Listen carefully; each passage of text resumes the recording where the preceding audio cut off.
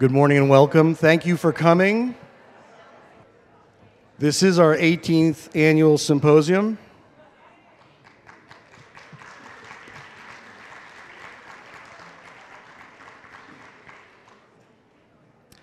And we've been blessed year after year in uh, February and March with amazing weather, and today makes no uh, exception to that. It's a beautiful day outside.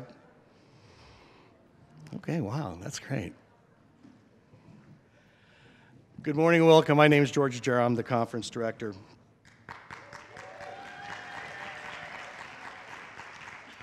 If there's one thing I could say today is we have a very packed, packed agenda.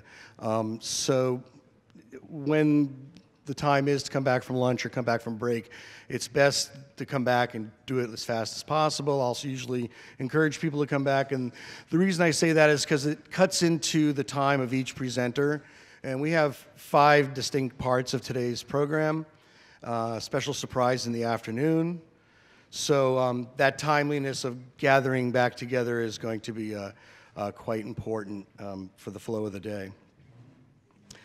Uh, housekeeping details on your tables. There's pens and a couple of pads. We're going as green as possible.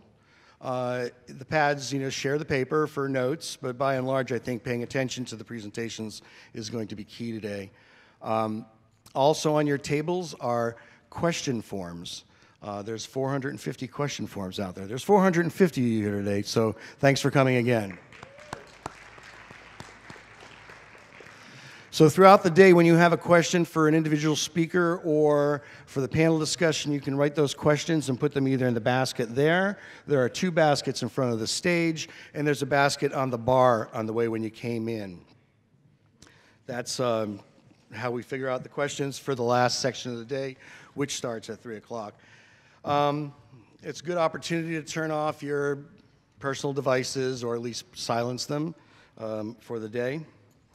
There's a typo on the uh, program instructions, which is on the back of the first sheet, uh, which says so psychologists no longer need to sign out. Indeed, you do need to sign out. So psychologists on the way out will make sure that you know you know where to sign out. Um, it's uh, an early lunch. We're starting at 11:30, and it's going to be served in the bay room, um, buffet style.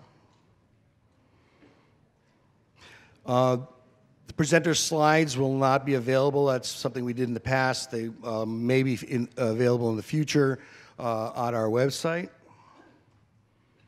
At the end of the day, you will not come in the way you, uh, we will not go out the way you came in. So the exit is going to be behind the screen. It's a grand stairway that goes down, and that's where you'll drop off your course evaluations.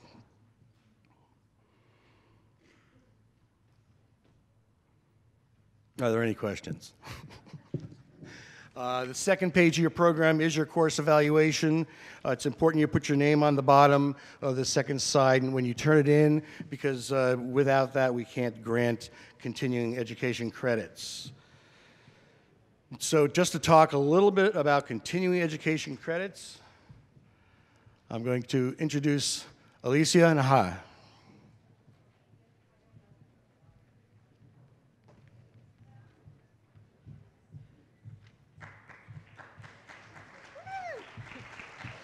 Morning, everyone. So, um, just to reiterate, because there's always a question from somebody about, I didn't get my units. You must sign in. If you didn't do that when you came in, please make sure you sign in. And at the end of the day, um, most of you will only need to do the evaluation and print your name so we can so it's legible um, on the evaluation to get units. That includes for Santa Cruz County staff cultural competence units. So um, at the end of the day, not before, you will turn in your evaluation. I'll be out there with my little box. Um, do not leave your evaluation form on the table. We are not going to collect them. They need to be turned in. Um, it may sound petty, but inevitably, there's been a handful of people that takes a lot of staff time from various uh, persons to get CEUs. So we want to, you know, we want to be able to um, to give you the units for attending this wonderful conference. The only people that need to sign out are the psychologists. The rest of you just need to sign out by putting your name here. So psychologists, you do this and sign out. I will have the sign out form and I'll direct you to that. So um, any questions, see me at the breaks. Um, but welcome. I'm so happy to see such a huge crowd, and I'm, I'm really proud of this, um, this symposium in general and today's topic in particular, and I'm, I think it's just awesome that we sold out. Good job.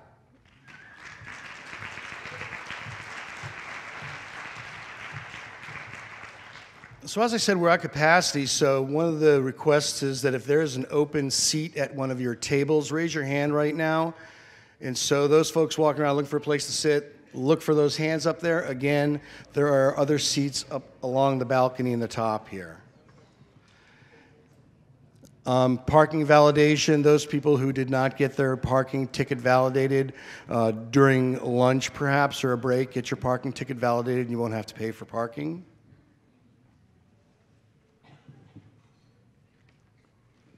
Right now, I'd like to uh, introduce Joshua Nadherny Calciano.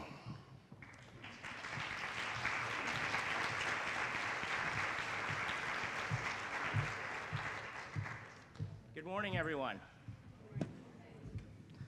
I want, it's my honor to welcome you to our 18th annual Johnny Natterney Calciano Memorial Youth Symposium. I'd like to recognize the various organizations that are here today. We've been doing this for many years, and I do encourage you to take the time during the lunches and the breaks to network with them um, and to, uh, to speak with them. I'd also like to recognize our high school students. Um, for many years, we've been doing a scholarship program for our students, and this allows uh, various high schools to bring in uh, students that they feel would uh, benefit the most. And then I want one, I just request that when you do go back, you, you take this information and, and you apply it and you, and you talk to your, your, your fellow students as well. You know, my brother John would be 44 years old this year. And as I've grown from an adolescence to a husband and now a father, there's not a day that goes by when I don't think what his life would have been like today. And though this symposium bears his name, I feel it has come to represent all families dealing with suicide, violence, and um, people that, uh, with drugs. My family is incredibly gratified to have seen this symposium in memory of John develop over the years into the widely attended event of today. And as difficult as our loss continues to be, the community coming together is a very healing force for us. We continue to be impressed by the diversity of the attendees, clinicians, counselors, educators, and public safety officials that have attended our symposium over the years. The post symposium comments and the number of attendees that return year after year clearly show that we are making a real difference in our community. Our deepest thanks and appreciation goes out to those that planned the details of each annual symposium, and we are particularly gratified to George Jarrow and all members of the advisory committee. It is their hard work that, that allows all of this to happen. I have never more, met a more passionate, devoted group of people, and I am honored to be associated with them. The tire, I'd also like to recognize the tireless volunteers to help the do logistics of the event, and also the Dominican Foundation, who is the, which is the philanthropic arm of the symposium, and is with their support that we have established the John E. Natterney Endowment Fund. We could not have continued to have such wonderful events without their support. But most importantly, I want to recognize all of you and your devotion to your work. For nearly two decades, this symposium has expanded on topics ranging from suicide to autism, and it is your continued quest for knowledge that allows us to bring you such wonderful speakers to you year after year. In summary, I want to thank all of you for coming today and hope you find this information pr- presented to be beneficial in your work and hope you will continue to join us year after year. It is now my distinct pleasure to introduce Joel Baum. Joel Baum is the Senior Director of Professional Development and Family Services. He is responsible for all programmatic aspects of Gender Spectrum. He facilitates trainings and conducts workshops, develops curriculum, consults with parents, professionals, and providers, provides resources in services of a more uh, compassionate understanding of gender. He is a founding member and director of education and advocacy with the child and adolescent gender at UCSF. Working throughout the United States and beyond, he is frequently called upon to help institutions think more expansively about the gender diversity of all children and teens and ways to create more exclusive conditions accordingly. For nearly 30 years, Joel's work as an educator has focused on issues of social justice and equity. First, as an award winning middle school science teacher and school administrator, he has also served as a district administrator in Oakland, California, as well as a school reform coach with the National Equity Project. Joel is also a professor at the California University East State East Bay, excuse me, in the Department of Educational Leadership. Gender Spectrum provides education, resources, and support to help create a gender sensitive and inclusive environment for all children and teens. We accomplish this mission through school trainings, parent support groups, and consultations, policy development, and our annual family conference, and work with medical and mental health care providers, social services, and others working with the, uh, families and kids. So it's my distinct pleasure to introduce Joel Baum.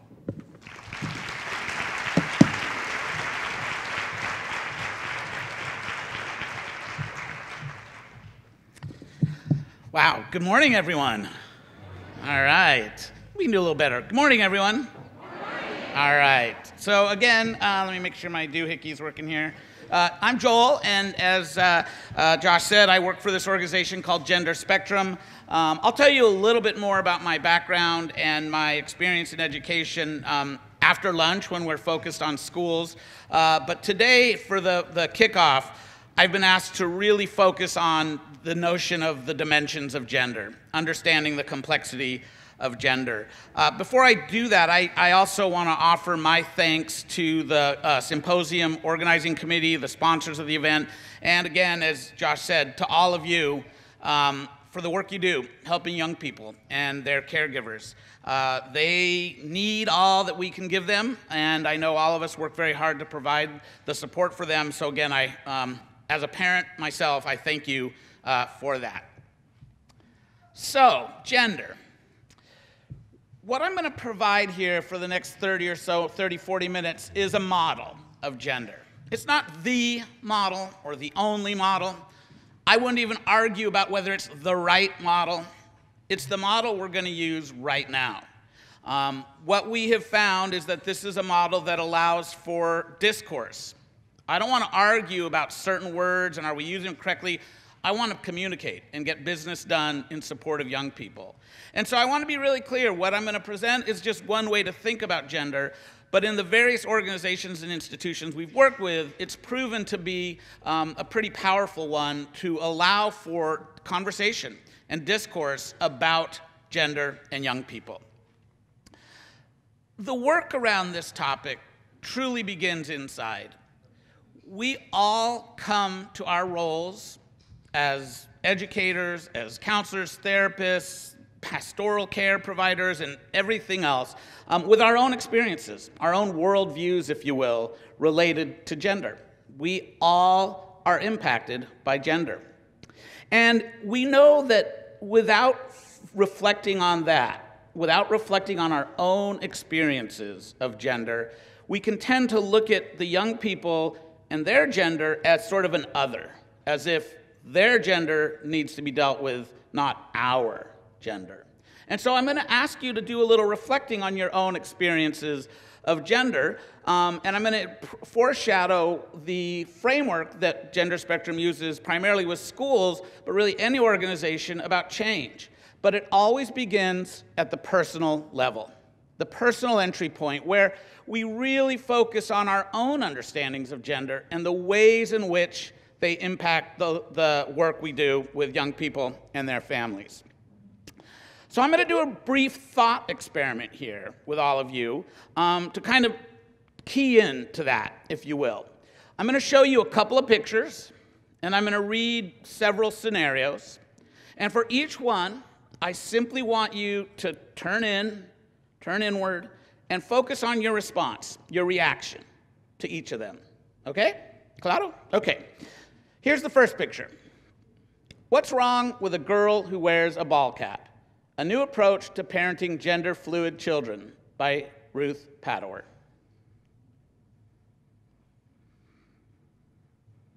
Here's the second. What's wrong with a boy who wears a dress?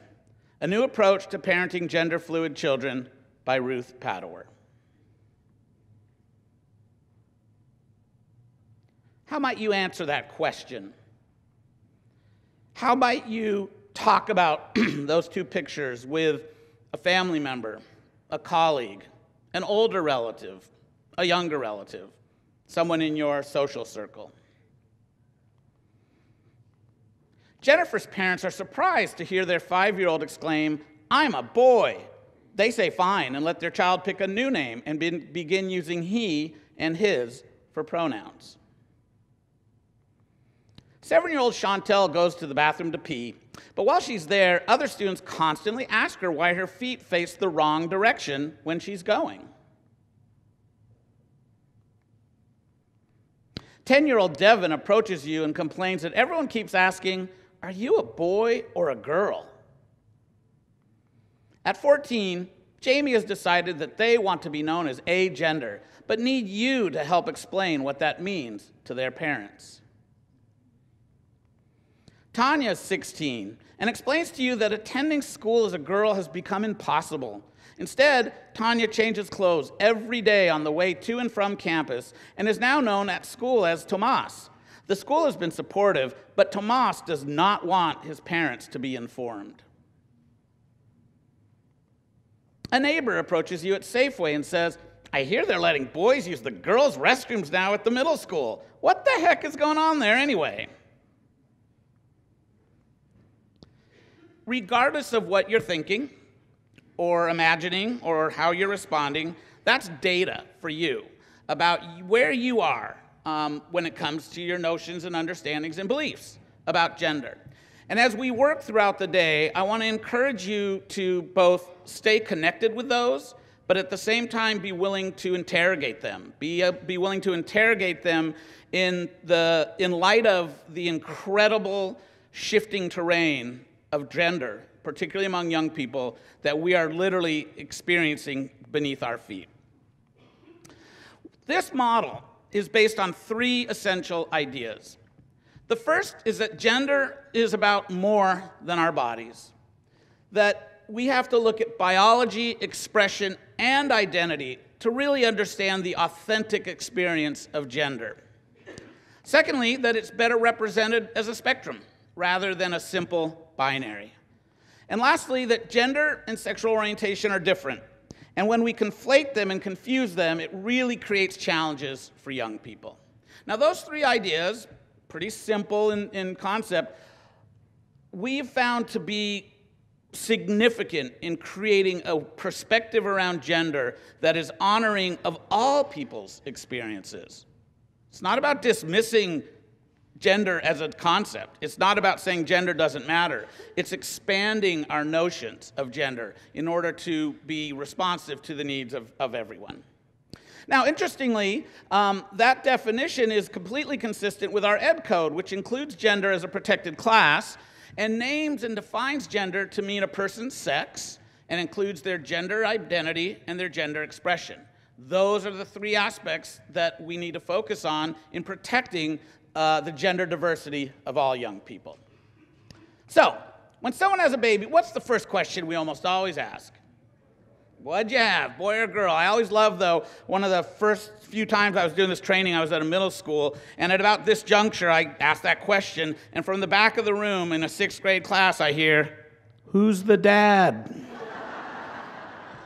it's like, okay, I am gonna love this job. I know this is gonna be a great job. No, but of course, the question that is asked most often is is it a boy or a girl, right? Um, and of course, the answer to that is based in biology. When that baby's born, we take a look at their body and we make a determination and slap this label of girl or boy on them. Okay? Now, right there, we have the heart and soul of the binary gender system, the gender binary. Okay? And that binary essentially has two main uh, concepts it's built upon. One, that uh, there are only two kinds of bodies, and two, that whatever body you have will equal your gender. See, what we do is we assign sex, but we presume gender. And in fact, we're often right. That model works pretty darn well for a lot of us. You know, I bet many people in this room go, yeah, right? Of course. And that's right. It does work for a lot of us, just not all of us. Okay? Because what we know is that at multiple levels, gender is a spectrum, a continuum. Now, I happen to be, uh, uh, as uh, Josh mentioned, a former science teacher, um, and I was a bit of a math nerd. And I want to point out that those lines, that line, and all the lines you'll see, have arrows on each end.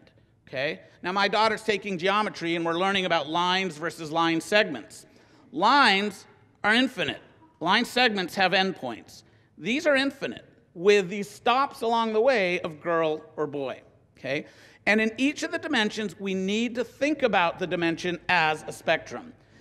Even biologically, we know that bodies do not just come in two forms. First of all, what we call boy bodies and girl bodies, if you're looking at me, I'm doing air quotes.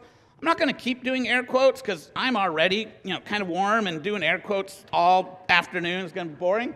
But no, really, when we talk about bodies, you know, a boy body is really a penis bearing human. It's not a boy body because people of all kinds of genders have penises. A girl body is really, you know, a, an ovary bearing a, a human, a vulva bearing human. Um, and while I don't expect you to say, good evening, vulva bearing humans and penis bearing humans, you know, I do want to encourage you to disconnect this notion of what's in your pants with who you are because it just doesn't always work. But more than that, there are bodies that don't fit either one.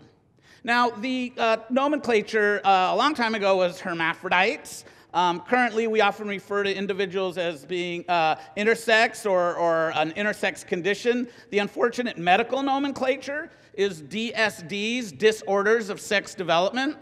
Um, that's a whole different lecture about why that's problematic. Um, but suffice it to say, many of the more gender affirming specialists that, that I work with refer to differences of sex development.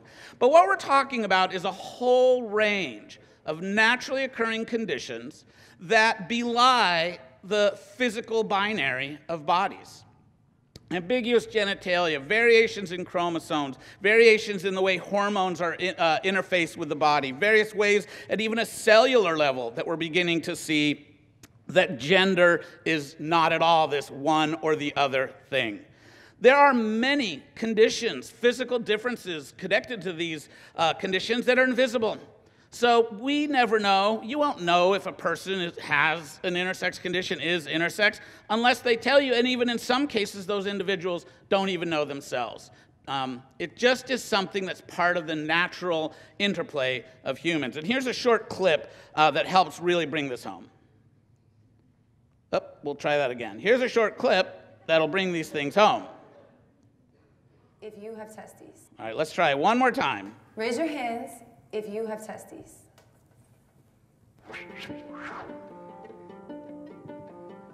I'm Pidgeon. I'm Alice. I'm Emily. I'm Cypher. And we are intersexy. Intersex describes a person who doesn't fit the typical definition of male or female. I have XY chromosomes, but typical female genitalia. I'm a girl who has testes and XY chromosomes. I identify as a queer, gender nonconforming intersex person. I identify as a black intersex man. Intersex is not new. It's been around since the beginning of human existence. I mean, there's probably even intersex dinosaurs, if you think about it. And that's probably not that far from the truth, because as I've said, these are naturally occurring variations of living things, right? It's the stuff of evolution, that variation. Um, there's a great quote that Milton Diamond said, which is something along the lines of Nature loves diversity, but society hates it. And I think that's very uh, much what we're talking about here because this notion of the binary which for many people is assumed to be one and, and only uh, based on biology, you know, part and parcel, it breaks down even at this level. It just simply doesn't work to capture the, the greatest number of humans' experiences. And when we're having models to describe humans, particularly on something so uh, essential as gender, we should try to be as inclusive as possible. But biology and sex aren't the same as gender anyway. They're not the same thing, they're different. There's a relationship, but it's only one dimension of an individual's notions of gender. The second dimension is expression. Now, expression you'll often hear described as gender expression. I'd like to add two letters, ed. It's gendered expression. It's really human expression that we have assigned all sorts of attributes to um, that, that don't always add up. Um, this is often what I, I refer to and what you'll hear talked about as the social constructs that are attached to gender. And there's evidence of the binary everywhere. And for our young people, they are like fish in water, swimming in the binary. They don't even know it's there half the time. These messages come in so many different forms about how you're supposed to perform girl and how you're supposed to perform boy, let alone someone who might not feel like either one. That's not even on the table. One way to do it or another way to do it.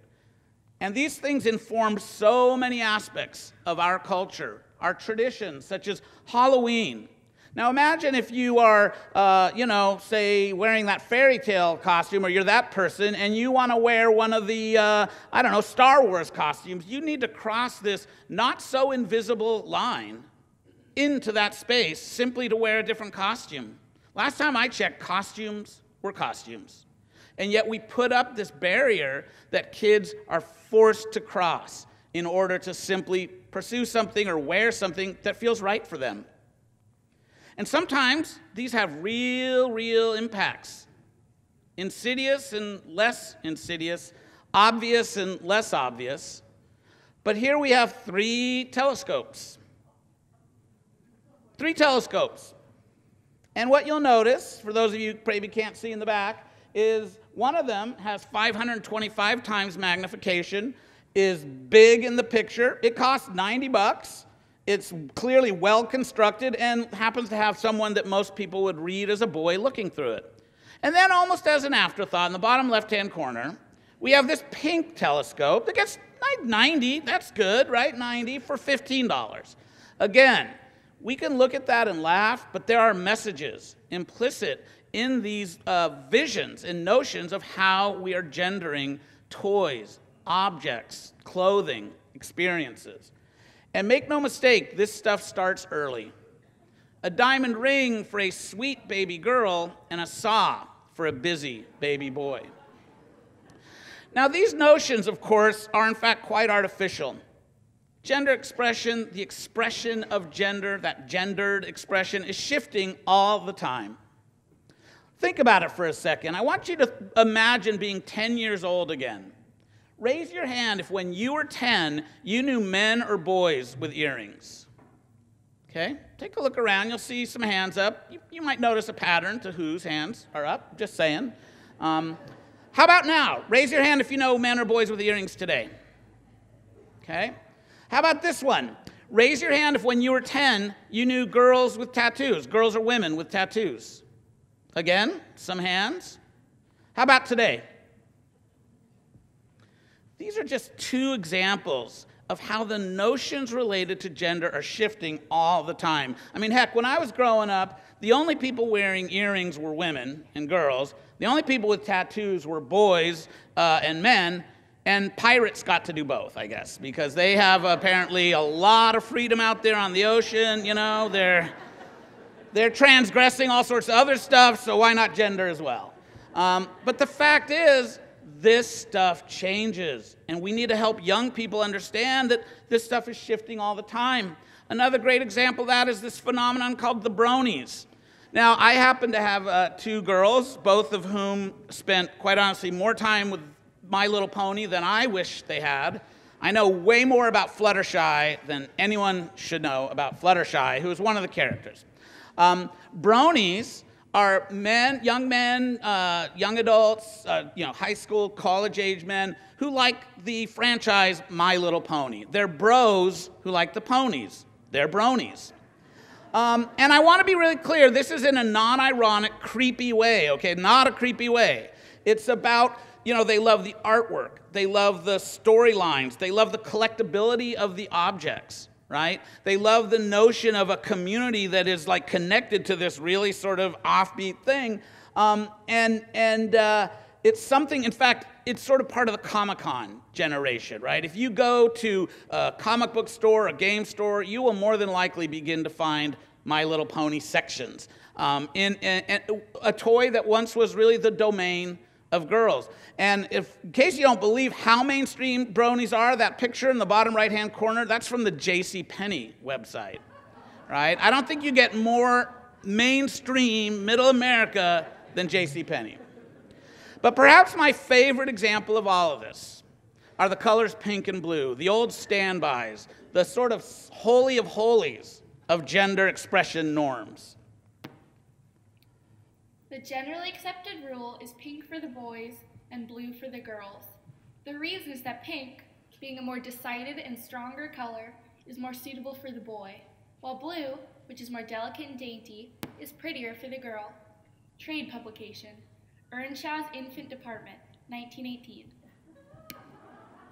So I guess your boys' colors depend entirely on when you like them. Um, when, of course, you know, there's no such thing as boy and girl colors. Colors are just colors. This is, is as the uh, narrator named, was a trade publication designed to, for marketing in department stores. If you're going to be working with families, push the pink stuff on the boys and the blue stuff on the girls. Now, interestingly, 100 years later, here we have Target last year announcing that they were no longer going to separate bedding and clothes based on gender. It used to be you could go in Target and you'd go to the toy aisle and you would see building sets and girls' building sets. Really? Now it's building sets. You know, if you're a girl and you want Spider Man bed sheets, Again, why do you have to go into this, la- this aisle with the label boys on it? That automatically means that, well, if you want it, you got to cross this line and make some sort of declaration when in fact you don't. They're just sheets. Throughout time and from one culture to another, these things are shifting all the time. And what we have to help young people recognize is that they will shift. And while there may be patterns to gender expression, they are not rules. When I was a teacher, I had something I called the smell test. And the smell test was can I stand in front of my eighth graders and make the following statement and have them say, yeah, that smells right? Or do they go, oh, no, no, that's funky, that don't smell right? And if I were to stand up here and say to my eighth graders, oh, yeah, of course, boys, girls, they both wear dresses all the time, wouldn't pass the smell test. It would, right? Does that mean all boys don't wear dresses? No. Does that mean all girls don't wear them? Does it mean all boys do and all girls do? No. Do some boys and some girls? Yeah. What's the pattern? Well, the pattern is that girls wear dresses more commonly than boys do. It's a simple pattern, it's not a rule. Patterns versus rules is an important concept as we talk about gender expression if we want to do it in a way that recognizes and honors the experience of everyone. But when we have someone who doesn't fit the pattern, we can't blame the data. We're making the mistake. We've got the wrong pattern. We need to adjust, right? Versus someone breaking a rule is doing something wrong.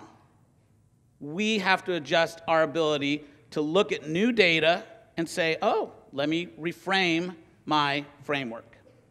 And so expression represents that second dimension. The third dimension we want to talk about is gender identity. And gender identity refers to our internal sense of self, the core notion of who we are deep inside. Again, the binary assumes that there are two ways to feel I can feel like a boy, and I can feel like a girl, and by the way, it's inextricably linked to my genitals. Whereas we know, again, Identity also is a spectrum. an infinite spectrum in which individuals can feel like girls and boys, both, neither, all sorts of combinations. And as we're going to see in a few minutes, an incredible diversity of possibilities in which young people are asserting, hey, this is what gender means to me. This is my gender. Okay? Now, I want you to think for a second about your own experience again. When did you know? How did you know? How old were you? What messages did you get? about your gender? What did you encounter in the world around you that reflected or did not reflect your gender? And as you think about that, take a look at this next slide. This slide shares data from uh, transgender adults um, who were asked, when did you realize that your gender varied from the sex you'd been assigned at birth? Okay? Did you realize when you were 18 or 16 or 14? So along the bottom or the x axis, we have age, and up the top along the y axis, we have the percentage of respondents. So let's take a look at when these adults realize this about themselves. Here's the first group who realize basically in high school or older. Okay? Here's the next group who realize this about themselves in middle school or in adolescence.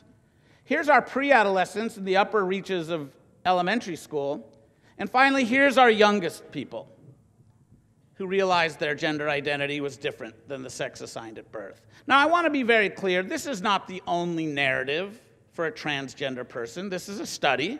But what it does demonstrate is that for certainly the vast majority of people in that study, they knew quite early.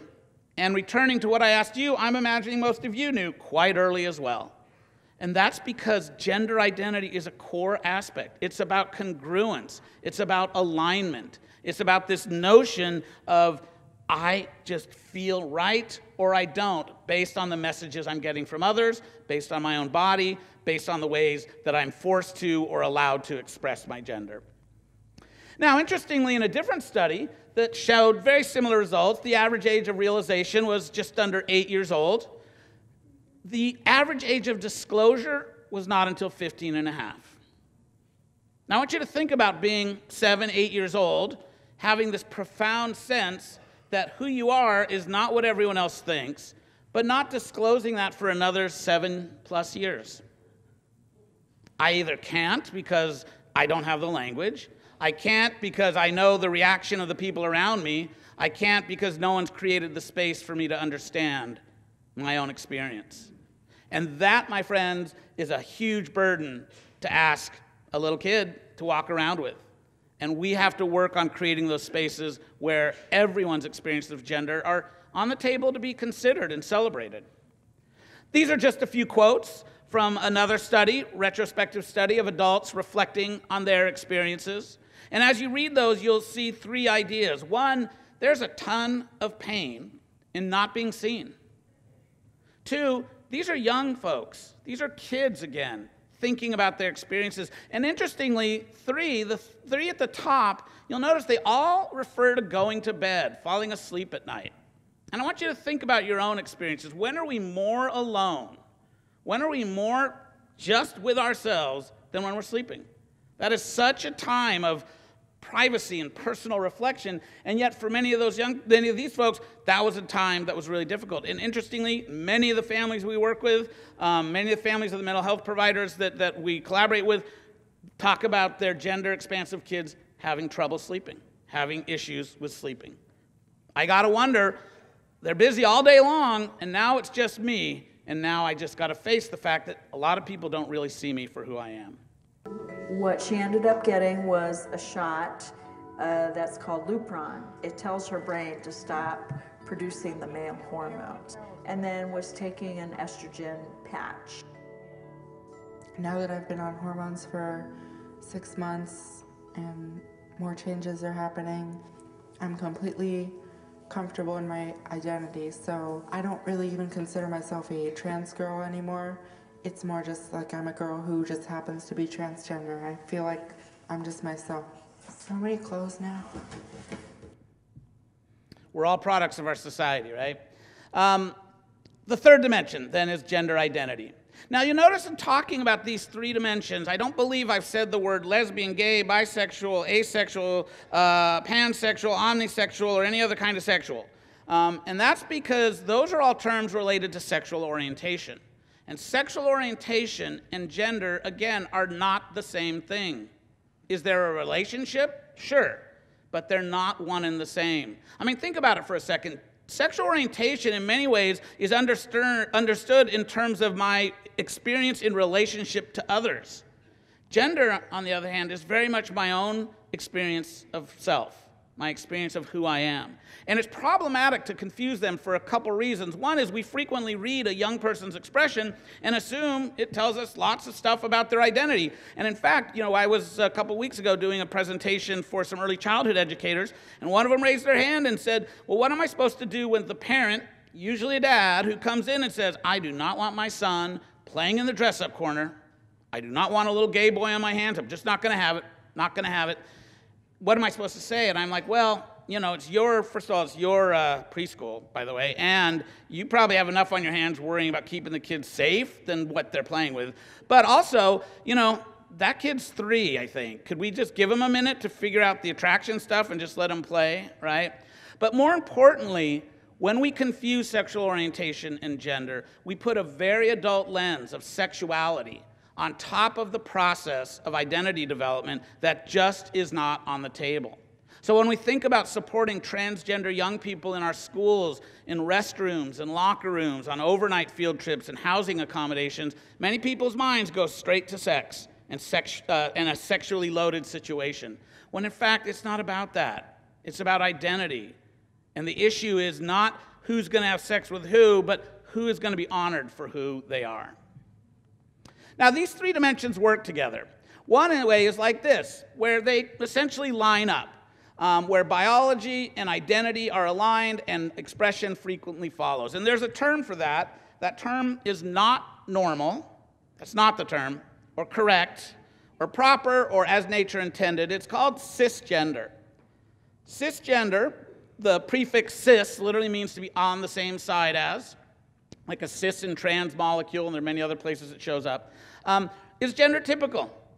Now, why is it important to have a name for that? Well, the fact of the matter is, I would argue this is still probably the dominant experience in our society, and we need to name dominant experiences because if we don't, they become the default, right?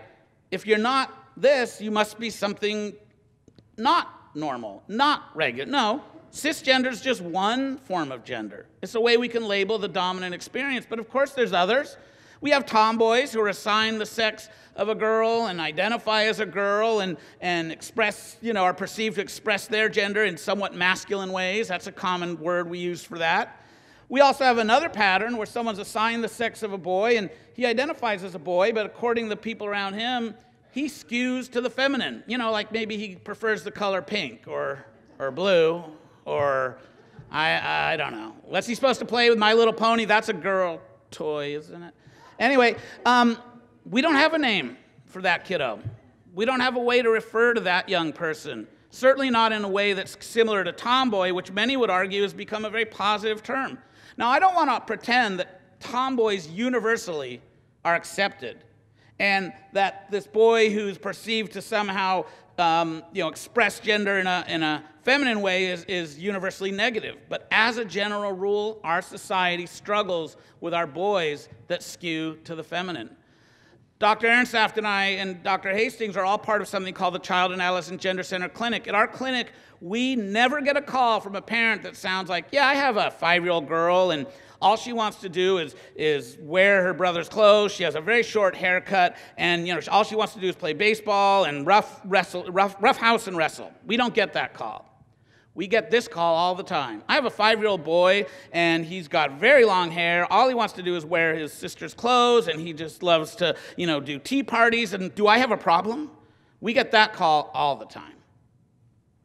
Now, there's other possibilities. Here's someone who's assigned the sex of a female, but she, he identifies as a male. And in this model, we use the term transgender to describe this individual, and transgender boy because the identity is male. The trans part is biology and identity across from rather than on the same side as each other. And often this is a young person who will tell us in no uncertain terms, not that I wish, that I hope, maybe one day I will. It's, oh, I am. I am a boy. Especially if they have the space to make that declaration. And a transgender girl then is assigned the sex of a boy, but she identifies as a girl. Now, again, this is a model, and you will hear the term transgender often used in much more umbrella form. What I'm going to tell you today is in our model, we use it in this very precise way and have a different way of talking about the whole plethora of other possibilities. But before we go there, I want to make one last comment about transgender children because we often get asked, well, how can you tell? I mean, how do you know? Well, is it a phase? Is it not a phase? You know, how can you tell the difference between a phase and, and someone who's authentically uh, asserting their, their selves, their true selves? Well, often these are three things to think about persistent, consistent, and insistent. Um, one of my girls, when she was four or five years old, thought she was a dog. She thought she was a dog. You know, she played around. I'm a dog, daddy. You know, look at my ears. Woof, woof. You know, my partner and I, we didn't feed her on the floor. You know, we didn't, we didn't, we didn't accommodate her assertion of dogness. Um, we didn't make her pee outside. You know, she would have loved that, by the way. She would have thought that was awesome. But, um, and when grandma came, it was like, okay, sweetie, the, the barking's really not while grandma's here. She's just, she's old. She can't handle it, okay?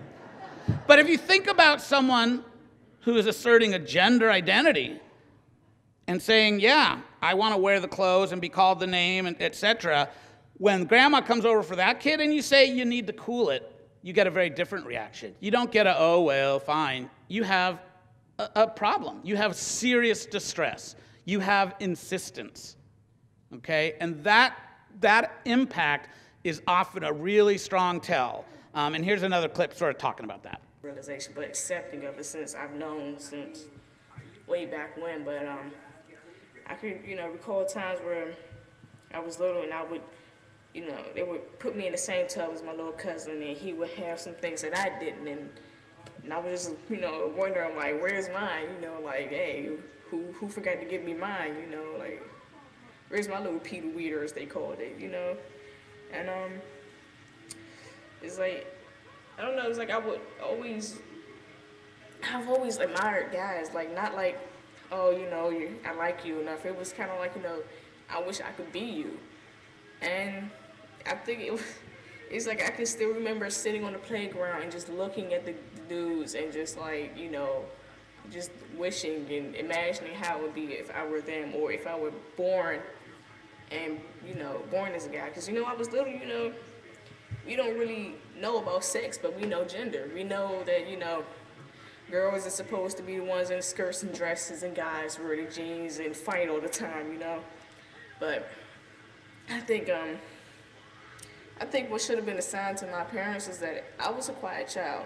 I wouldn't fuss, scream about anything, but whenever my mom would try to dress me up and put lipstick on me and all this pretty for, for pictures, I would have, a t- I would throw a tantrum. I would scream. I would bawl. I was, I was just on the floor just crying.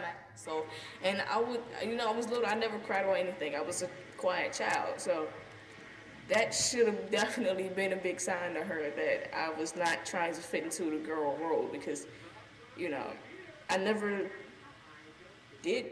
Girls did. The most feminine thing I did as a child was paint my nails black. So, again, when we do this work, we often find ourselves needing to convince people that transgender people are real, that they exist, that a kid can know. Well, fortunately, we've got a lot of backup. These are many of the associations, and this is quite old, I'm sure there's many more now, that have affirming statements of the rights, needs, uh, and importance of protecting transgender young people. Quite simply, transgender students and young people are not making it up. Who they are is who they are, and they have nothing to gain in asserting a sense of self that isn't authentic. There just isn't, there isn't anything in it that's going to make that worth it. The difficulties are, are quite, quite significant. But of course, what I've been talking about to point, this point is all very binary, right? This body, this expression, this identity, one or the other. And in fact, that just is a tip of the iceberg. There are many, many places that exist in the land of both and neither and more, and even both doesn't count because that just assumes two when there's so much more. And by way of astrophysics, Neil deGrasse Tyson uh, has a great little clip here that I want to play for you that really captures this. Um, of course, many of you know Pluto got demoted recently. Pluto's no longer considered a planet, or at least by some. And he was asked, So, what's the deal with Pluto? Is it a planet or is it not a planet? And in his response, he talks about this notion of false dichotomies, but what he really talks about are the limitations of language and the inability of language to capture concepts that we don't have language for and therefore end up controlling the way we think. Take a listen. So it's not, it's a very human thing to say, is it this or is it that? Is it a planet? Is it not a planet? Is it, is it less filling or is it great taste? Is it, is it gum or is it candy? These are sort of false dichotomies. Something can be both, but our language forces it, us, forces us to require that it fit into one word or another. Okay. It, what we're not recognizing is that it's not a fault of the object or the concept, it's a defect in our language. And if our thoughts follow language, we have trouble thinking of things that fit more than one category. We I think that's the source of most human ailments in the world. Yes, it is. Cultural ailments. Are you gay or are you not gay? Right. Are you black or are you not? Are you this? Are you that? Are you male Are, or are you female? female? Are you? And it's like, chill out. Just let it. Let you know. Just let things be what they are. Allow there to be a spectrum in all that you see. So does that, that doesn't necessarily just mean a broadening of language, but a broadening of the, the way the human mind thinks? I think that once you learn language, the language shapes how you think more than your thoughts shape what language does. It takes a very creative person to start inventing words for thoughts that they had for which no words applied.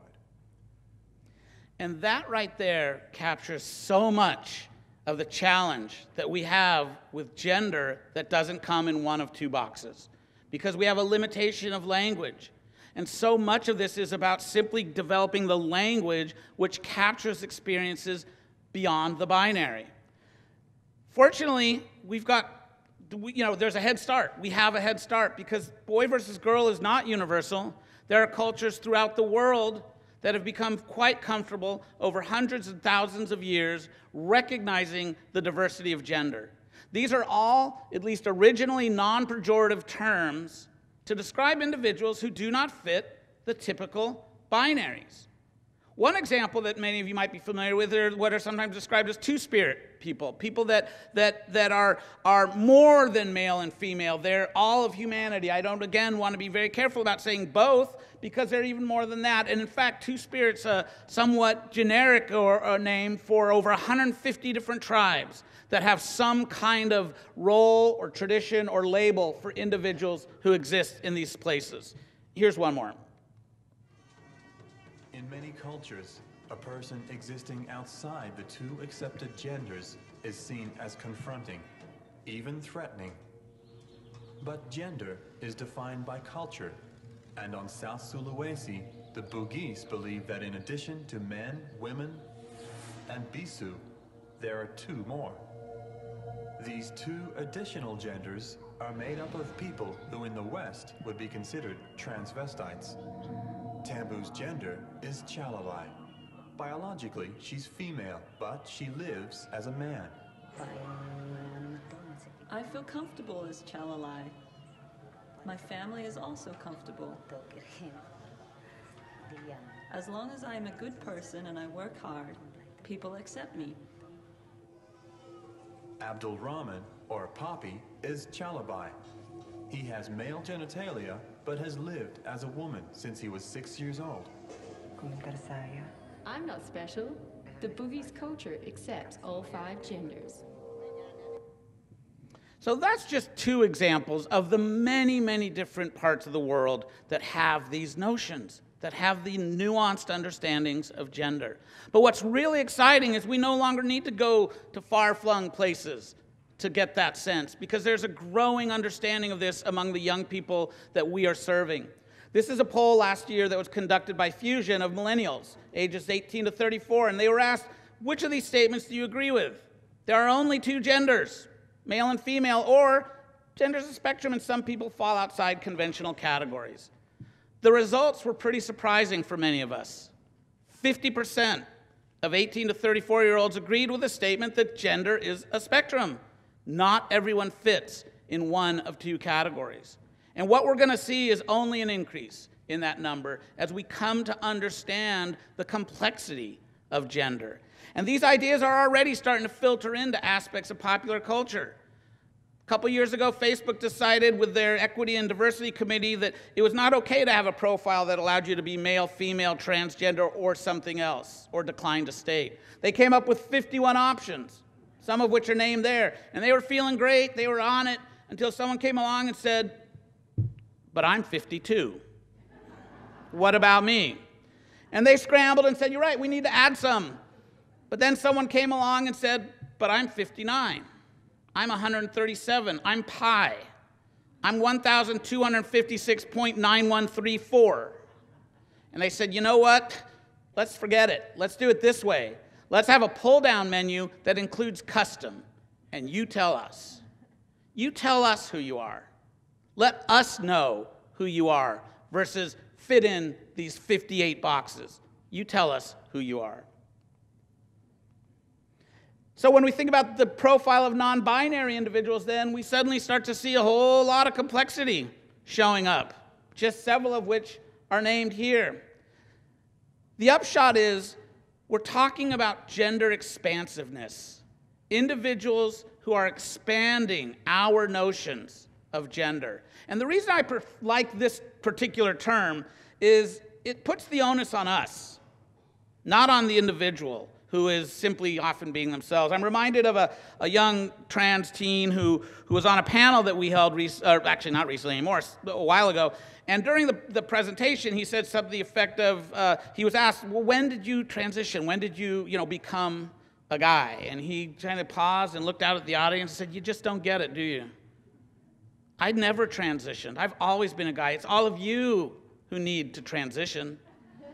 You need to understand my experience. That's gender expansive, right? He was expanding our understandings. He wasn't doing anything except being who he was. The bottom line is each of us has the right to determine for ourselves the label that we choose, what that label means, and the right to ask others to please respect us and use it. I'm imagining there's many of you out there who identify as guys. I happen to identify as a guy. And yet, we might use the same label, but what we mean by that label may be similar and may be vastly different, right? Each of us has the right to gender self determination, to personalize our gender, to make gender our own.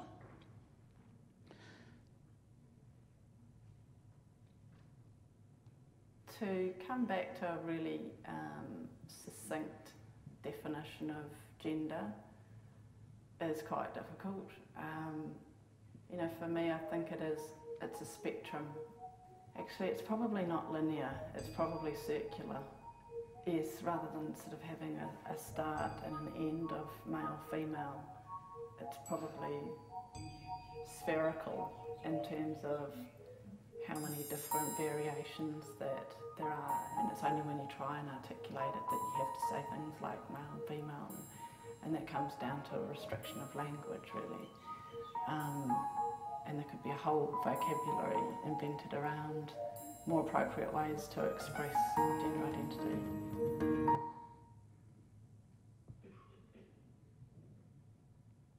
So if you think about it, we started here with the who's the dad. No, not that wasn't the question. What'd you have? That was the question.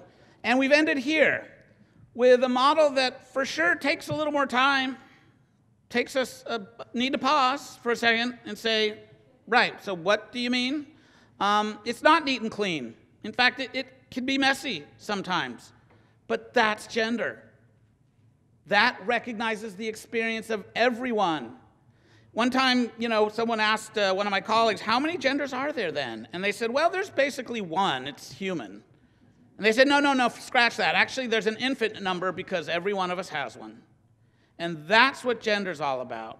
All of us having the right to be ourselves, to assert the meaning of the terms we use, and to ask others to simply respect that and accept me for knowing my experience more than anyone else.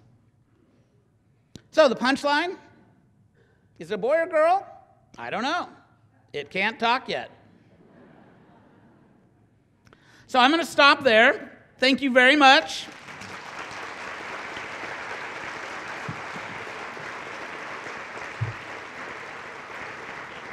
This framework will inform the rest of our day. So, as Diane and Jen and our panel talk about these aspects of gender, we hope that you will continue to expand your understandings as well. So, we'll take a break. We'll be back here, please, at uh,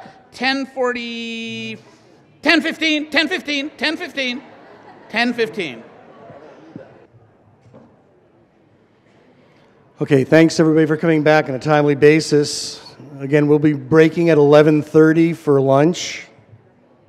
It'll be a good time to also network and uh, look at the uh, various tables out there. Diane Ehrensaft, PhD, is an associate professor of pediatrics at the University of California, San Francisco, and a developmental and clinical psychologist in the San Francisco Bay Area, with a private practice in Oakland, California. She is director of mental health and child adolescent gender center and chief psychologist at the Child and Adolescent Gender Center Clinic at UCSF Benioff Children's Hospital. I said it right.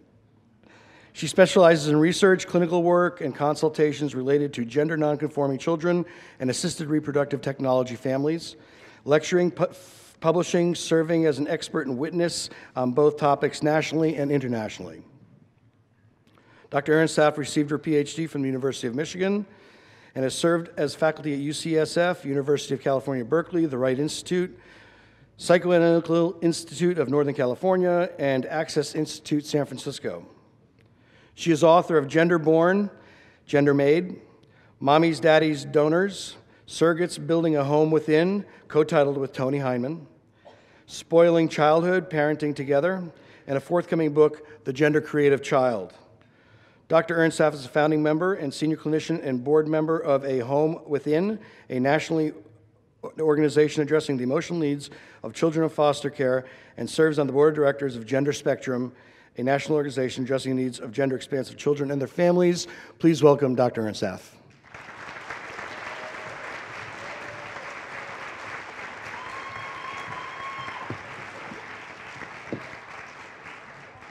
Well, I can't tell you how delighted I am to be here and to see everybody's face here because it's because of all of you that we can be here doing what we're doing and we'll do more. And I want to thank everybody who is responsible for having me be here today.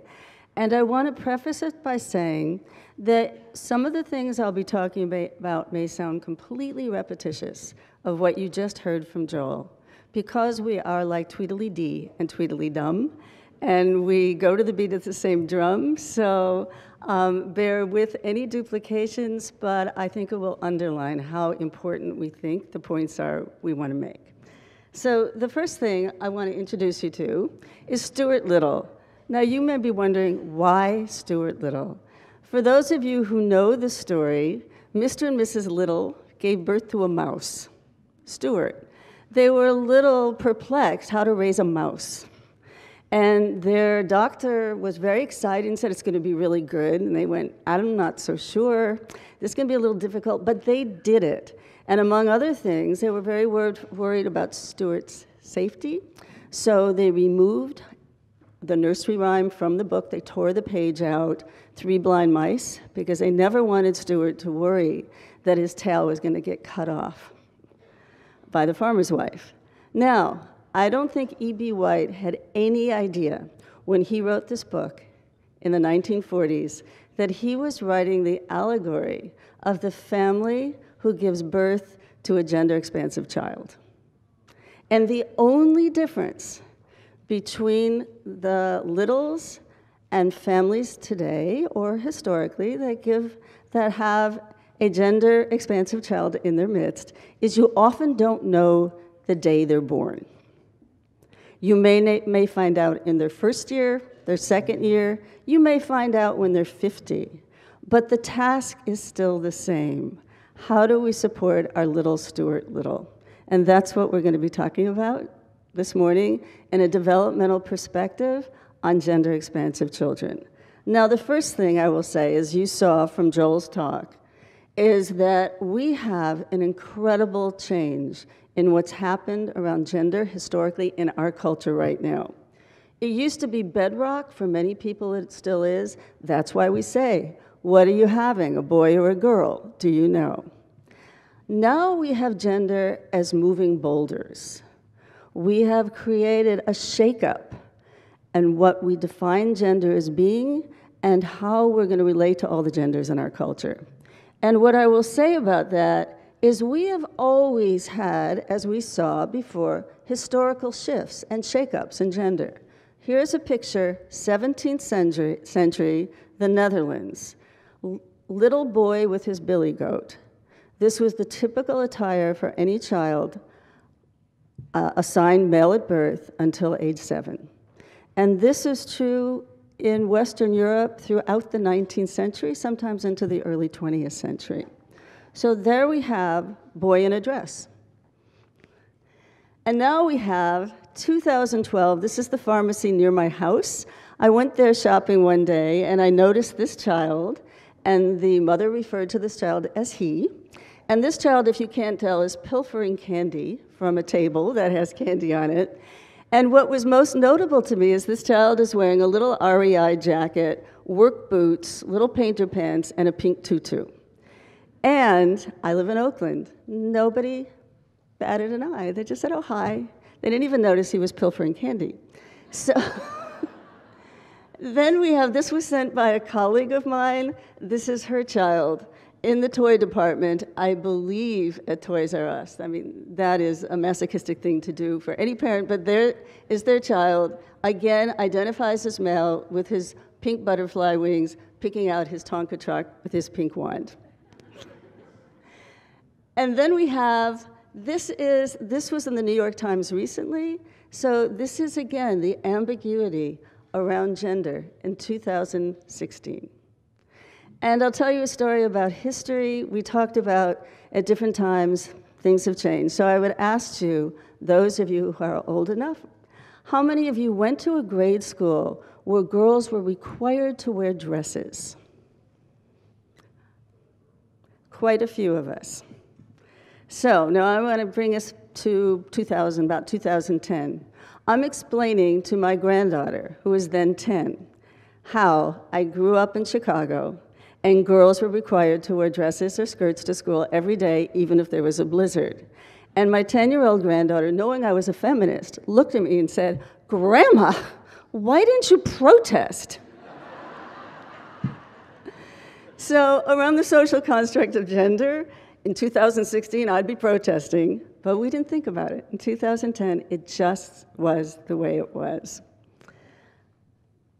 So, the first step in a new developmental model for understanding gender is we have to unlearn most everything we learned in school.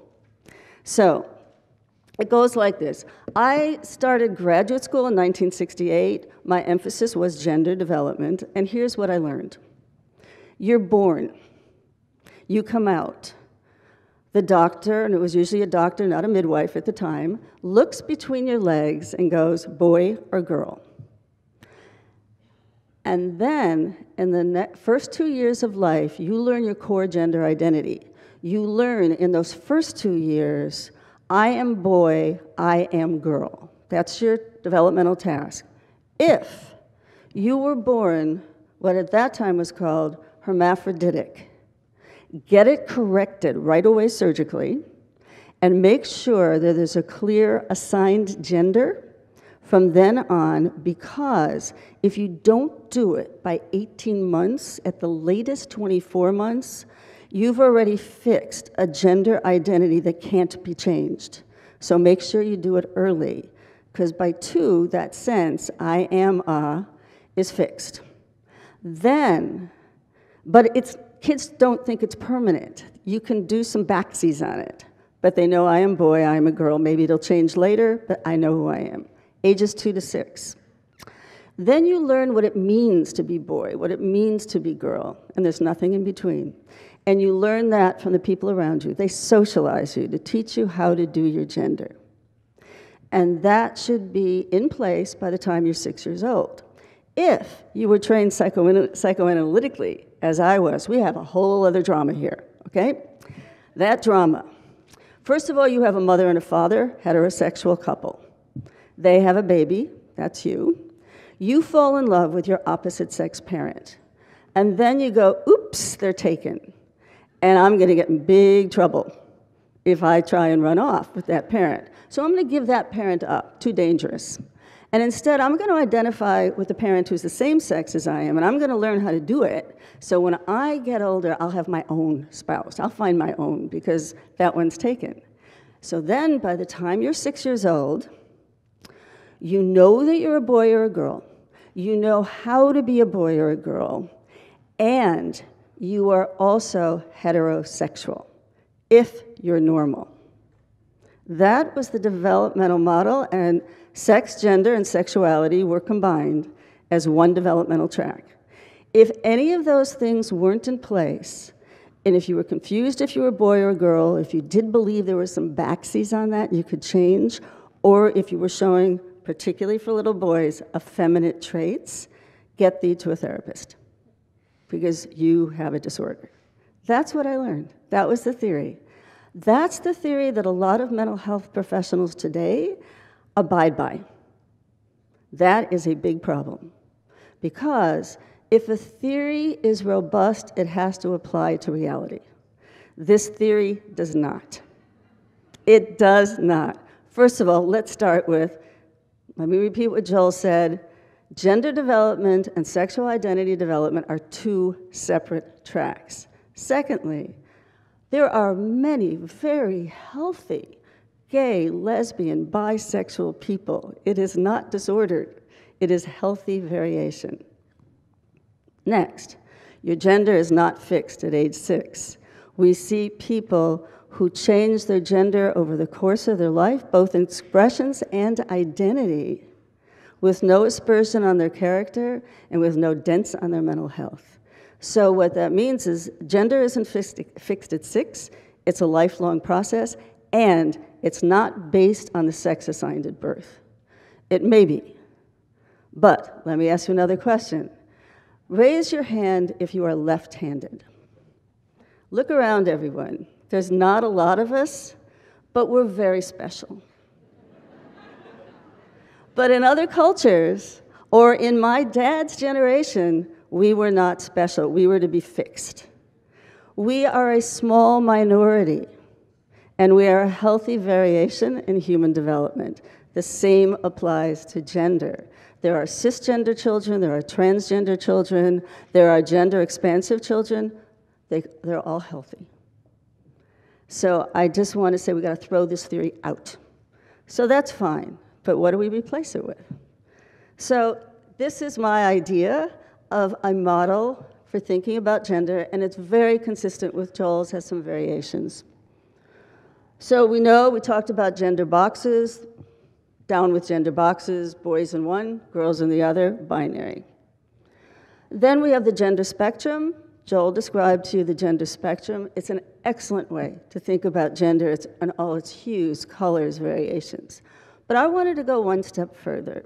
And it goes back to that notion of gender as a sphere with infinite possibilities. So I made up the idea of a gender web. That we have a three dimensional web. If you think of a web in a tree, it stretches in three dimensions. And everyone has their own unique gender web, like a snowflake. And the gender web has three major threads. They've got the threads of nature, the threads of nurture, and the threads of culture. And now I'm going to break it down even more specifically. We have chromosomes, hormones, hormone receptors, gonads, primary sex characteristics, secondary sex characteristics, your brain, your mind, socialization, family, school, community, and I use community in the largest sense, uh, culture, the values, the ethics, the laws, the theories, and the practices of a culture. All of you sitting here today have all of that infused in you if I ask you, what's your gender? Now, we also, to get a little Twilight Zony, we have a fourth dimension. And the fourth dimension is time. So each individual alters their gender web as they weave together nature, nurture, and culture over time, which means it's fluid throughout development.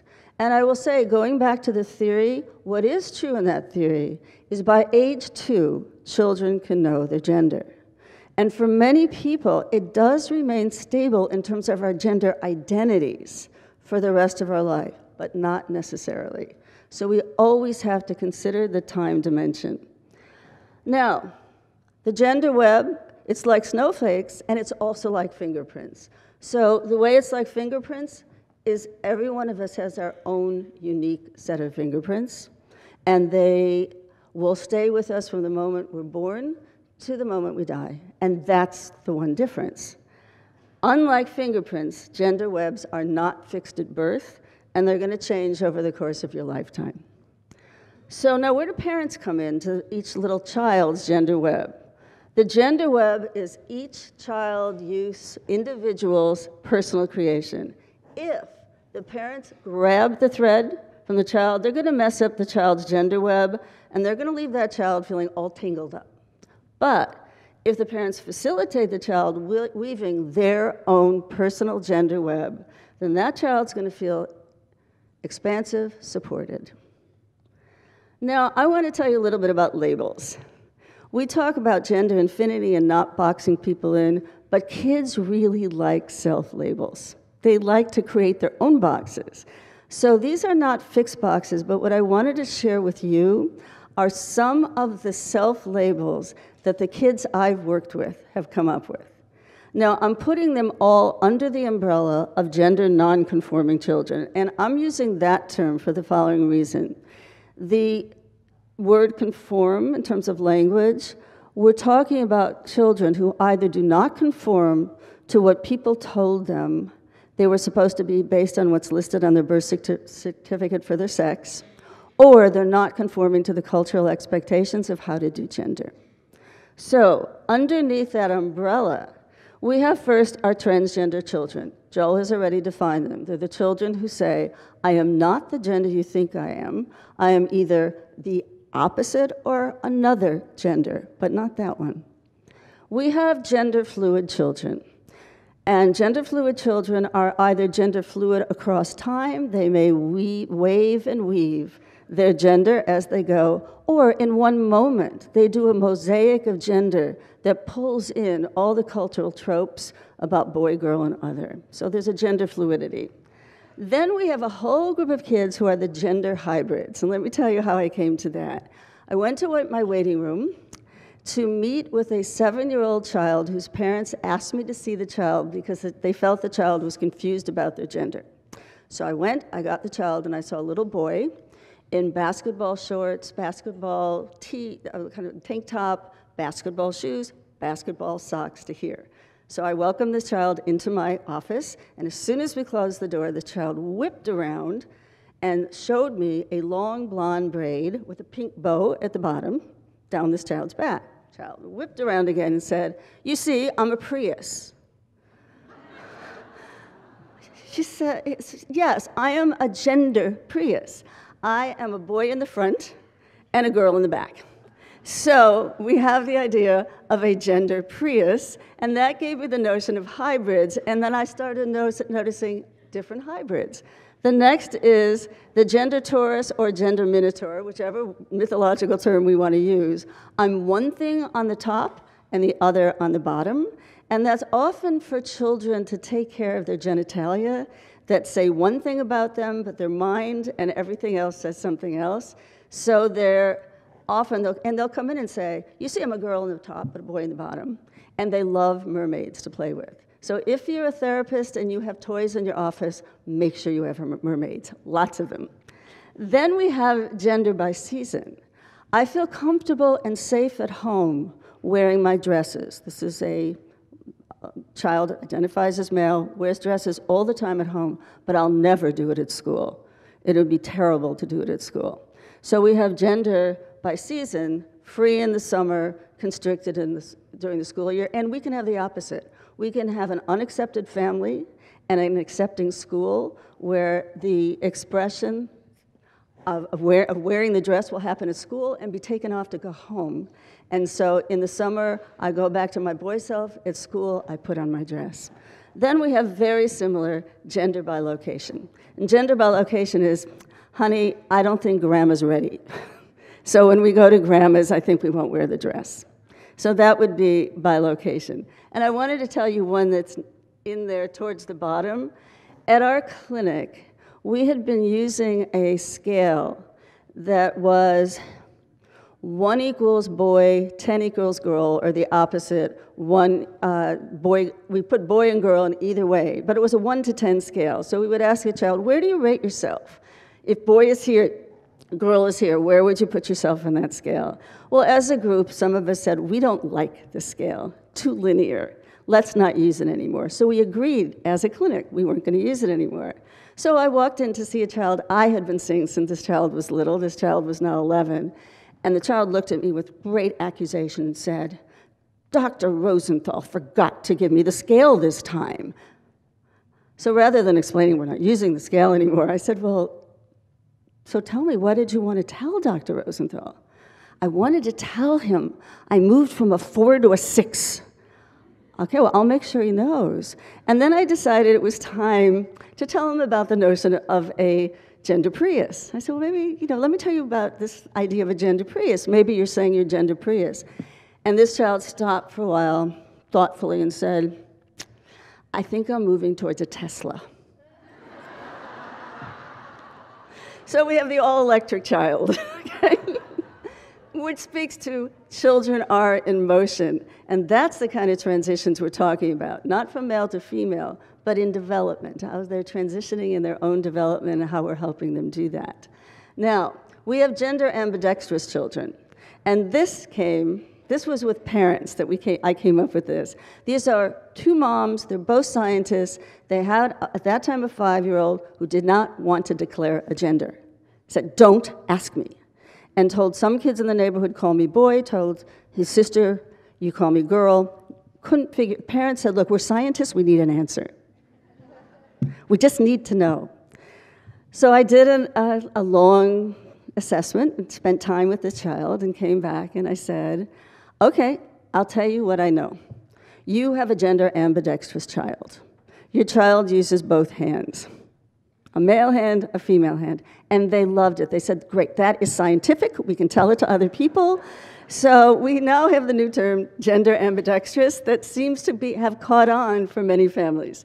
Then we have gender smoothies. This was a teenager who was as gender creative as you will ever met, meet in a kid and said to me, Let me tell you how it works. You take everything about gender, you stick it in the blender, you press the button, you have me. I am a gender smoothie. So we have gender smoothies. We have uh, gender queer youth who would be saying, Why are you bothering with this conference? We are so beyond gender. We're about being human. It's about time to stop talking about it. So we, and that are not, that's not just individual kids, youth, and adults, it's a whole social movement. Then we have agender youth, also usually identify as genderqueer. And agender means one of two things I'm not any gender or I'm agender. So we have our agender youth. We have proto gay children. Now I'm bringing sexuality back in. There are many children who explore their gender on their way to discovering their sexuality. And these are often the boys who are dragged into clinics for being effeminate. And it turns out they are going to be our healthy gay men if we just let them be. So, and it can come in any variety of gender. That's the most common way we see it. Then we have the opposite, which is proto transgender youth. And these are children who, youth, who usually place themselves in a uh, community of, let's, well, I'm, of sexual, of either gay or lesbian community and discover, often through the romantic experiences, you know, it doesn't fit.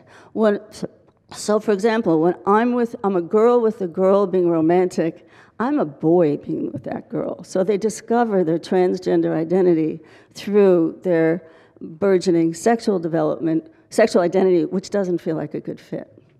And then we have the last group, and this is the group that concerns us most as a mental health, educational legal community and as families. And those are our gender Tootsie Roll Pops.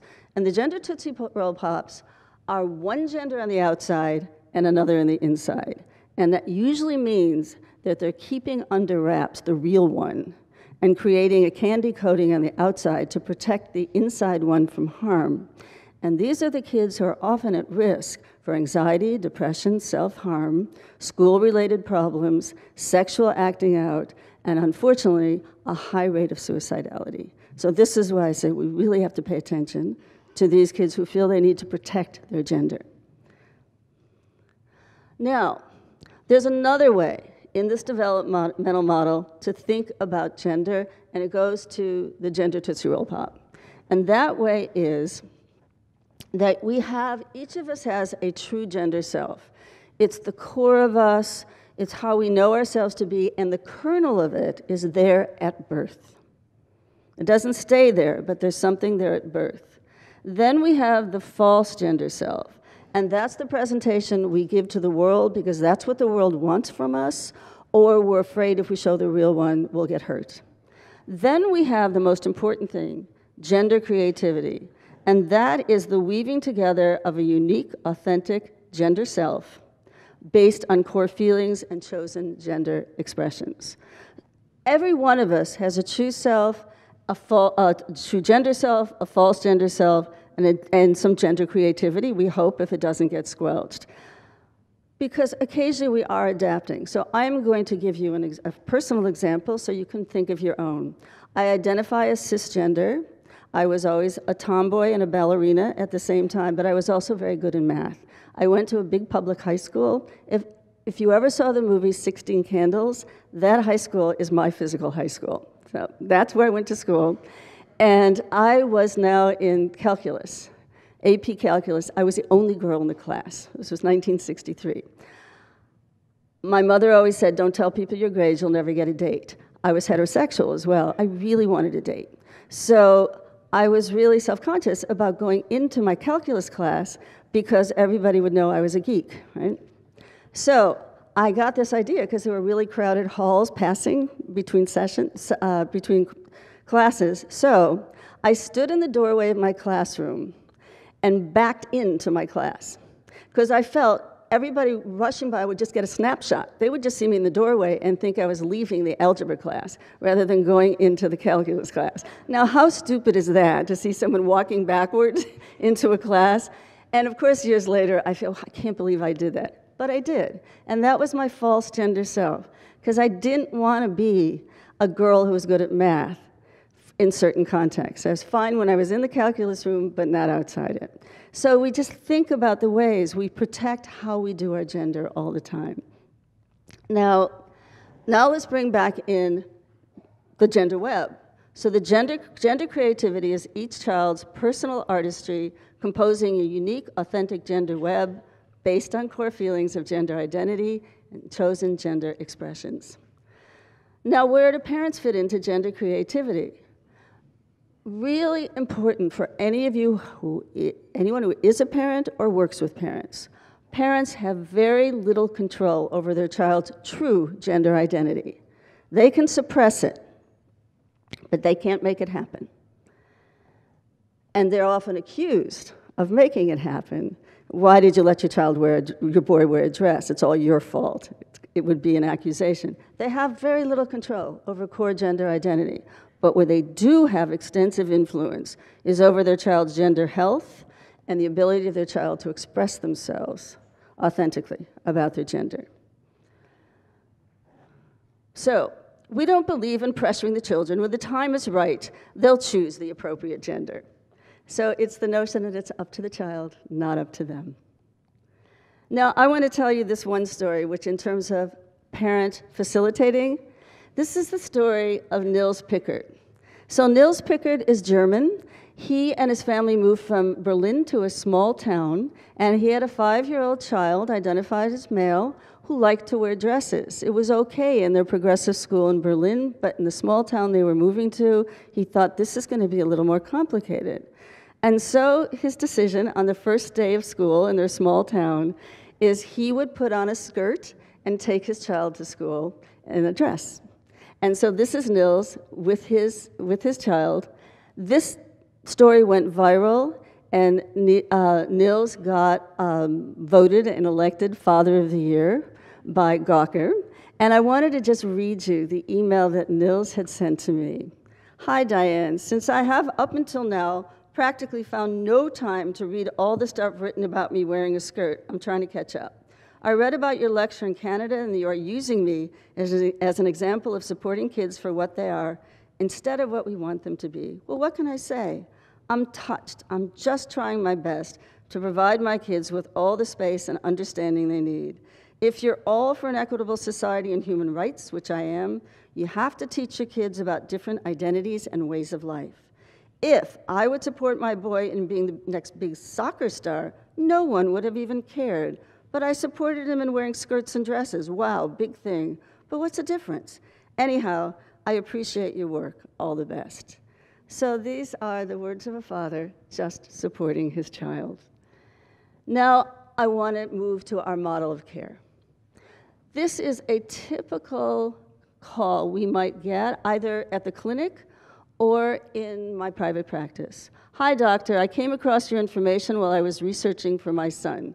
He recently just turned four and he wants to be a girl and is only drawn to girl toys, clothes, for the past two years. We have not spoken with a professional doctor but wanted to reach out early and find ways we, are parent, we as parents can support him. Please let me know if you could help. Thank you. So just hold on to the request. And I want to now tell you that we have a controversy right now in the clinical field as to what would be the best model to approach this mother and help her. So I want to just break down the three major models that exist right now for care of gender nonconforming children.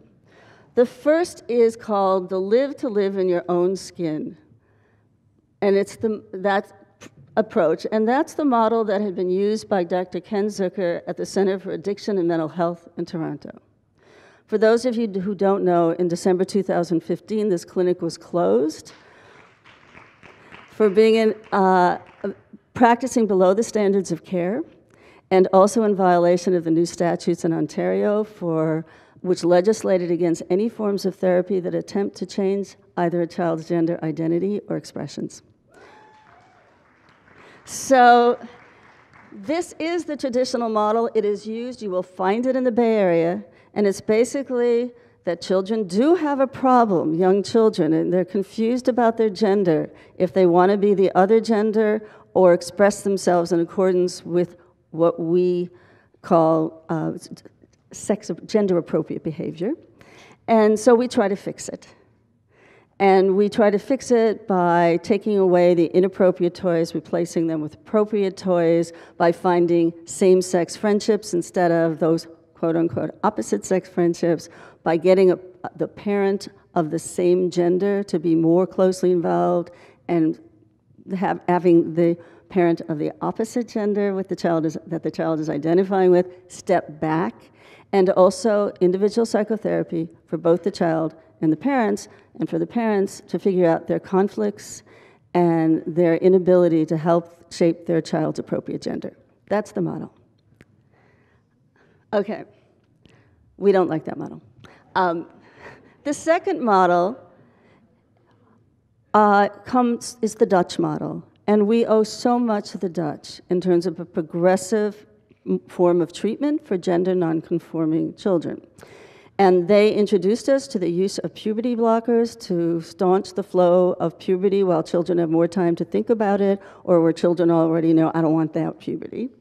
Um, and they, what they, what they have in their model, however, is that for children who are prepubertal, let's just do watchful waiting. Because we don't know yet till they reach puberty, and they probably don't know either exactly what their gender is. So let's just support them in their gender expressions and wait till puberty. And then, if they still are insistent, consistent, and persistent, we would consider both the social transition and medical interventions. So it's a careful model, and it's called watchful waiting. So that's model number two. And there are many people who use this model. Now we come to the third model. And this is the model we use at the UCSF Gender Clinic, and I call it Listen and Act. And this is also known as the gender affirmative model. And I'm going to focus on this model uh, and tell you more about it. So, in this gender affirmative model, here's our major premises gender variations, not disorders. Gender presentations, diverse, varied across cultures. We must have cultural sensitivity then to gender and all its cultural manifestations. Gender, interweaving bio- of biology, development and socialization, culture and context. Gender may be fluid, not necessarily binary. Pathology, if there is pathology for a child, it's often related to interpersonal and cultural reactions to the child, if it's present at all. Therefore, and this is, I want to star, pathology more likely lies in the culture rather than in the child. So it is the culture that needs to be fixed. And the last thing we are discovering is that actually, they used to think gender was the disease, but we're discovering gender is the cure rather than the disease. Now, gender health. A youth's opportunity to live in the gender that feels most real and comfortable. A youth's ability to express gender with freedom from restriction, aspersion, or rejection. Treatment goals. We want to facilitate an authentic gender self, alleviate gender stress, distress. We want to build gender resilience. That's incredibly important. How to meet up with the world with your authentic gender. And we want to make sure we secure social supports. Eccentric therapeutic tenet, not for us to tell, but for the children to say. I'm not for us to say, but for the children to tell. Usually I have the cartoon it can't talk yet, but we all love this cartoon, so I'm not going to repeat the cartoon, but it fits right here. And I just wanted to go back to the mother of the four year old to give you a sense of how this model works. And this is small print, but I'll just go through it for you. These are the kind of questions we might be thinking about with this mother and wh- whoever else are the parenting uh, participants. How long has your child been expressing cross gender identifications or behaviors? Has it been consistent over a period of time? If able to express a sense of their own gender, how does your child articulate it? With what feeling? Does your child say, and this is a really important one, I want to be a boy, girl, other? Or do they say, I am a boy, girl, other? That want to be versus am, important difference in verb. How insistent is your child in declarations and demonstrations of gender? How persistent? Does your child show distress or stress about the body they have? Is your child making serious statements rather than playful gestures when gravitating towards the toys, activities, dress codes, etc., typically designated for the other gender within your culture? Does your child express distress when someone, quote unquote, misgenders them? Does your child show delight when someone perceives them as the opposite gender? of what most people know them to be. How do you, as parents or other people in your child's life, respond to your child's gender messages? So, this is what we would just be opening up a conversation to learn more about. Now, we have a challenge here. We say if you listen, the children will tell you who they are. But how are we ever supposed to know what they're saying? They don't necessarily give you a narrative and tell you in words what they're thinking and feeling. So I just wanted to run through very quickly. This is what we as clinicians do. We listen. We just listen. We mirror, and that's really important. We try to reflect back to the child what we think the child is showing us to see if it is a correct mirror image or not. Because most of these are, children are being mismirrored. Nobody is mirroring back to them who they authentically are. We play with them. We get more out of play than words, particularly with young children. We have to suspend ourselves in a state of not knowing. Parents do too, educators do too. There's a period of time where none of us may know what this child's gender is. That, going back to bedrock, makes us nervous. So we have to work on that anxiety and just live with the excitement of not knowing. Now, this, this fancy term, we monitor our countertransference experiences that, that may distort our gender vision. In other words, all those personal experiences we have about gender, like, ooh, I don't feel so comfortable about a boy in a dress, that's not going to help that boy in a dress. So we have to really monitor those feelings as they come up in us. We must have cultural sensitivity because gender is culture bound, and we also have our universals about gender at the same time, and we have to hold both. We must collaborate with parents, family, professionals, community, and most importantly, with the child. Now, these are some myths about the model I just told you about. And there, let me say, it's hot and heavy right now, okay? There are bullets flying uh, in terms of lines drawn in the, in the sand about how to help gender nonconforming children. So, what is criticized? We are told that we rub, if we say we listen, the child tells, then we just rubber stamp whatever a child tells us about their gender. We just put a rubber stamp, send them off, okay, that's who you are. Second myth we push children to become transgender for our own political reasons with no science to support us. And I'll read you a quote that came from what I thought was a very disturbing uh, op ed piece in the Wall Street Journal by Debra Soh. The silencing of those who oppose letting children make their own choices about, about gender sends the message to parents that early transitioning is the only valid and ethical approach to a gender dysphoric child. This message, pushing children to transition at increasingly early ages so that they will fit neatly into one of two gender categories, is false and unscientific. So, the reality number one, we are not gender pushers. We listen with an ear to finding out with what a youth's gender is, provide them with all the nutrients they need to, lead, to live authentically in that gender. Two, we give it as long as it takes to find out with collaboration among the child, the family, and the professionals. Reality, we really believe in science. We like science. And here's something that I and a colleague of mine just wrote. So, what does the emerging science say? It offers several important findings that the gender identity of transgender children is, deeply, is as deeply felt as that of cisgender, non transgender children, that transgender youth are much less likely to attempt suicide with the strong support of their parents, and that the well being of youth who physically transition in puberty is on par with their cisgender counterparts of the same age 10 years later. It is out of direct recognition of these scientific findings that dozens of new clinics affirming transgender children and their families have been established. The only change added I made on that, it's more than dozens.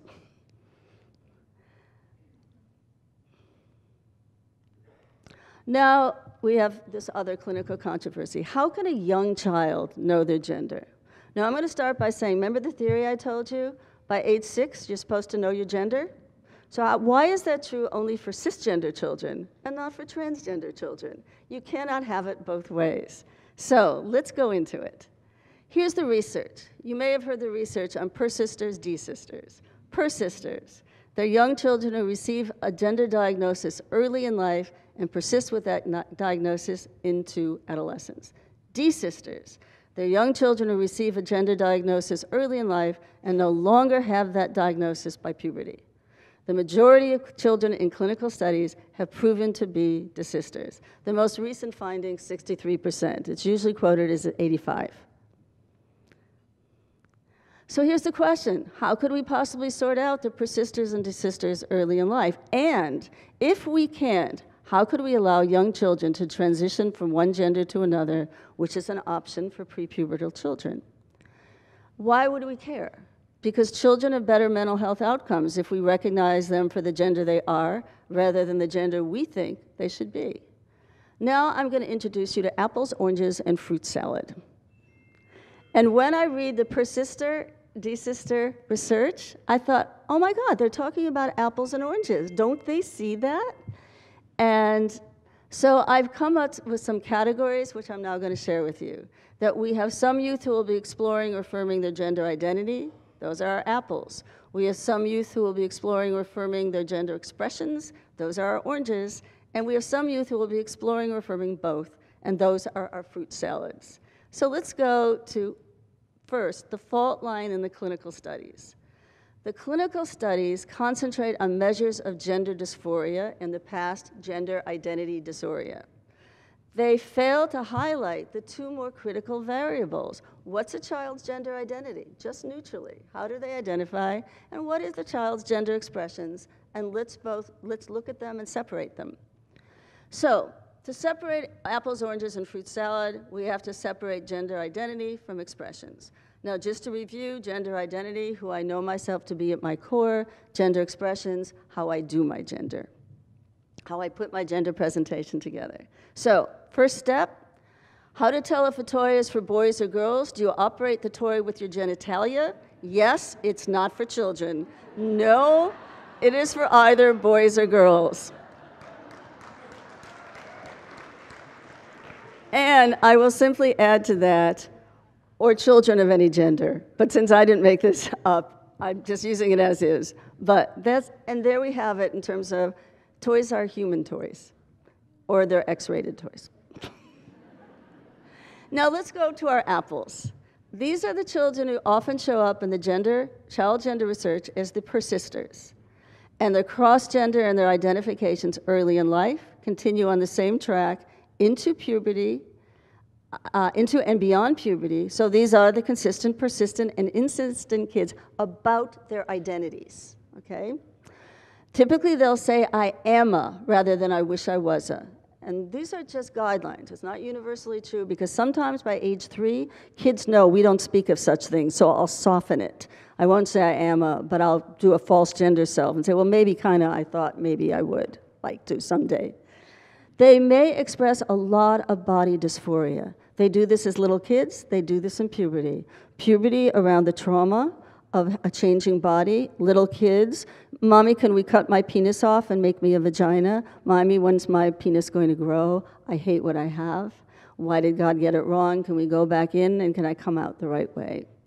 Now, these are for these kids, the gender explorations typically don't present as child's play but serious work. And I will say that many of these children, let's just take its uh, assigned male at birth child. That child probably will not be wearing princess dresses, but his sisters, borrow his sister's clothes. In other words, they just want regular girl clothes, not costumes. So you're looking for that as something that's not play, but expression of daily life and how I want to look. Not always true, but it's something to look for.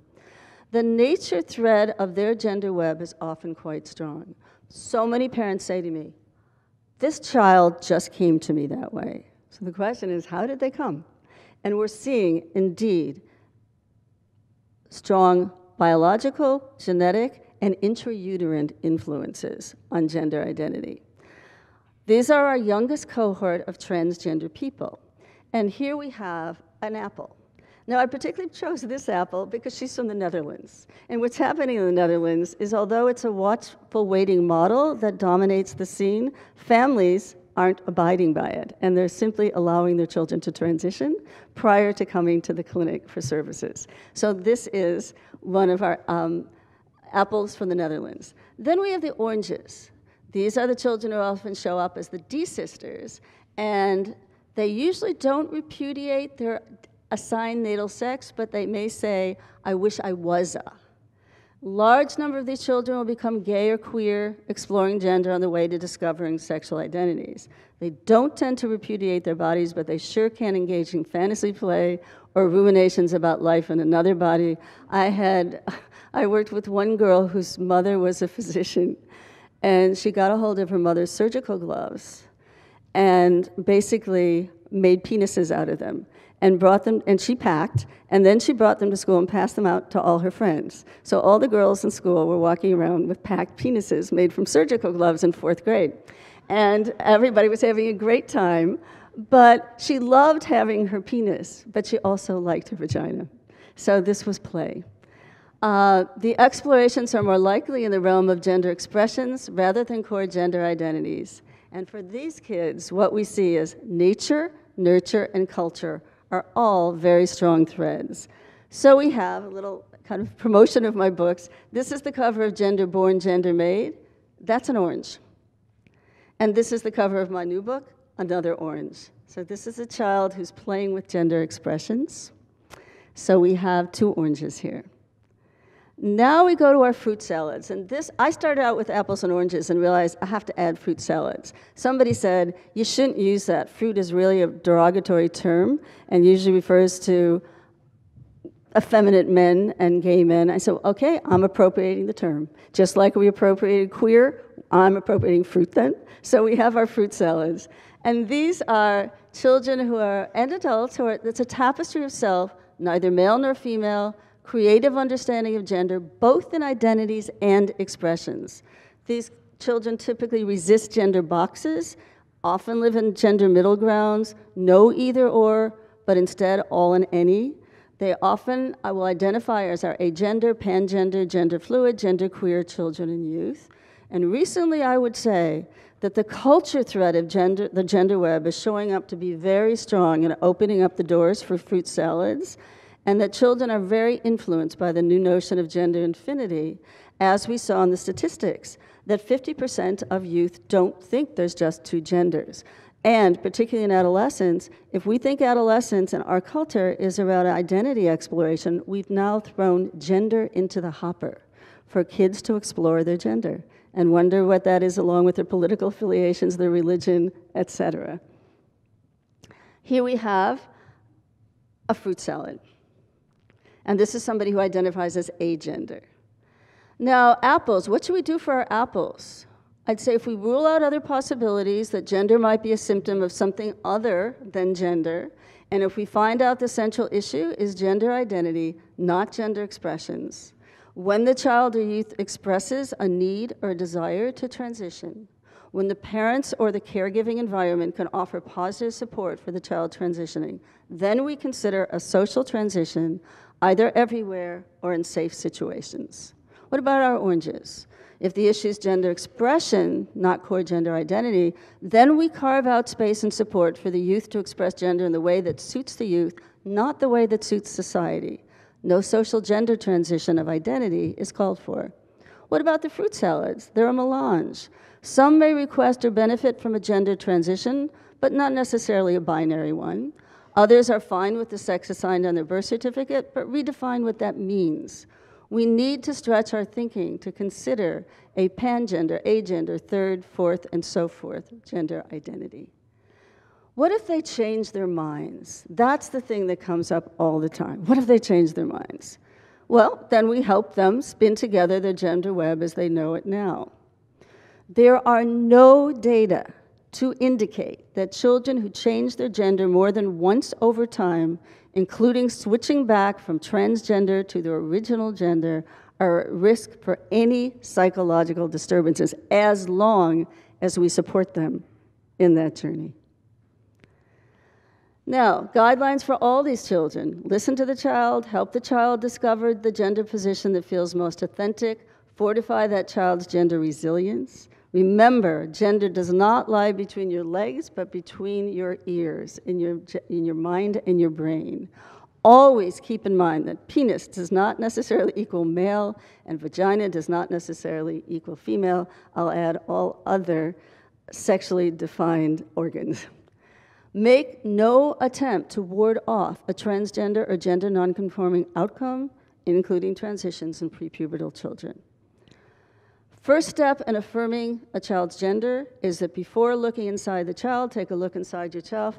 I'm just reiterating what Joel said at the very beginning of his talk, but I want you to think, think about this. We all have gender angels. We all do. And those are the feelings we learn that help us recognize gender in all the variations. We allows us to promote gender health, facilitates gender acceptance. So call on your gender angels. However, we all have gender ghosts. And these are the things you were taught that come together in beliefs, attitudes, feelings, reactions, and they may be unconscious or subconscious. They tell you things like gender nonconforming people are really sick, or we have to police gender if it doesn't come in two boxes. Transgender boys and men are not real males. Transgender girls and women are not real females. You can't just live in the middle or say you're neither male or female. It doesn't work that way. Fill in the blank. Now, there's a war of the world between our gender angels and gender ghosts. We have both. We discover we have both. Typically, they're in conflict with each other. Our task let the gender angels drown out the voices of the gender ghosts. How? Self examination, self reflection, feedback from those around you. Why should you bother? Because anything else is going to cause harm. Not just to the children, but to the families and to the institutions those children reside in, not to mention the entire society.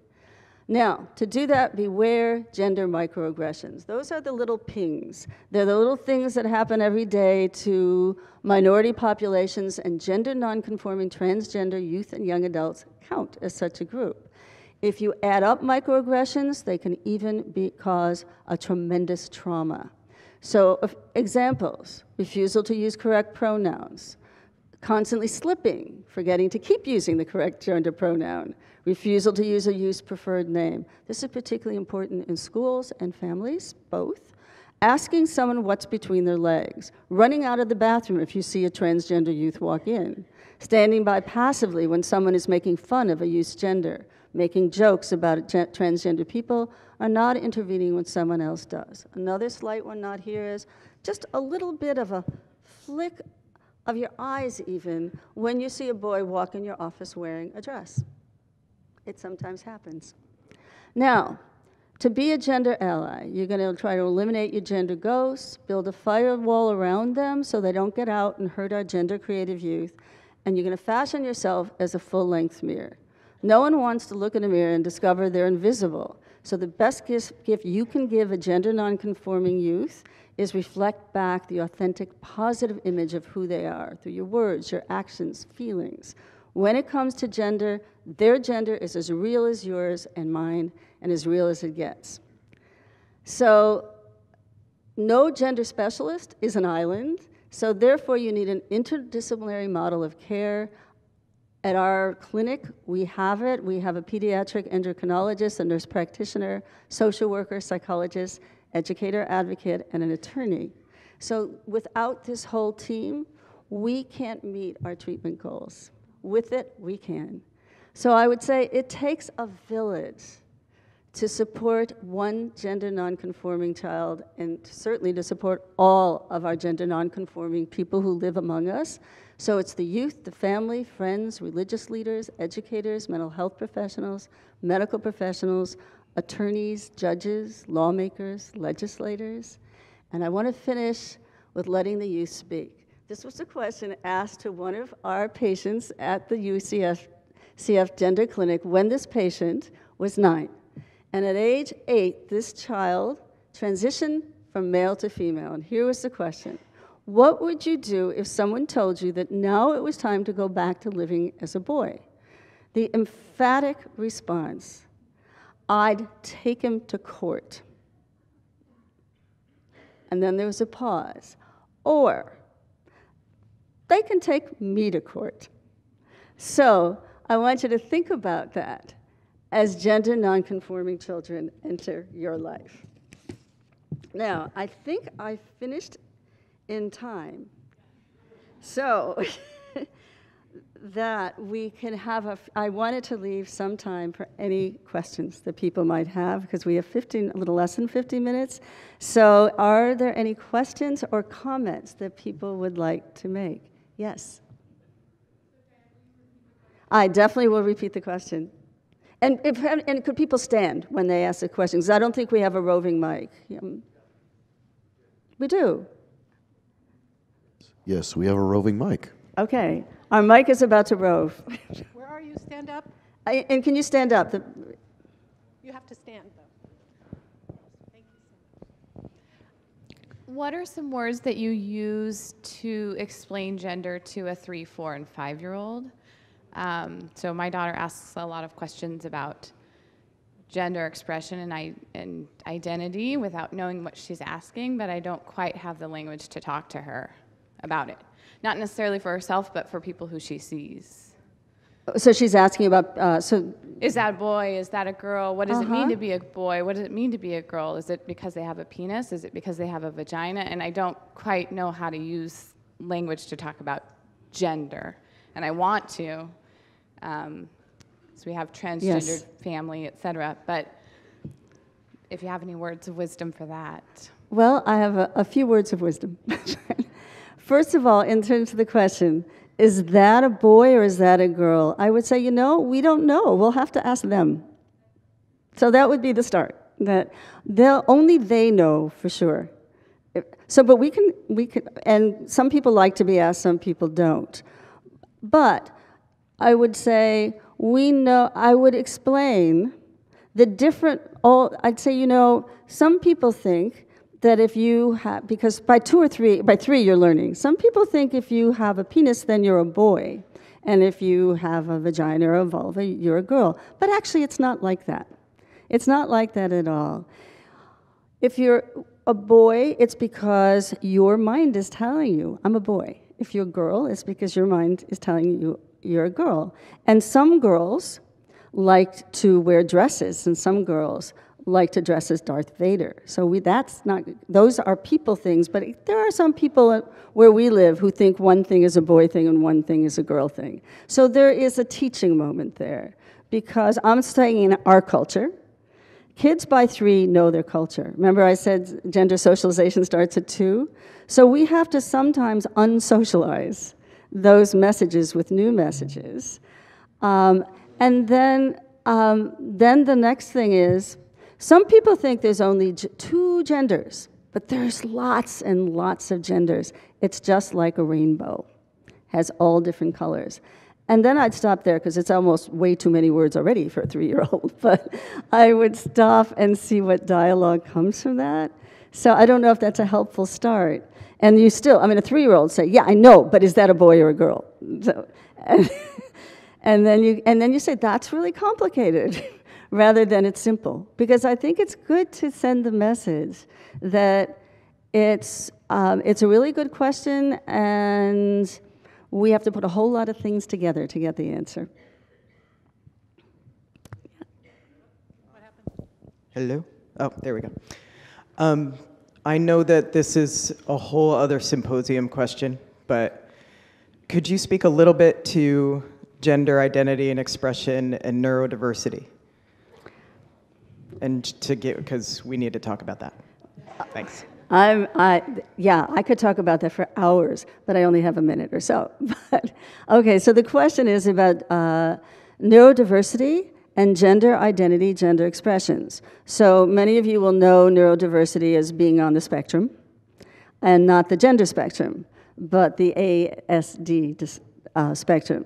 That uh, to have received a diagnosis of Asperger's, of autism at some level. Here's what we know. Scientifically, we know there is a significant correlation between neurodiversity and gender nonconformity, either in expressions or identity. So, for example, in the Dutch clinic, there is a much higher incidence of kids who did have an ASD diagnosis who enter the gender clinic than in the general Dutch population. It is absolutely true in my office. So, it is a reality. And the big problem around when it's gender and something else is so many people, doctors, parents, teachers, will say, well, it's just a symptom of the neurodiversity. You know, there's obsessions, and this, and there's just like an obsession now with gender, and it is a phase. It's a passing obsession, so we need not take it seriously. We need to take it very seriously. It is most likely a core part of the person, and one that may not present in the way it would present in somebody who does not have the experience of being neurodiverse, uh, but neurotypical. And here's, here's an example. One of the qualities of being neurodiverse is A, you may not read social cues, and, or you may be impervious to social policing, okay? So you go to the beat of your own drum. So I've had several young people who have said, I'm transgender. And I said, well, how will that make you different? Not in any way whatsoever. So the notion of how you do your gender may be very idiosyncratic, but that does not negate the core gender identity, for example, of being trans. So I may not want to take any medications. I may not want even to change my wardrobe. I may want to just change my, change my name and my pronoun. But this is where the meaning of gender is so critical to explore. And I will give you an example of what you have to sort out. Yes, gender for any child can be a solution to another set of problems. So, there have been a number of youth I've worked with who have been diagnosed as neurodiverse who have come up with solutions. So, for example, one um, 10th grader came to me urgently wanting to transition, transition from male to female, had no, shown no signs before of any gender nonconformity, but was desperate to make friends. And at the school this youth attended, girls made friends better than boys. Ergo, if I become a girl, I'll have friends, so make me a girl so I can have friends. So we worked on friendships. And that, that seemed to really help, and the gender urgency went down. So we do have to sort it, it can be complicated, but it's complicated for any child. We're doing the same thing for any child. But I do want to say, I get many calls saying, I have a child who's coming in saying their gender um, they're transgender, but you know they have they're on the spectrum, autism spectrum. So I'm going to discount it. Do not discount it. Do not. It's very very authentic in the majority of the cases. We have some theories about it. It may have to do with intrauterine environment. It may have to do with the same part of the brain that's affecting both in terms of brain messages. And I do want to say about that. Some people think there's a boy brain and a girl brain. There isn't. All of our brains are mosaics. However, we're talking about messages from the brain about our gender. When we say gender is between our ears, not between our legs, we're not talking about boy brains and girl brains. We're talking about messages about what gender we are, and it's very important to separate that out as well. So, uh, a very strong message that you've been that people have been talking about this morning is listening to the child and letting them tell us. So I'm just wondering if there are recommendations for pre-verbal children. So between the ages of one and two, suggestions of how to approach the, the topics that we're talking about today. Okay, so the question is, what about the kids between one and two who are just developing language or may not even have it yet? Um, they're very action oriented.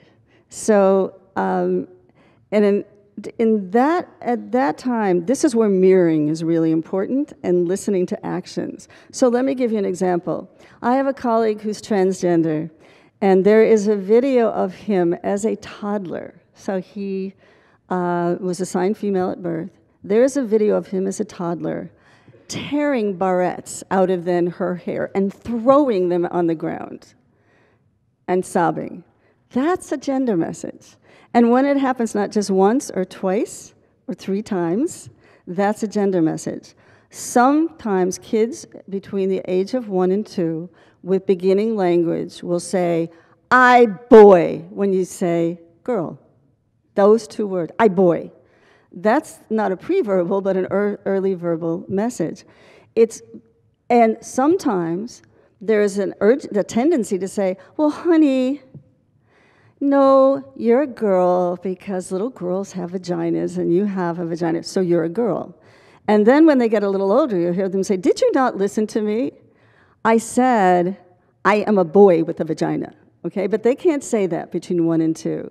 But they can show you about what they want to play with, and if they feel uncomfortable about how you are responding to them and their gender, if you're misgendering them. So you look for those kinds of actions, like tearing a skirt off. There was one, I think this was in the Barbara Walters special, where this child wore the um, little onesies with snap ups in between the legs, and at age one would unsnap them to make a dress and have the dress flow. This was a child who was assigned male. That's a, that's a communication, a pre verbal communication about gender. And the message back should not be to negate any of those expressions, but to go with them and see where they go. So that's my sense about the one to two year old. And children will know as early as the beginning of the second year of life. They probably know before, but they're really pre pre verbal. But you can always be a Monday morning quarterback and go back and see things that gave you some indication. I hope that's helpful in terms of the one to two year olds. And we have, I think, time for one more question. Uh, yes, I have a question over here. Where are you? Right, right here. Keep looking over. I'm this like, there you are. Yeah. hi.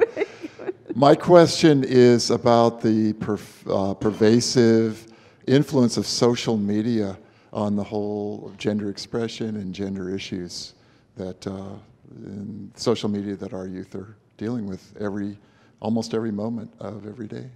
Okay, so the question is about social media, and I would like to quote Char- uh, Charles Dickens This is the best of world times, this is the worst of times.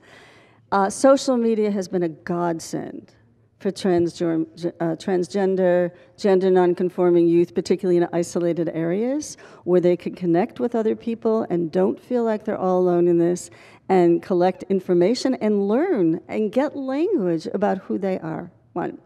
On the other hand, social media can be condemning, vitriolic against transgender people. And that is incredibly harmful, including, unfortunately, we do have some incidents followed by suicides, particularly in terms of uh, what I will call social media battering. Uh, of transgender youth when um, it goes viral.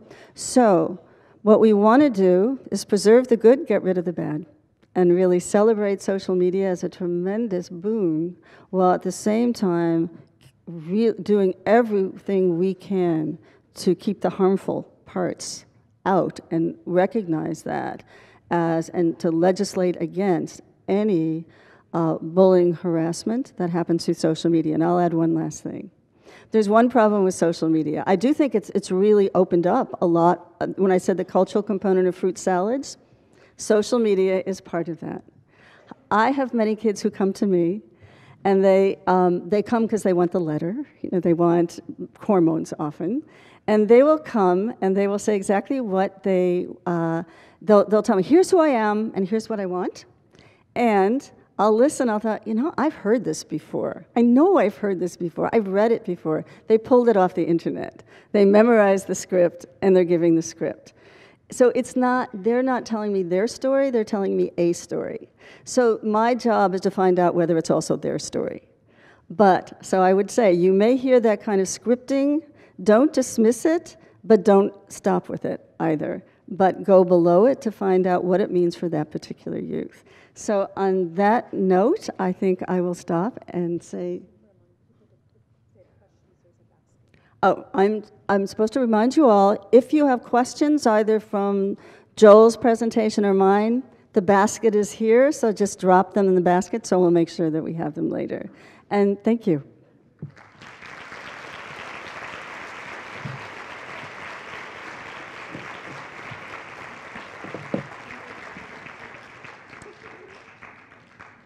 Okay, welcome back, everybody. Thank you very much. If you can hear my voice right now, clap once. Okay, Joel taught me this trick. All right. If you can hear my voice now, clap twice. Thank you. And if you can hear my voice now, clap three times. Okay. So, just a reminder questions in the question basket. Panel discussion at the end of the day will include uh, our presenters as well as um, other local family folks. And uh, now I'd just like to uh, go ahead and reboot Joel Baum.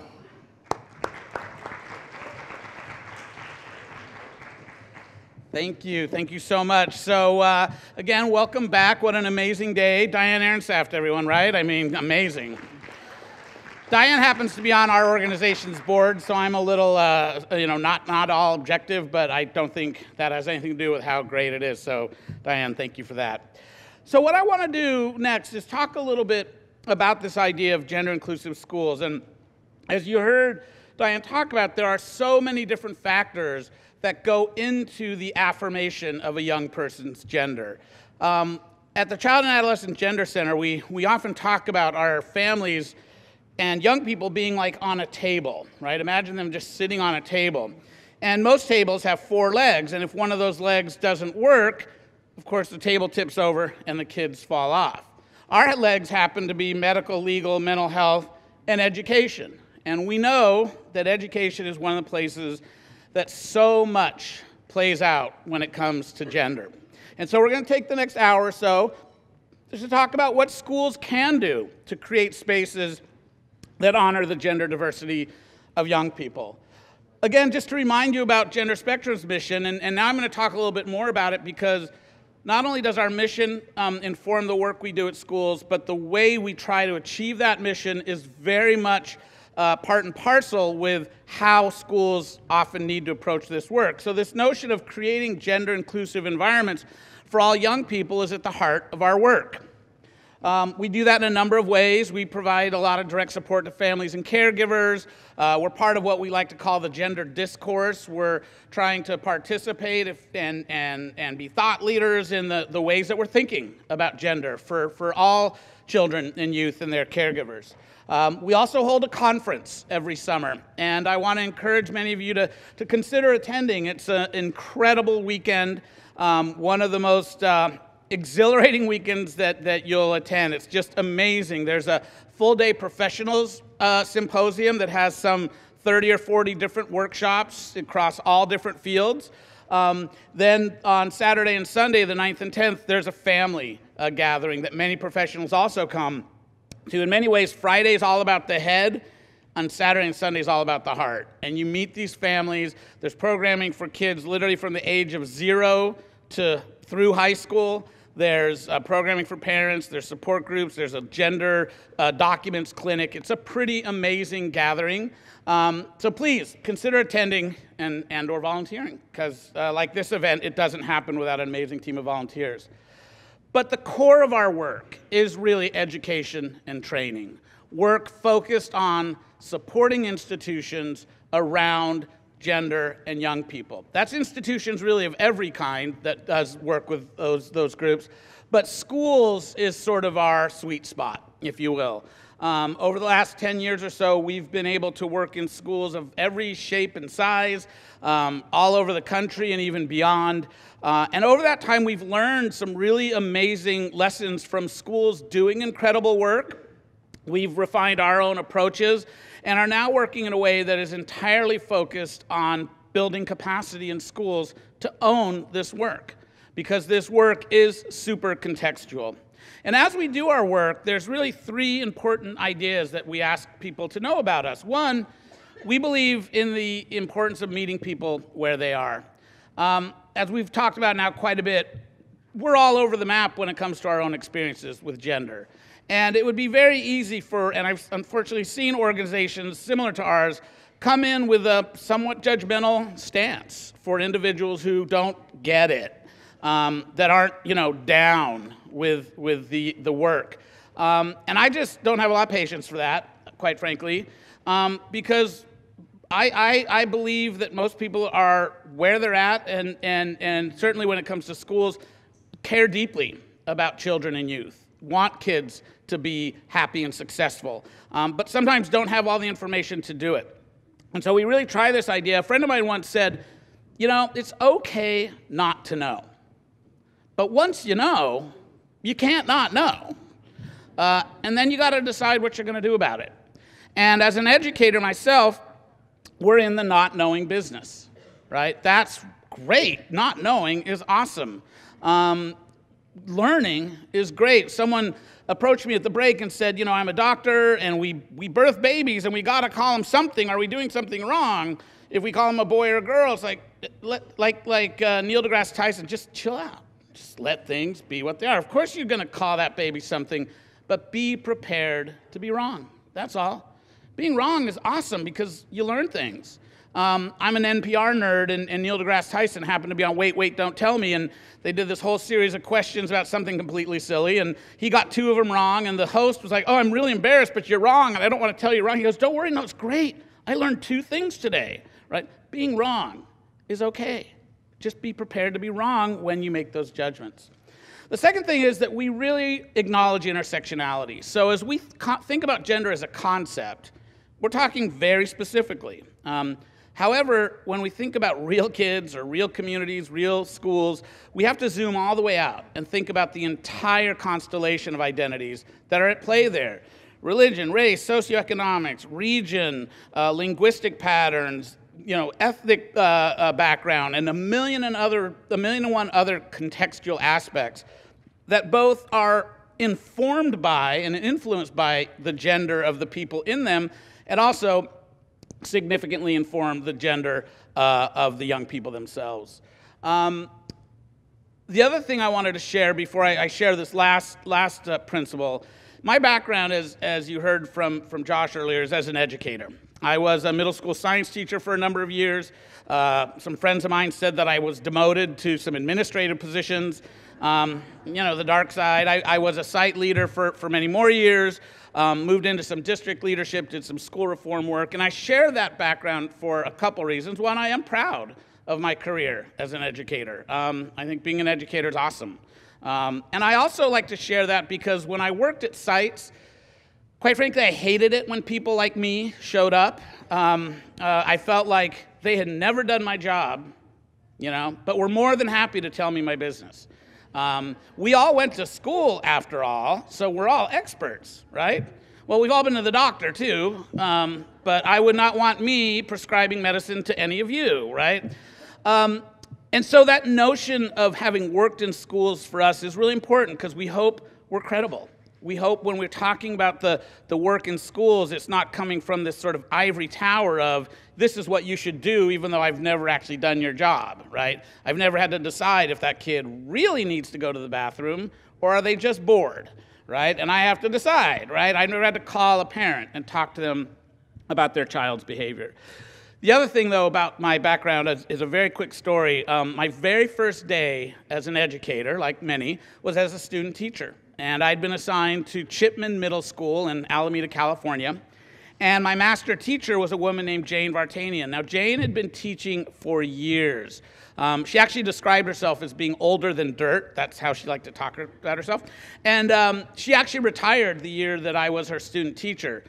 I don't think they were connected. I really don't. I think she had planned to retire all along, and I actually was lucky enough to get her job. So I was, you know, it was great. But but I remember I come in, it's August when professional development's going on, and I've just finished my degree in zoology. I have eighth grade science. Oh, Jane, it's great to meet you. These eighth graders this year, they're going to, the wonders of the universe, photosynthesis and the periodic table and the difference between cosmology and cosmetology and why it matters. And and so I'm going on and on. And Jane, she, all, she had these little granny glasses, and she always wore this white lab coat, right?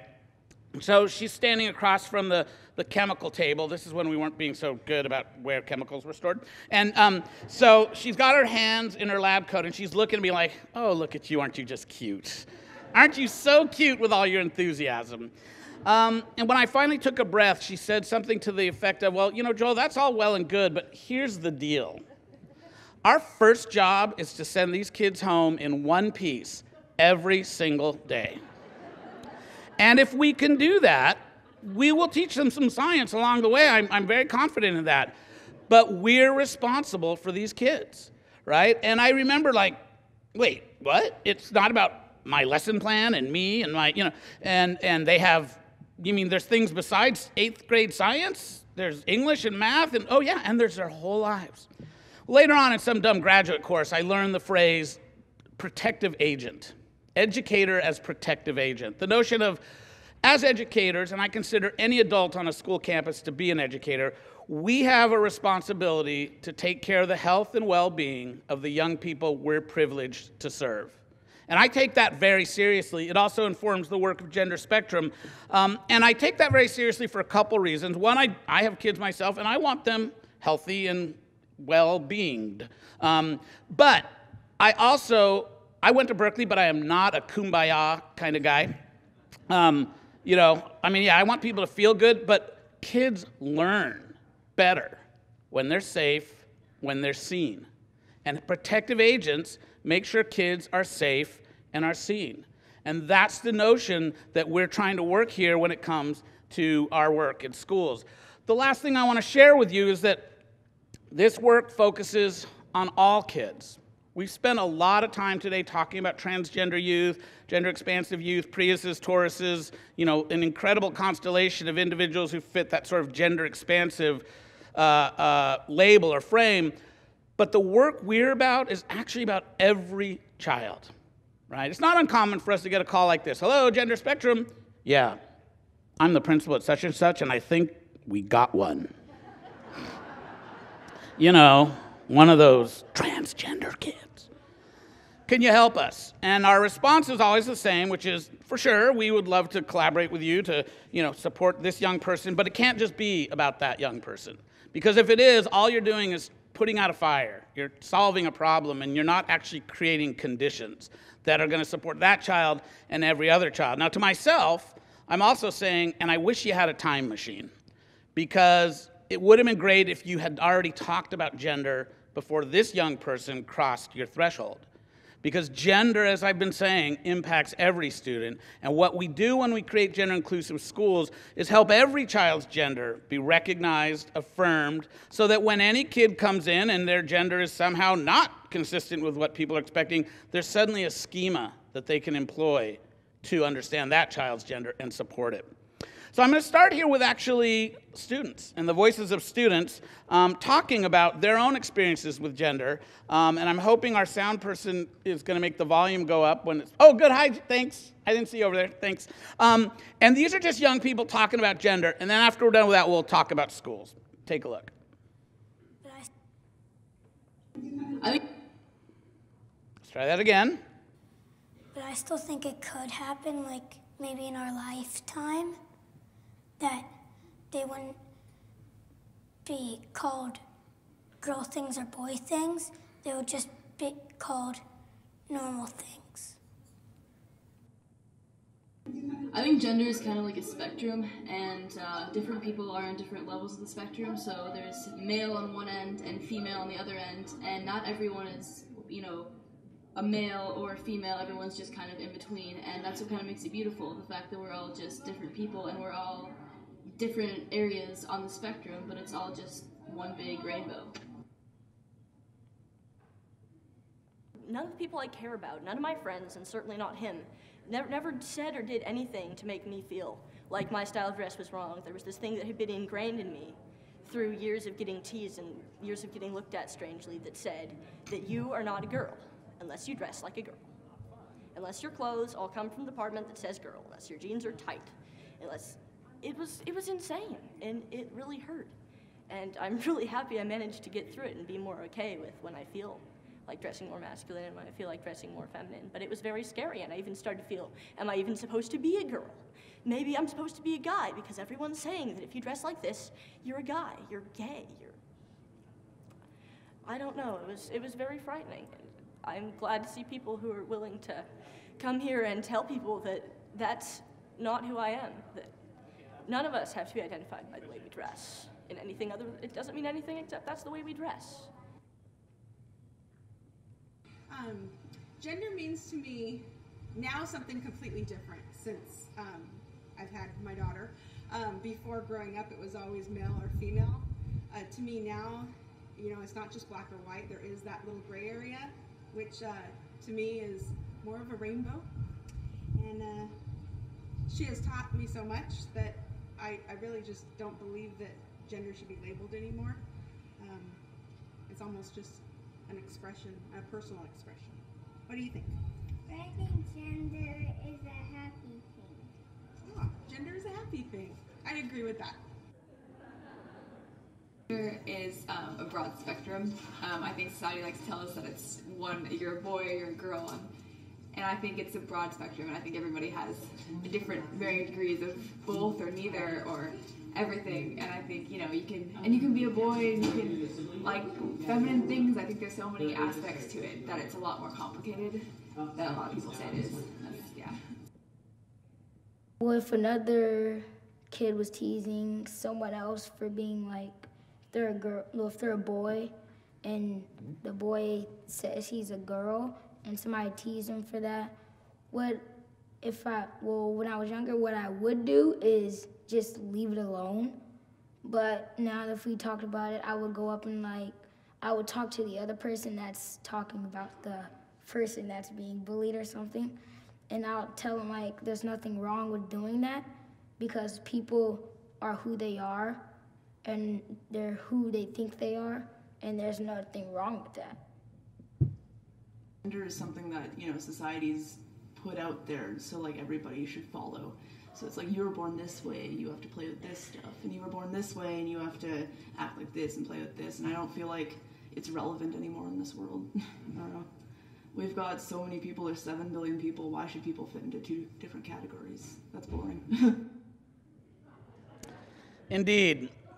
Um, so, uh, what I love about those clips is, is, a couple things. One, they really do demonstrate kids are thinking about this. You know, we sometimes get told kids are too young to be talking about this. It's like they're talking about it, right? We might as well contribute to the conversation because they're already talking about it. And as we've heard very clearly this morning, kids know what the deal is with gender and how they're supposed to be performing it. I would argue schools not only need to uh, or should be, they must help control and, and, not control, but help facilitate that dialogue um, because they have a lot to say about how kids are going to feel about their gender. The other thing, though, is they those clips demonstrate what happens when schools create opportunities for kids to talk about gender, when they create the conditions in which young people are able to articulate their own experiences. We sometimes just need to get out of the way and listen to them, and they will do a lot of our work. When we talk about gender inclusive schools, I loved one of the things Diane mentioned earlier about kids and being invisible.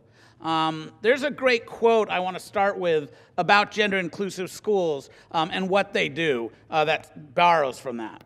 When someone with the authority of a teacher describes the world and you are not in it, there is a moment of psychic disequilibrium, as if you looked into a mirror and saw nothing. Adrienne Rich. That quote of children and students looking into the mirror of their schools and not seeing themselves is what gender inclusive schools are all about. Gender inclusive schools are schools in which students see their experiences reflected in the day to day operations of the school. Now, Does that mean they're talking about gender all the time? No. Does that mean they're talking about it some of the time? Yeah, probably.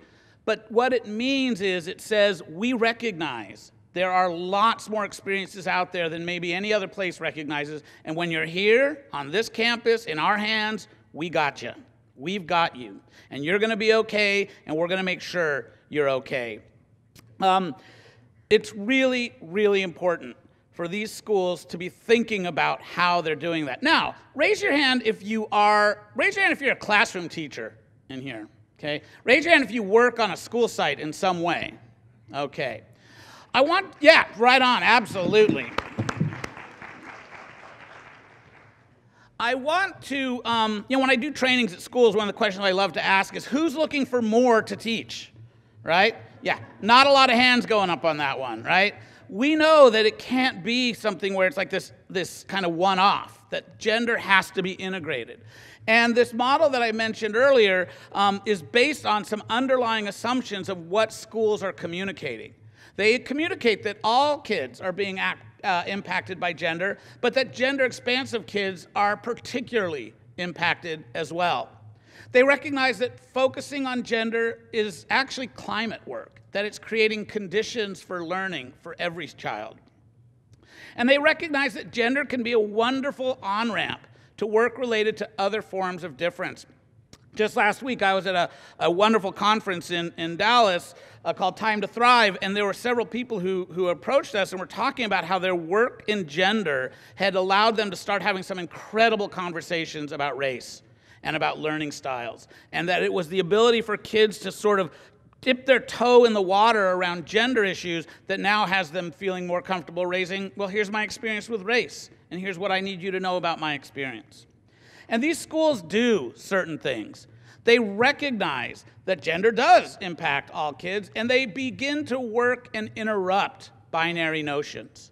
These schools also do a great job of normalizing gender diversity while honoring the gender of everyone. They question limited portrayals of gender.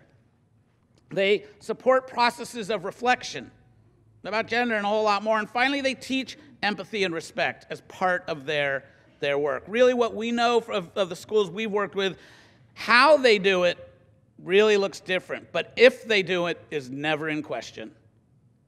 Gender inclusive schools ask how, not if. Now, I wanted to share with you just a couple of resources before I really get into this. But one is uh, we've got on our website something called our Gender Inclusive Schools Toolkit. And much of the, the work related to that uh, uh, and, and the Gender 101 and many of the tools that we're going to talk about are in there. And I just want to let you know that is a resource available. And I also wanted to share um, a document called Schools in Transition that was released last fall that um, we were able to co author with some amazing organizations. Um, that really is a very good hands on guide that focuses specifically on supporting transgender students in K 12 settings. And those are just some really wonderful resources I encourage you to take a look at. But as I mentioned, we have this model of the entry points. And when schools want to do gender inclusive work, it's like, okay, go do it. What? Like how am i supposed to do that? Where do i begin? What well what we found is this structure of, of thinking about these different ways in which to begin the work is helpful because of course every setting is really different. Now we've already talked about what the personal entry point is that whole notion of understanding what gender is. And regardless of what other work we're going to do we always start at the personal you know, hear all the time, oh, yeah, we're, we're, we're pretty good. You know, we've got a lot of uh, gay staff members. So, you know, I don't think we need to do the basics in gender. I'm like, no, you just revealed actually, you kind of do, actually. Um, and, you know, oh, we're down. We got it. We're down. I'm like, you're so down, it might be nice to look up every once in a while, just to say. But we believe, like, just humor us. Let's just assume not everyone is as wise as you are and that we need to establish a common language. And so that's where we begin. Um, and we've seen what that looks like, you know, similar to the, the, the work we did this morning, is building that understanding about the dimensions of gender. And then we also encourage schools to do something called My Gender Journey, which allows educators to really reflect on their own experiences with gender. How have they experienced gender? And what are the ways in which it is showing up in their work as educators or in their role at school? So that's kind of the, the personal entry point. The second entry point is structural. Structural entry points, as it says, are loud and clear without a sound. sound. These are the things schools do which communicate to the community we get it. We see it all, and when your kid comes to this school, regardless of their gender, they will be seen here. It takes a lot of different forms. Um, this is a, a document called a gender inclusiveness assessment which actually looks at all sorts of different aspects of a school. And on this page right here, I don't know if those little things are gonna work. Oh, yeah, there it is. Um, you see a lot of these structural elements. And it's a way for a school to self assess. How are we doing in some of these areas? Do I even know? Are these things in place? And if so, um, do we all understand that they're in place? So it's a great starting point.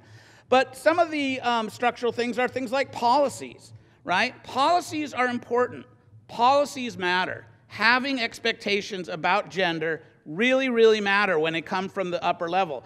They are necessary, but they are not sufficient. Policies often suffer from an implementation gap. We have great ideas about what should happen, and then we leave educators high and dry with no idea or support for how to do it. Right? So policies matter. But there's other structural things as well. Things like visual signs. Signs like this that say to the world, we see it, oh, all genders, well, you mean both, don't you, Mr. Baum? Oh, no, actually, gender is super complicated and there's lots of ways to do it, and they're all welcome here in my classroom. Right? Signs that say to people, we see, or images that say to people, we see diversity in all its forms. And look at these different aspects of gender, and you know, visuals that point out in a classroom. These all speak for themselves. They say something about a school's commitment. Um, Things like this, which is from San Francisco Unified, which is a space in which students can actually list their preferred name and gender marker. So that when a substitute teacher comes and reads the name of the kid, they don't read the legal name, they read the right name, the correct name, right? How many of you are familiar with the sport of curling? You know, curling is that sport in the Olympics where they throw the curling stone down the ice and then the sweepers are sweeping, right, and trying to keep the ice clean often schools are playing curling with the lives of trans kids because they're trying to identify every place that they might get outed. Well, this is one way that you just take that off the table because kids get outed by student information systems all the time. This is a structural approach towards making sure that doesn't happen. Okay, registration forms that are uh, all the school-based ones that offer again more opportunities for a student and a family to name that student's gender and gender experience. And I really, very quickly, I want to share kind of three stories I've heard recently that relate to this. Because basically, these are experienced one of three ways. First person comes in, it's like, okay, child's preferred name, it's uh, Johnny. Uh, legal name's Jonathan. Declined to state, oh, whatever. Uh, child's gender, declined to state again. What's that? Uh, male, uh huh. Um, preferred pronoun, yeah, he. And uh, hey, listen, um, as I turn my form in, what's this all about? I've never seen this before. Oh, well, you see, at uh, Joel Baum Middle School, we are really trying to honor the gender diversity of all of our students. Thank you for asking, and we'll take your form. Next person, uh, Tommy, yeah, Thomas. Decline to state. Male, uh, yeah, uh, preferred pronoun? What? They? He? What the heck is going on? Like, why are you asking me these questions? I don't. Oh, well, you see here at Joel Baum Middle School, we're really committed to honoring the gender diversity of all of our students. Sounds like you know which boxes to check. We'll go ahead and just take your form, and uh, thank you very much. For the third family, though, who this actually is like, oh, I've got some different answers. You cannot know the impact that has on those families to tell them that, you mean, I don't have to explain it this time? I can maybe even relax, and I don't have to educate the educators who are supposed to educate my kid? That's a huge burden that's lifted. And for every one of those instances, your institution communicates, we see it. We got it. We know there's a lot more to this gender thing than meets the eye. Many of these are very simple things, low hanging fruit, that schools can do to convey that. The third entry point is the interpersonal entry point. These are the ways in which we interact with one another, the way we use language. The question earlier about what do I say to my three year old, you know, to, to help that child understand about the diversity of gender and you know having language at the ready so that you're able to again convey this notion of gender diversity um, these interactions do all sorts of things to demonstrate the school's commitment in our interactions and communications. Um, and some of them are there. I wanted to tell a very quick story and, and, and really em- emphasize the importance of kind of demonstrate walking the talk and doing the work. Um, a quick story I was in, in Madison doing a training with two colleagues, and uh, they're both women, Kim and, and Joanna, and uh, it was pouring rain. And so I got in the back seat of the car, and Kim's driving, Joanna's in the front seat, and uh, the, the windshield wipers start don't work. Like, like they're not working properly. And so Kim jumps out and starts futzing around with it, and she's clearly not going to be able to make it work. And over this good Midwestern soul to help out. And so here I am in the back seat. Oh, jeez this guy, like, what does he think about me? Like, I'm the guy. I'm supposed to be out there doing the windshield wiper and, the, and then kind of stepping outside my body. I don't know anything about windshield wipers. I am not going to be able to contribute anything. And yet, here I am in Madison, Wisconsin to talk about gender diversity, saying I should be out there because I'm the guy, right? And being able to convey those kinds of stories, like this is where I'm at, work in progress, is a powerful way to convey that. Uh, again, we have a few tools, such as uh, using gender inclusive language with kids. I just wanted to share some of these, but helping uh, schools and, and, educators to be ready to respond to the different questions. We've been lucky enough to work with all these schools and have heard teachers say, well, this is what I say. This is how I respond to that question or comment. And well, we've collected them. Being able to talk about easy steps on the way to gender inclusiveness, again, simple things you can do. One of the most classic examples of gendering in schools is lining kids up by boy and girl. I want boys here, I want girls here. Now, problematic for so many reasons. God forbid you actually have a child who feels like both. Where are they supposed to go? Um, let alone your transgender kid who really does want to go into the other line but isn't going to be allowed to. Now they're feeling miserable. And again, you've emphasized the whole idea of it's one or the other. There are so many different ways to get kids into groups. You don't need to use gender. I love this cartoon.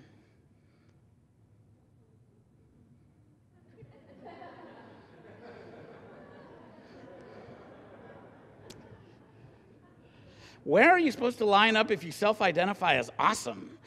Um, but again, there's so many different ways, odd and even birthdays. Uh, do you prefer the mountains or the desert? You know, ice cream or, or cake? I mean, there's just a million and one ways to create groups that don't say penis or vulva, which is really what we're trying to say when we do the boy girl thing. Um, again, one of the things we need to be prepared to do is respond to questions that come up from our communities. About gender and why we're teaching about it. And again, my, my background as an educator, I don't ever want to be put, put a, a leader or a teacher in place of saying, because we're supposed to and you better just get over it, right? Like that doesn't help respond to someone who's raising a concern, right? Whether, wherever they are in this, we need to be very much aware of honoring that idea of where people are. This is new territory for a lot of people. They do have questions. And because they don't know, they are often going to operate based on what they've heard out there. And so, as educators, we need to be able to respond clearly but respectfully. You know, yeah, this is new territory, and I understand this might be, you know, something you're not necessarily comfortable with. I know certainly for many of my colleagues, we're learning on that too, but let me give you some information. And so these, again, from schools all over the country, are ways that they've answered some of these common questions and concerns, including, you know, you're talking about sex. Well, actually, no, we're not. So let me help you understand what we are doing. Okay? And lastly, instruction, right? Teaching about gender is also really, really powerful. But it can't all happen only as these one off lessons. Now, I'm going to share that there are certain lessons that you can do, but before you start teaching anything, look at your institution and talk about what are the concepts we want kids to le- learn as they move through our institution. And then what are the opportunities to do that? So that by the time they leave fifth grade or middle school or high school, they have a degree of gender literacy that has been thought through, that has been created. And so these have been some of the, the general concepts that we've, we've seen schools using to kind of map their work. And, and again, these are all available in the, back, uh, the Gender Inclusive Schools Toolkit. I don't expect you to, to write these all down because you can get them there. But what they demonstrate is a commitment to being integrated and coherent rather than just random. Okay? Now, there are specific lessons that do make sense. You know, in a history class, talking about gender and culture, um, using some of the, the footage even that I shared this morning, or, or other aspects of gender and culture. Um, in advisory and social emotional curriculums, giving students opportunities to think about their own gender and map it in a way. Um, playing with scenarios and different opportunities for kids to talk about how would you respond in these different situations are all instructional opportunities. There's wonderful visuals out there films and, and books that share stories about gender that can be great direct ways to do instruction. As I mentioned, there's a lot of great visual opportunities, a growing body of films and other resources that bring the topic to your classroom. But again, not everyone has time to do separate lessons on gender. They're powerful, and we encourage you to look for those opportunities, but you can also integrate gender into instruction. This happens to be some, some pictures of a, a unit that a school did in, uh, I think, first grade, kindergarten or first grade, um, on the structure of a story. It's one of those English standards. You have to understand there's plot and there's setting and there's characters and so on. And they were working on this activity related to that, and they chose to use the book 10,000 Dresses, which has a character named Bailey, and they were meeting the standard but integrating the content of gender. 57 students are in the gym. 26 of them are boys, 29 of them are girls, and two of them are identified as non binary. What is the percentage of boys, girls, non binary? If there are 250 students with the same ratio of genders, how many of each would be there be? Right? Again, what? What do you mean non binary? Oh, yeah, you know, a lot of people feel like boys and girls. Some don't. Some people don't feel like either one. They're called non binary, but please get started on the problem because you're going to run out of time, right? And there's a, there's a lot of different ways that you can bring the concept in, and it's just not a one off and it's not you know, a throwaway, but it's like, yeah, oh yeah, right? You, you guys knew that there's non binary people. Oh, you didn't? Well, let me give you a quick little nugget, and now I'm going to go on. Um, this happens to be an activity that uh, we developed for art classes, profiles and gender, uh, you know, doing biographies of all these different artists. A lot of art classes have you doing biographies of artists. Why not include some of those? And this happens to be um, from Peralta Elementary School, which is a school that you're going to see in a minute, and you've already met a couple of their kids, um, that did some work with us over a period of time, starting with some professional development, did a little bit of uh, consultation, coaching with them, and over uh, uh, the course of just a, a few weeks, we developed this curriculum map for work that was happening at Peralta in each of the different grades. It's hard to read that. But another example of this integration is um, what I like to call the, uh, uh, uh, the silkworm unit. The silkworm unit is a unit that many teachers do where you grow silkworms. And then you they build they, they create the cocoons and you unspool them and that's how silk is created. And isn't that cool? And okay, we grew silkworms, it's biology, it's social studies, it's you know concepts of culture. It's textiles. So, what do you silk for? You make textiles. Oh, let's talk about textiles and clothing and all the different ways clothing is worn by different people in different cultures, by men and women and different cultures that right now you're talking about gender in this integrated way.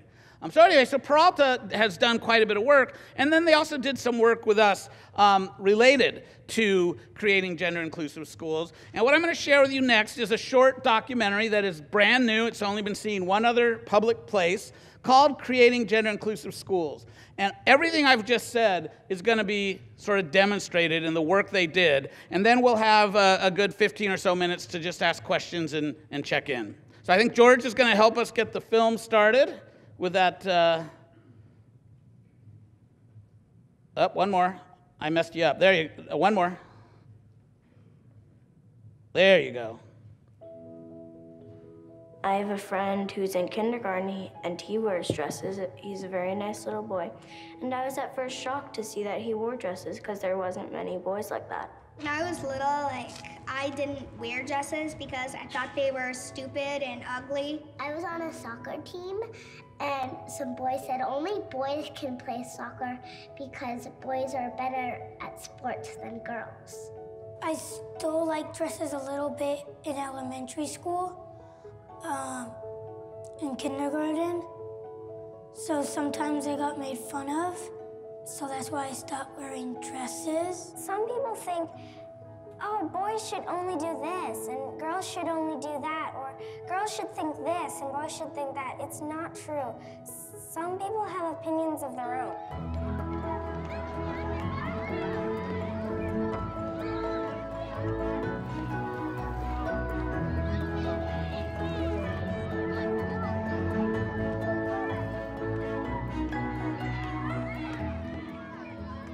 The diversity of our student population expanded. So the issues of safety that we work so hard to maintain here now include students with um, gender fluid or transgender um, identities.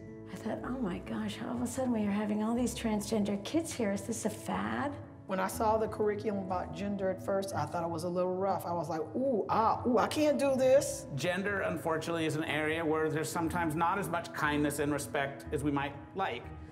Parents presented us cases of real suffering that the child and family had gone through, and the staff and I immediately decided that we need more information on how to better support this child, the family, and all of our children.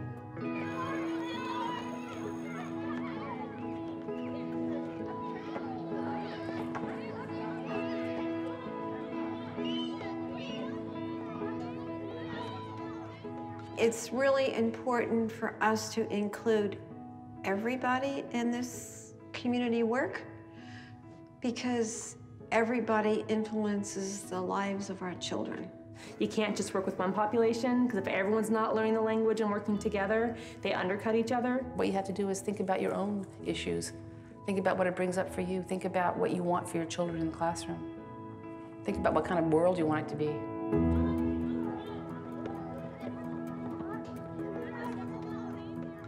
We started by talking about um, the biology of gender and this idea about typically female bodies and typically male bodies, and that's what the binary system is based on. But in fact, that there's a whole range of naturally occurring variations, sometimes called intersex conditions, that represent the physical part. Gender is about also gender expression and the ways in which people perform gender, if you will, our dress, our clothing, our mannerisms, accessories, um, also many of the expectations that other people have of us based on our gender or that we might have of other people. You know, I'm in my 60s. I was used to thinking of gender as a biological thing, and I wasn't really aware of the different elements. She's a girl, and she identifies as a boy, but she looks just like a boy and she doesn't get upset, which I, I had problems with identifying. And she loves boy things. She dresses like a boy, but she's happy as can be. Mm-hmm. And she told her parents, and they're the ones having the problem, but she's just fine with it. This binary model we talk about is something we all come by quite honestly in this culture.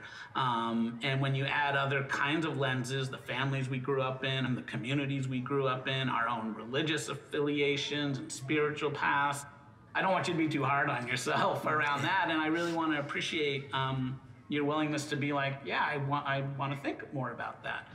But I do find the universal experience of meeting the kids is like, okay, now I get it.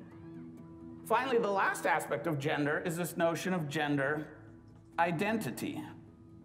Gender identity refers to the internal sense, who someone knows themselves to be.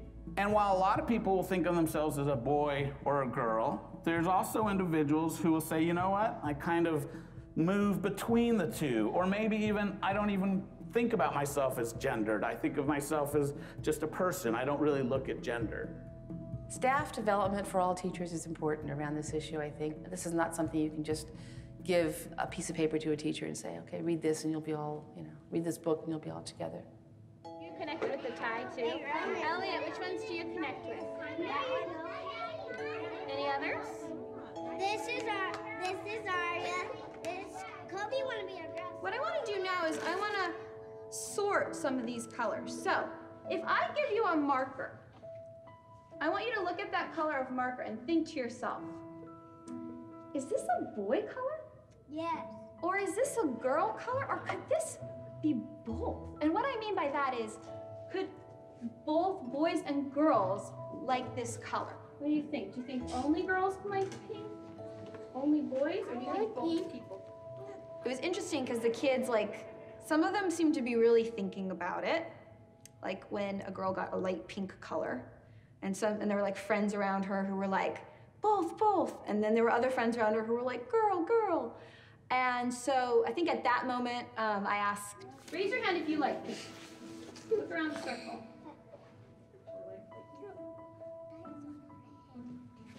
And based on that evidence of who liked pink, she chose. And so there were lots of girls and lots of boys raising their hand. And so she put it in both. All the colors are in the middle in both. Does that mean there are colors just for boys? No. Does that mean there are colors just for girls? No. Or are colors just colors? Colors is colors. Colors are just colors.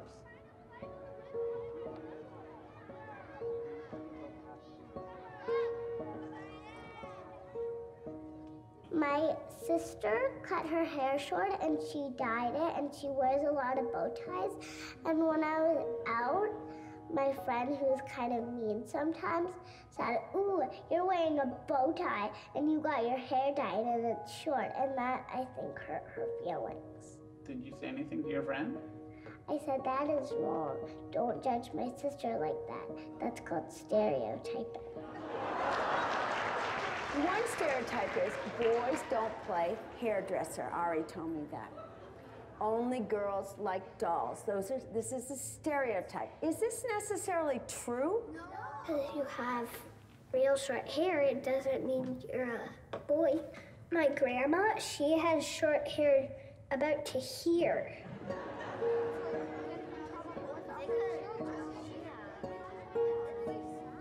Girls can wear all colors, so can boys. I'm wearing my sister's stuff. This is my sister's. She wear this every day. I like doing things that boys like doing, like climbing trees and making paper airplanes, flying hel- toy helicopters, and things like that. My other girly girlfriends aren't very girly anymore, but they're not yet boy girls. They're like in the middle.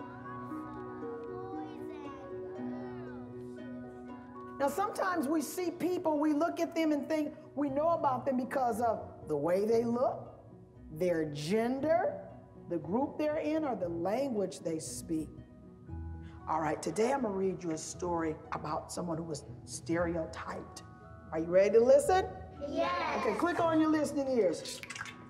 Whenever I read the books, the children were very quiet. Usually they're very loud or they interrupt, they want to ask questions. But I think this was new for them too.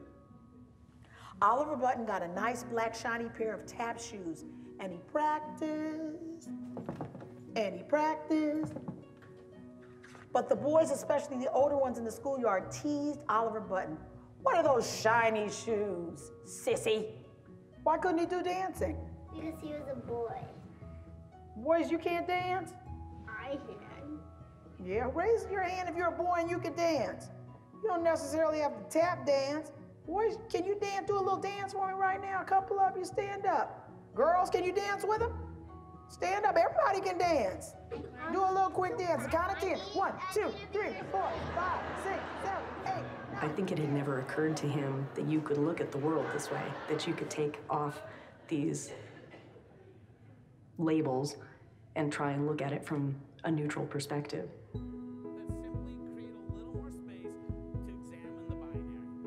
You know, at the end of the day, there's three things we hope people will leave from these trainings.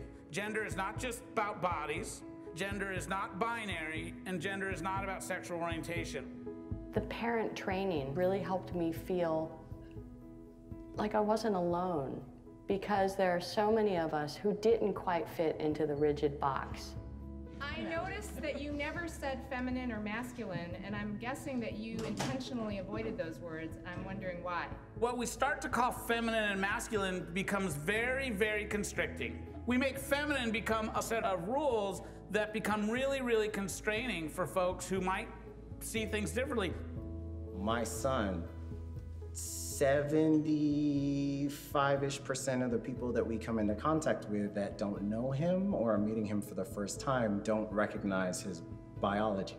And so he's asked me on many occasions, or it's a regular thing, Daddy, please correct. Being able to, again, have the space of this helped me to reflect on my experience and come back to what we were talking about earlier around how do we support our children. So where does the bullying come from? If we're all born as an inclusive species? What is that point? So let me clarify. That's a great question. Kids are in this binary system like fish are in water. I mean, it is just, they don't even know it's there. So unless we intentionally interrupt it and say, wait, wait, whoa, whoa, whoa, we can't make these assumptions about kids, then they're gonna operate that way, and that's where a lot of the bullying comes from, is the power stuff, in the who's the right way, who's the wrong way. But as soon as you give them a little bit of information, they're like, oh, okay, I got it. And it's really important that we understand all of us have parts of behavior that might be identified as boy or parts of behavior that might be identified as girl, and it, it doesn't have to be that rigid. And some girls don't have first names, have last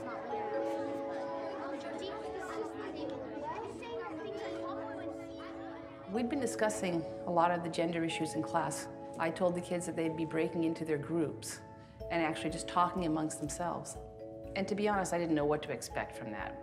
Well, it turns out that they couldn't stop. I like to wear sneakers, jeans, and I don't like dolls. I hate the color pink. I like the color blue, and I play soccer. Blue is not a boy color. Pink is not a girl color. Aaron's wearing jeans. Lots of girls like to wear jeans. And some boys like to wear skirts.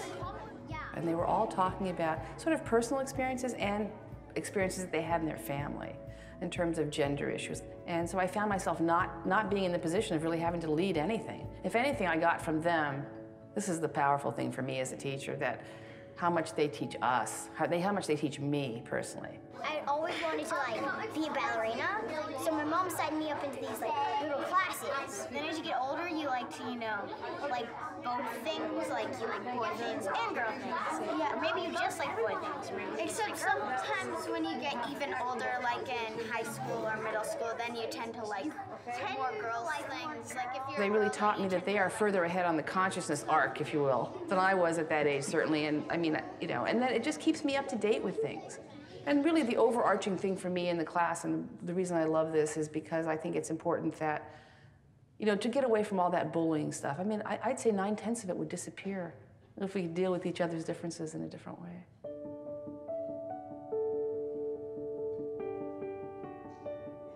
One of the things we talked about yesterday was about the boxes that confine us.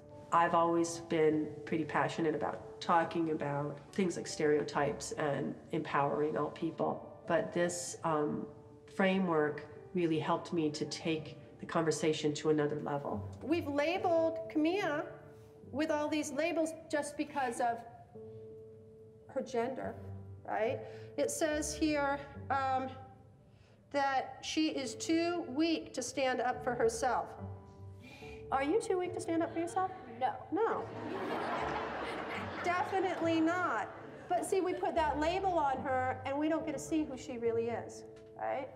So If you tease somebody about what they wear or what they look like, um, you won't have as many friends. You won't um, be that much happier in life if you tease somebody about that kind of stuff. Rasan would have a hard time um, playing, playing soccer or doing other things that he likes to do with that box on his head. And the labels that we put on people make it hard for them to be who they are. It makes it so that we can't see how fabulous they really are. And it also makes it hard for them to live their lives the way they want to live them.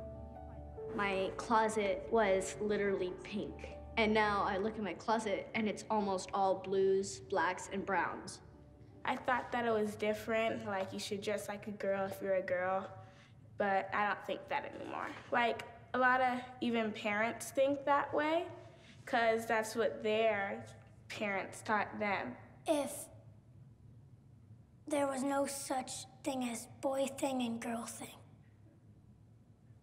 then probably half of my friends would be wearing dresses. Over the years, like my well, my favorite color's been purple, and I told my dad I was like, I want some purple skinny jeans. He was like, Are you crazy? I put the jeans on. I was kind of afraid what people were gonna say about them, but I just went with it, and then it kind of actually like once I started like wearing them, it kind of felt normal. I'm wearing what I want to wear. It doesn't matter what gender you are, it matters what kind of person you are. Like, you're a boy and you act like a girl, it doesn't matter. You're a good person and that's what matters. Maybe the president can make a law. Like, you can't make fun of boys that like to wear dresses or girls that like the color color green and girls who like love monster trucks.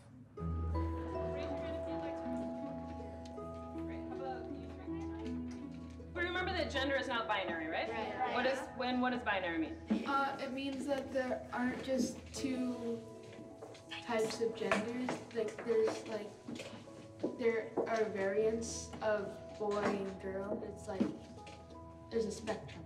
Good, very good. Yeah, There's lots of places in between where you could fall, right? So today we're going to be looking at gender in 3D, meaning gender isn't just about our bodies, but it is about it's three-dimensional. We've got uh, our the biology of gender, or our assigned gender when we're born.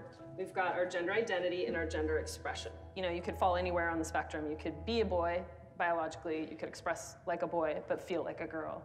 It didn't surprise me, but I just never thought of it in those terms of those three different elements. Yeah, put your name next to it if you want to. Doing this work is critical because it not only um, creates safe space for those and those students who may be particularly gender diverse, but really for any child who is simply trying to figure out what it means to be a boy or a girl or maybe something different um, as they go to school. Does anybody want to come up and talk about where they fall on the gender spectrum? I was born as a girl. Um, I usually express myself in the middle.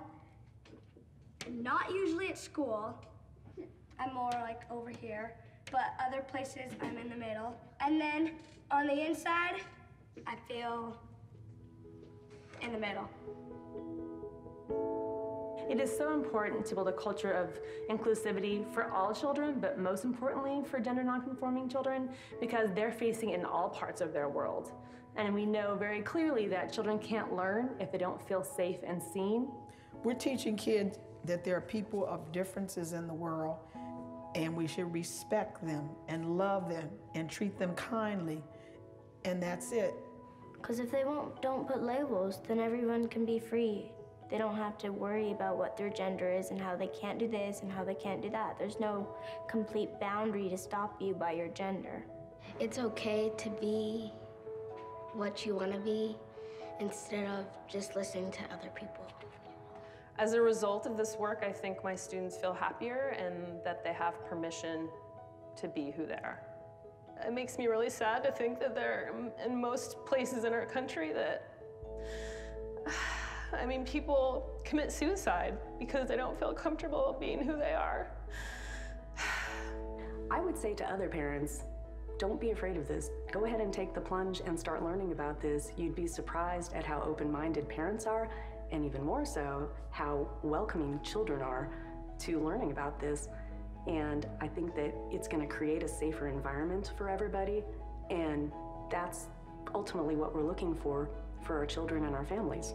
You see kids of all different races, all different backgrounds, all different classes, all the diversity that we can see, embracing each other, loving each other, having a great time. And that's the kind of community that we want to foster and model, not only for here in Peralta, but for the world.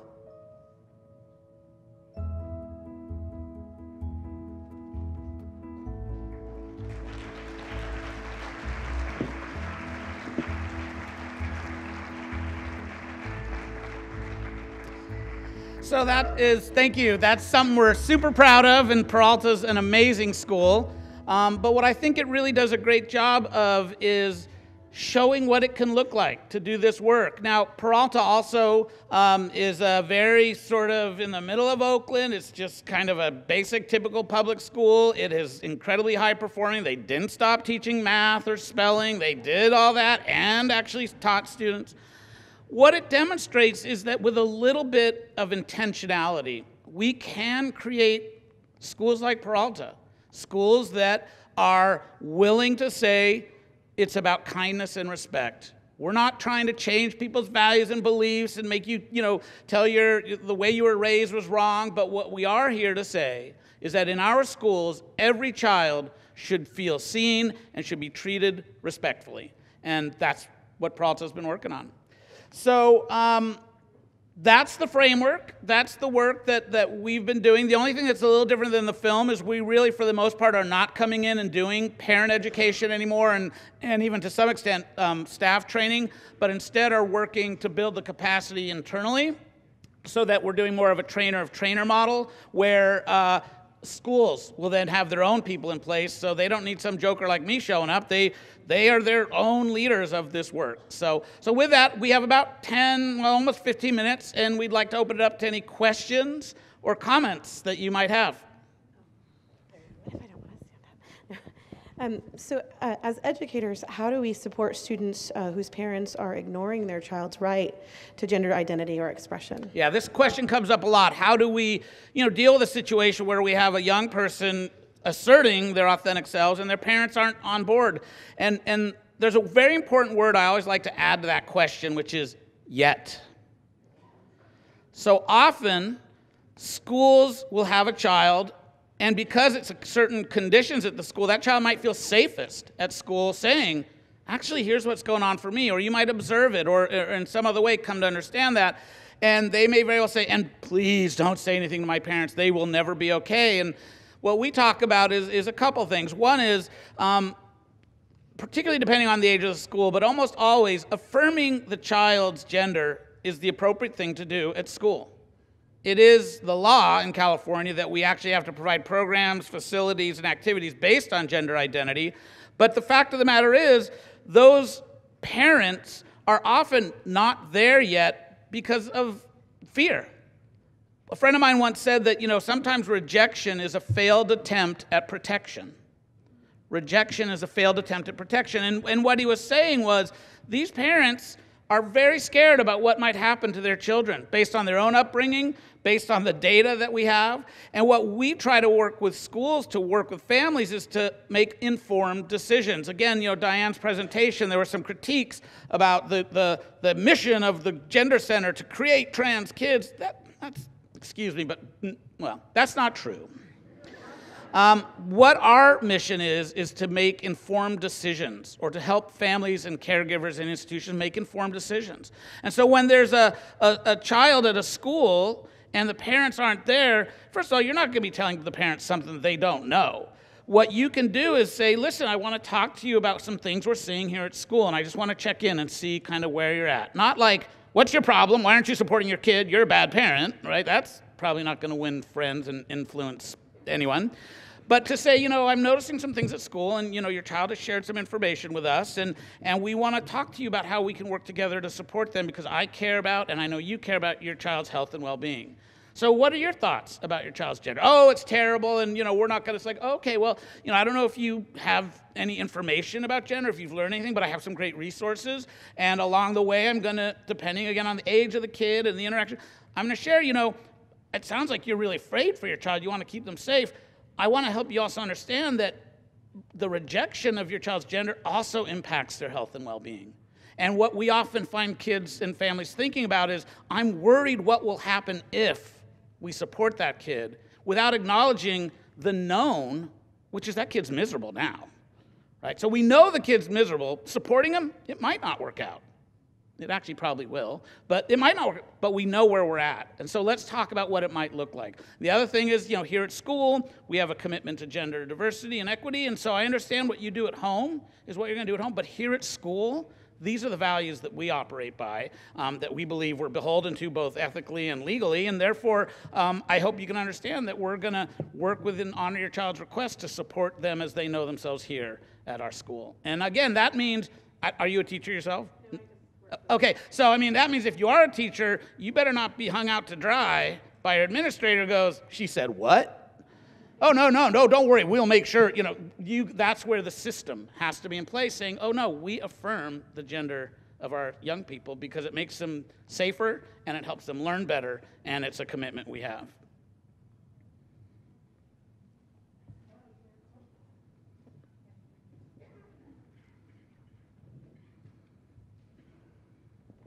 Jill, just a quick add on. Do you have any tricky lines for private schools that aren't beholden to the laws? Yeah, so your private schools present an interesting conundrum because, on the one hand, they are not held to ed code standards. So they can say, you know, whatever, we're not going to do that. And in some cases, you know, they're not. By the same token, private schools have a lot more flexibility in a lot of ways. And so what we, again, will try to appeal to a school is like, gee, I was looking at your website and it says that, you know, such and such day school or whatever um, honors the diversity and individuality of all of our students and support each one to become their full selves and amazingness. And it's like, oh, okay, well, I heard you saying that. So how does that relate to gender? How does that relate to a kid who comes here and asserts their, their true selves here? Now, what they'll often say is, and what the fear is, and, and, uh, I've been on a private school's board, and I know the fear is like if we support these kids and do this work, there's going to be some kids, some families who leave. They're not going to be okay with that. I'm like, yeah, you're probably right. You, you are probably right.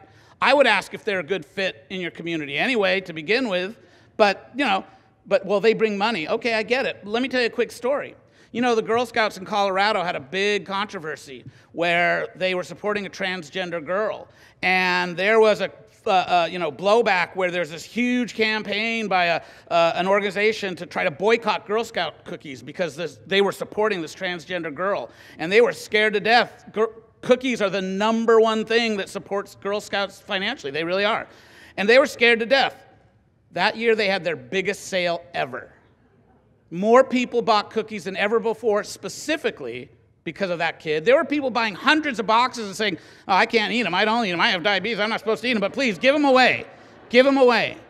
Um, so my point is, yeah, you might have some people who leave you. You're also going to have a whole bunch who say, thank you. I'm proud of you. And if you're not ready for that, then again, then it sounds like this isn't the work you should be doing, but at least own it. Hi. Uh, following up on the last teacher's comment about the inclusivity, kids from different races, social groups. Um, do you have any thoughts or observations about relationship in any direction between systems that are wanting to address this issue and systems that are also wanting to explore issues of race, ability, class, neurodiversity? So I think I understand the question. Um, I'm going to answer it like I understand it. Um, no. So there's two ways. I thought what you were going to ask first was like, what about schools where like the school really wants to do the work and they're concerned like, hey, we have a very diverse community who not everyone is necessarily in agreement about all this gender diversity stuff, and we want to be respectful of values and beliefs and religion and all that stuff. So let me answer that first, because I know if you're not asking it, someone else is wondering. And our response to that is, and I started to allude to it, is this isn't about changing your values and beliefs. There is one, well, actually, two values we wish to impose with this work kindness and respect. You teach whatever you want at home, but here at school, every child will be treated with kindness and respect. If you don't have something nice to say, don't say anything at all. You, may, you don't have to march in the transgender parade. You don't need to donate to Gender Spectrum. Please do, but you don't have to. Um, but what you can't do is be mean. Your child cannot be mean to other kids based on their gender. Now, the rejoinder we often get is, yeah, but what about my child? You're making my child not feel safe by talking about all this crazy gender stuff. And I'm like, so first of all, I'm extremely concerned if your child feels unsafe. Does your child feel unsafe? Oh, yeah, because you're doing all this gender stuff. The kid hasn't said anything, by the way, but the parent, oh, yeah, my kid's unsafe. Really? Well, tell me how. What is someone doing? Because, of course, being unsafe happens when someone does something, and, you know, what is making them unsafe? Well, you're just letting, you know, talk about all this gender stuff. It's like, and, and that's making them feel, feel unsafe. How exactly? Like, what are they scared of? Well, they're not. I mean, it's just uncomfortable. Oh, so you're uncomfortable. Uncomfortable and not safe, very different things. We live in a democracy. We're uncomfortable all the time. Quite honestly, as an educator, I love discomfort. It's called cognitive dissonance, and I want my students to be a little less comfortable. We're all a little less comfortable. I take that seriously, but simply the, because this other kid exists, that's not making your child unsafe. However, your child's behavior does make that child unsafe, or attitudes such as makes that child unsafe. So we'll work with your child's comfort level and we can come up with all sorts of alternatives, but it's not going to be on the back of that kid. Now, in terms of the second version of your question, that, that's what you're probably really asking, um, was, you know, how do you integrate this with other kinds of systemic efforts of school reform? And I would, again, argue because gender is such a universal experience, I don't know anyone over the age of three years old, who cannot tell you pretty clearly a time that they were either limited by notions of gender that were imposed on them or held up to some expectation because of notions of gender. It is a universal experience. In some ways, it's very different than race or religion or language or socioeconomics that allows us to start that conversation about you know, critical thinking, non binary thinking, things can be both, complexity. And it's those conversations which often can lead to those, those more tricky conversations in some of those areas. Um, so, I mean, again, I think it's, it's also a great place when we're talking about elementary schools because people are like, well, I don't want you talking about sex with my child. Oh, well, good, because I don't want to talk about sex either. I'm sure, no thanks. But we want to talk about gender. That's different, right? We're not doing sex ed, we're talking about inclusion and diversity. Um, and, and again, that's the entry point. I don't know if that gets at what you were asking, but in terms of other systems, um, those are some of the entry points. The other thing is, quite frankly, if depending on the context, if there is a really discriminatory situation in place, and depending on the state, you know, at a certain point, we'll say, so listen, superintendent so and so, principal such and such, I assume you like your house, right? I mean, you probably want to keep your house because the law actually can hold you liable for this. Now, that is never an effective approach to start from.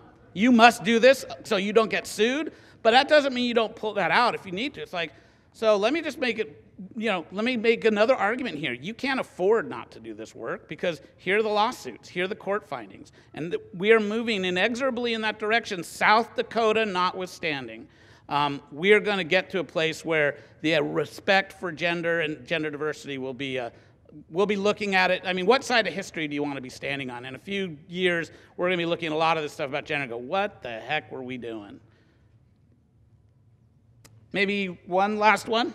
Yes, hi. Um, so I'm a student at UC Santa Cruz here, and I was curious about implementing these on college campuses, particularly because, you know, like right now I'm in a genetics class and we learn male, female, like Drosophila and mm-hmm. fruit flies. And um, I, it was funny because I've, I've studied with a transgender student peer and I've studied with a very cisgendered, like non non-gender expansive thinking person. And like i remember i was like oh yeah we can all study together. And then this other um, girl she's just like is that a boy or a girl? And i'm like that's kaz. Like that's not relevant you know? And i just can't imagine you know as we're all about to go have our own children and i see some of my peers who are going to be that parent who are going to have so i just i'm trying to imagine this getting implemented on college campuses and how to work with a, a more complex student professor and student administration relationship? Yeah, great question. I mean, I will say, yeah, absolutely.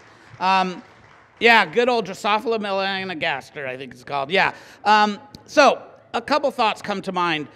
So, and this was a question on it. This is not about getting rid of gender. I, you know, will sometimes say is like a teacher will come up and say, "Listen, I'm, I, I'm really sorry, but the other day I said boys and girls.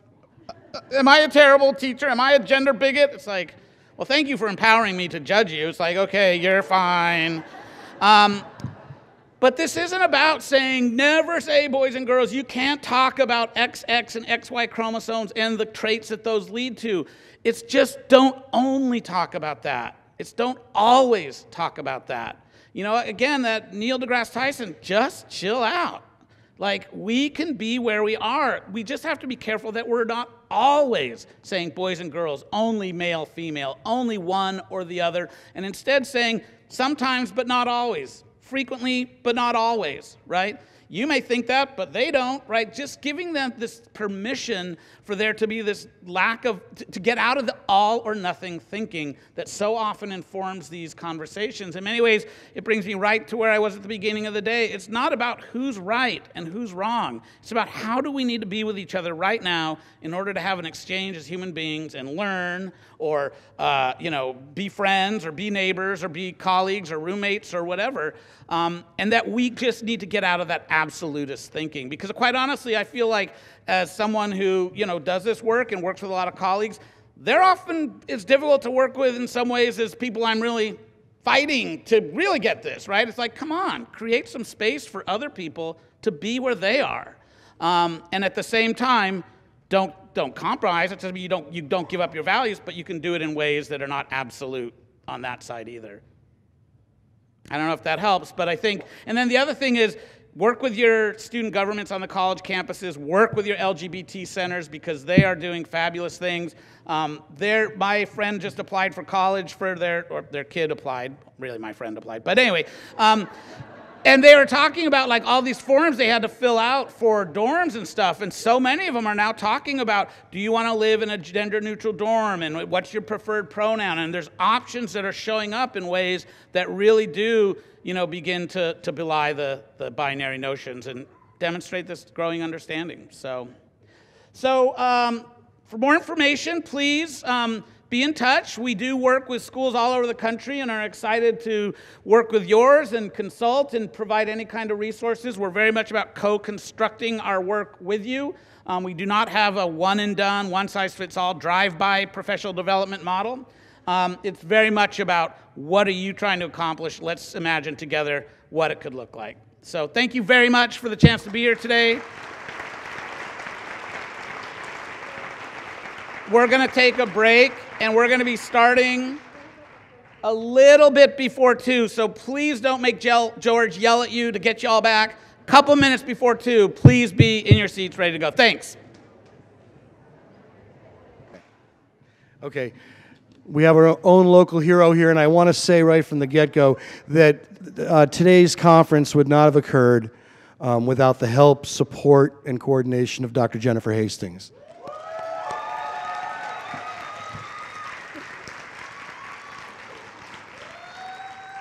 We are blessed here in Santa Cruz to have such a powerful woman. Jennifer Hastings, MD, majored in women's studies at Princeton University and was an art teacher and painter before medical school at UCSF, and is grateful for varied life experiences before medicine.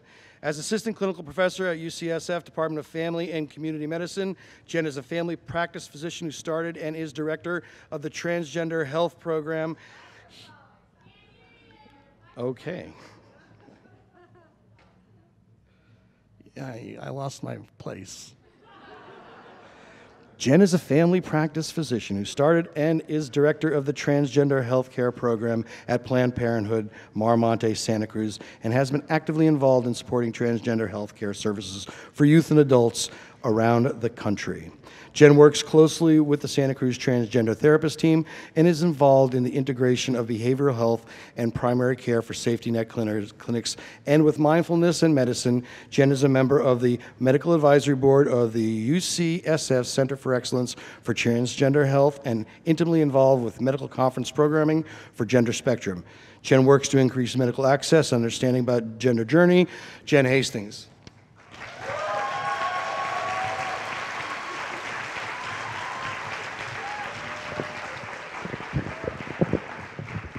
Okay, so I have, I have instructions on the microphone. How is this? Where are, they're good, okay. So thanks so much. It is truly wonderful to have everybody here in one room. It's ex extraordinary. Thank you all for taking the time out of your very busy lives to learn about something that I think is extraordinarily important. And I just want to thank the people that I've worked with for years here in this community and the incredible patients that I've had the honor to work with. Really, every single person I've worked with, probably in, not just in transgender healthcare, but I think the stories that I've been privileged to hear and really to be on this journey with people exploring exploring gender and exploring so many things but i think what i'm hoping today is that your hearts have been opened because i think our hearts are the most important piece of this work and we can't do our work well if our hearts are closed. So I'm hoping, well, I, you can't help with, with uh, Joel and Diane, but I hope we'll continue that process together with opening our hearts. And just a shout out to Katja Tetzlaff, a wonderful graphic artist. They are in Chicago and they've helped me a lot over the years with PowerPoints. So we have a lot to cover. I want to look at best practices in creating transgender healthy excuse me, transgender friendly, gender affirmative health settings. We want to look, and we already have today, I think, gotten a, a, glimpse at the importance of the interdisciplinary aspect of this work. We have to work together. You cannot be in your own little box in your practice, just like maybe you don't want to be in the box of your gender anymore either. Um, medical treatments, we'll be exploring those, both puberty blockers and cross sex hormones. And then we'll just touch briefly on some of the surgical options that are available because things have really, we have a long way to go still in surgery, but there's a lot there. And not everybody wants surgery. I can't see that at all. What are you saying? Okay, so very quickly, we're going to review the concepts that you already learned today.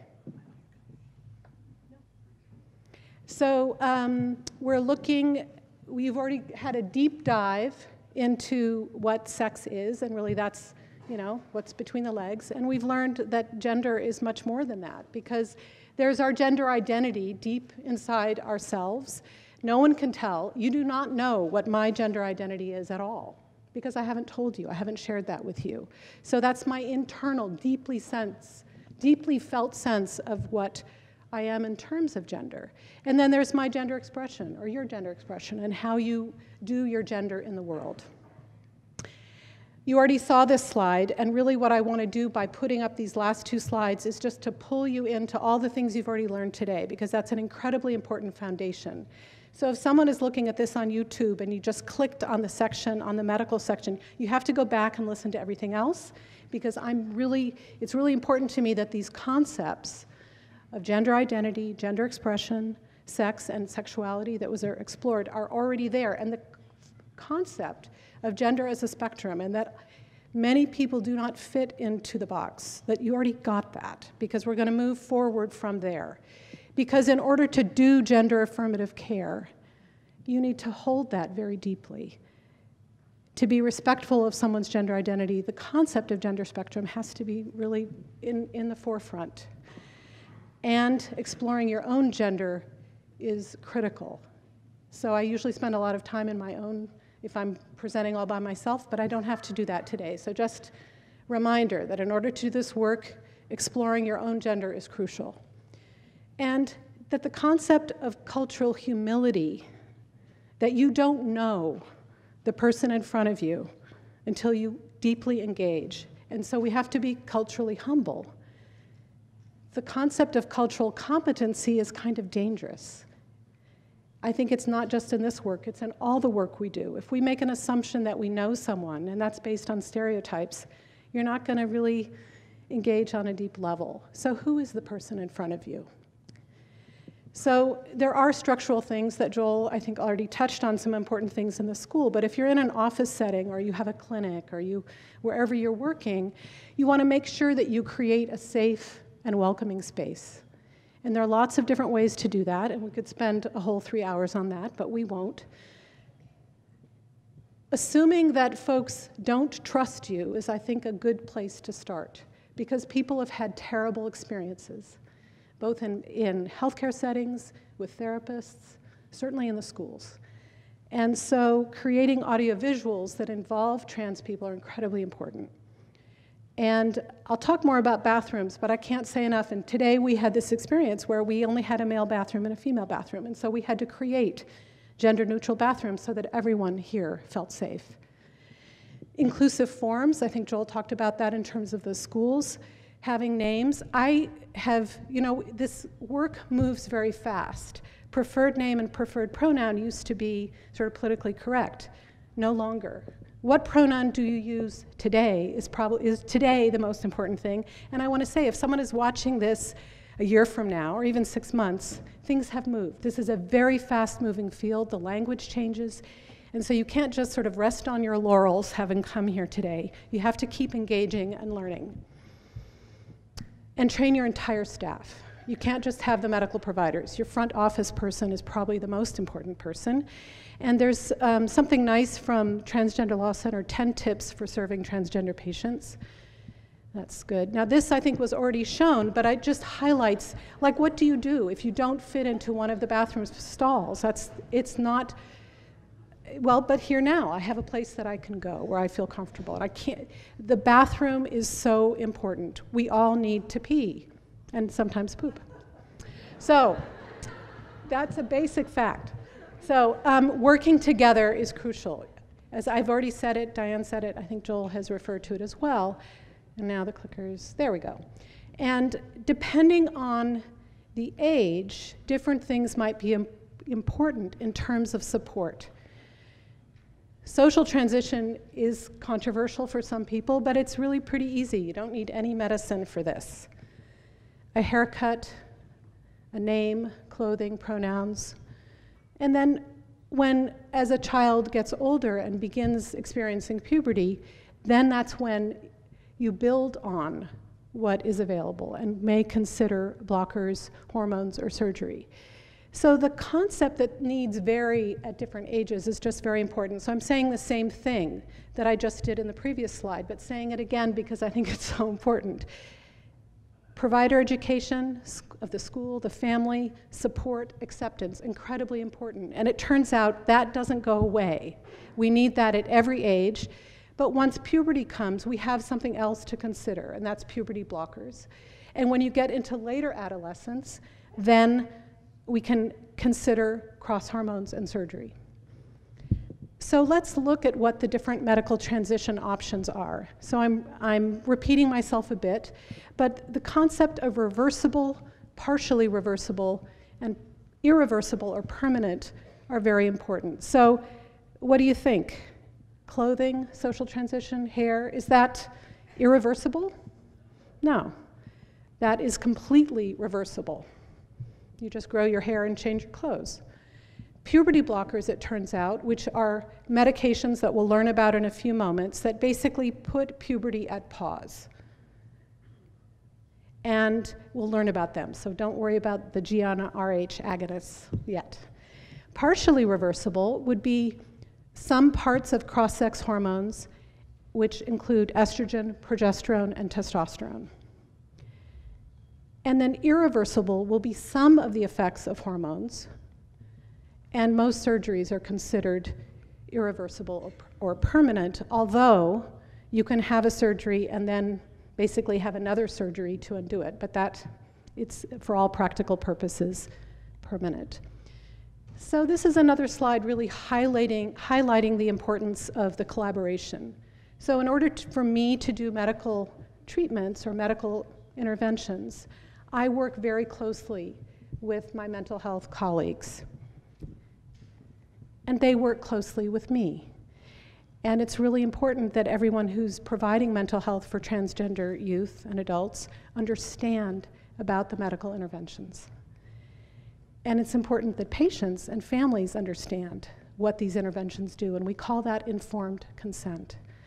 So people can sign a paper about a puberty blocker or a cross hormone or a surgery. But in my mind, that's not informed consent if you haven't really talked about it. And so it takes time. And I think we also learn more as we go along. So, informed consent, when I first started this work 15 years ago, 20 years ago, we didn't really think about fertility options for youth.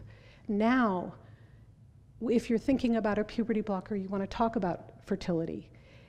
But so informed consent really moves as we learn more. Okay. Puberty block puberty can be difficult, especially if a youth is engaging or starting a puberty that they were not thinking would, to, would, would happen. And this is not an unfrequent story that, that kids will say, I didn't think I'd get breasts. I didn't think I'd get a period. In their mind, they knew their gender identity so clearly that they really didn't think that puberty, that the puberty of their biology would happen. So these physical changes are often traumatizing.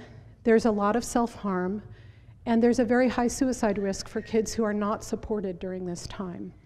And so that's really the power of the hormone blockers. It can be very helpful for not just the teen, but the family as well. And oftentimes kids know really, they're really clear, they don't need, they don't need time to think about whether or not they need cross hormones. It's the family that does. Because as we learned from, I think it was Joel's slide about the age between awareness and then the age of telling the family, there's often a big time there. There's often eight years of a kid knowing their gender, but they don't tell their family until puberty is there or it's already uh, happened.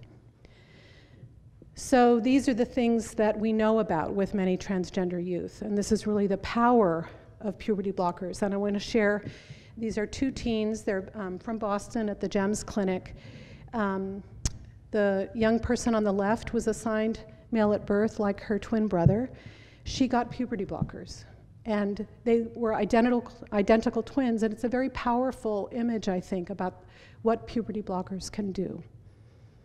So she did not get the development of an Adam's apple, she did not get the development of facial hair.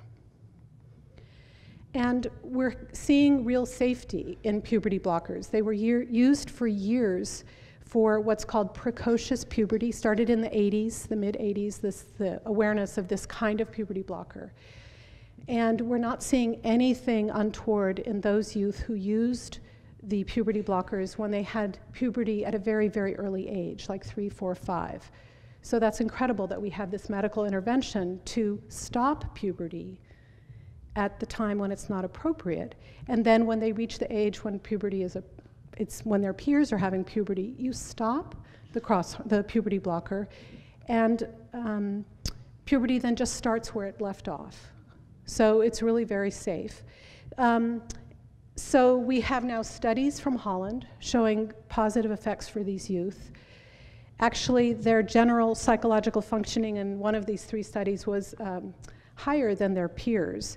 And you think about it, well, pu- puberty is pretty hard. So they basically were not having to go through puberty and they were psychologically functioning um, better. Um, all the youth in these three studies went on to, to, to have cross sex hormone treatment, but that's not a given. So this really is truly a time for choice. And we are now in the big, um, Diane didn't mention it, but the um, Gender Center in San Francisco, along with Boston, Chicago, and LA, are engaging in a four center study of trans youth, and it's very exciting for us to get real data. So we, we've seen the benefits of early support for youth. The bottom one there, the bottom point, allows for selective disclosure. This is a whole other talk, really, about when does a youth share with other peers or other people that they are transgender? Some, for some youth, their identity is not trans. They are the gender they are, and so they may not want to share with others.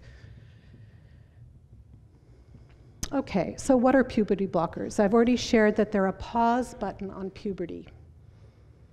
And I really want to uh, do a shout out to Stephanie Brill. This is really her language, the pause button.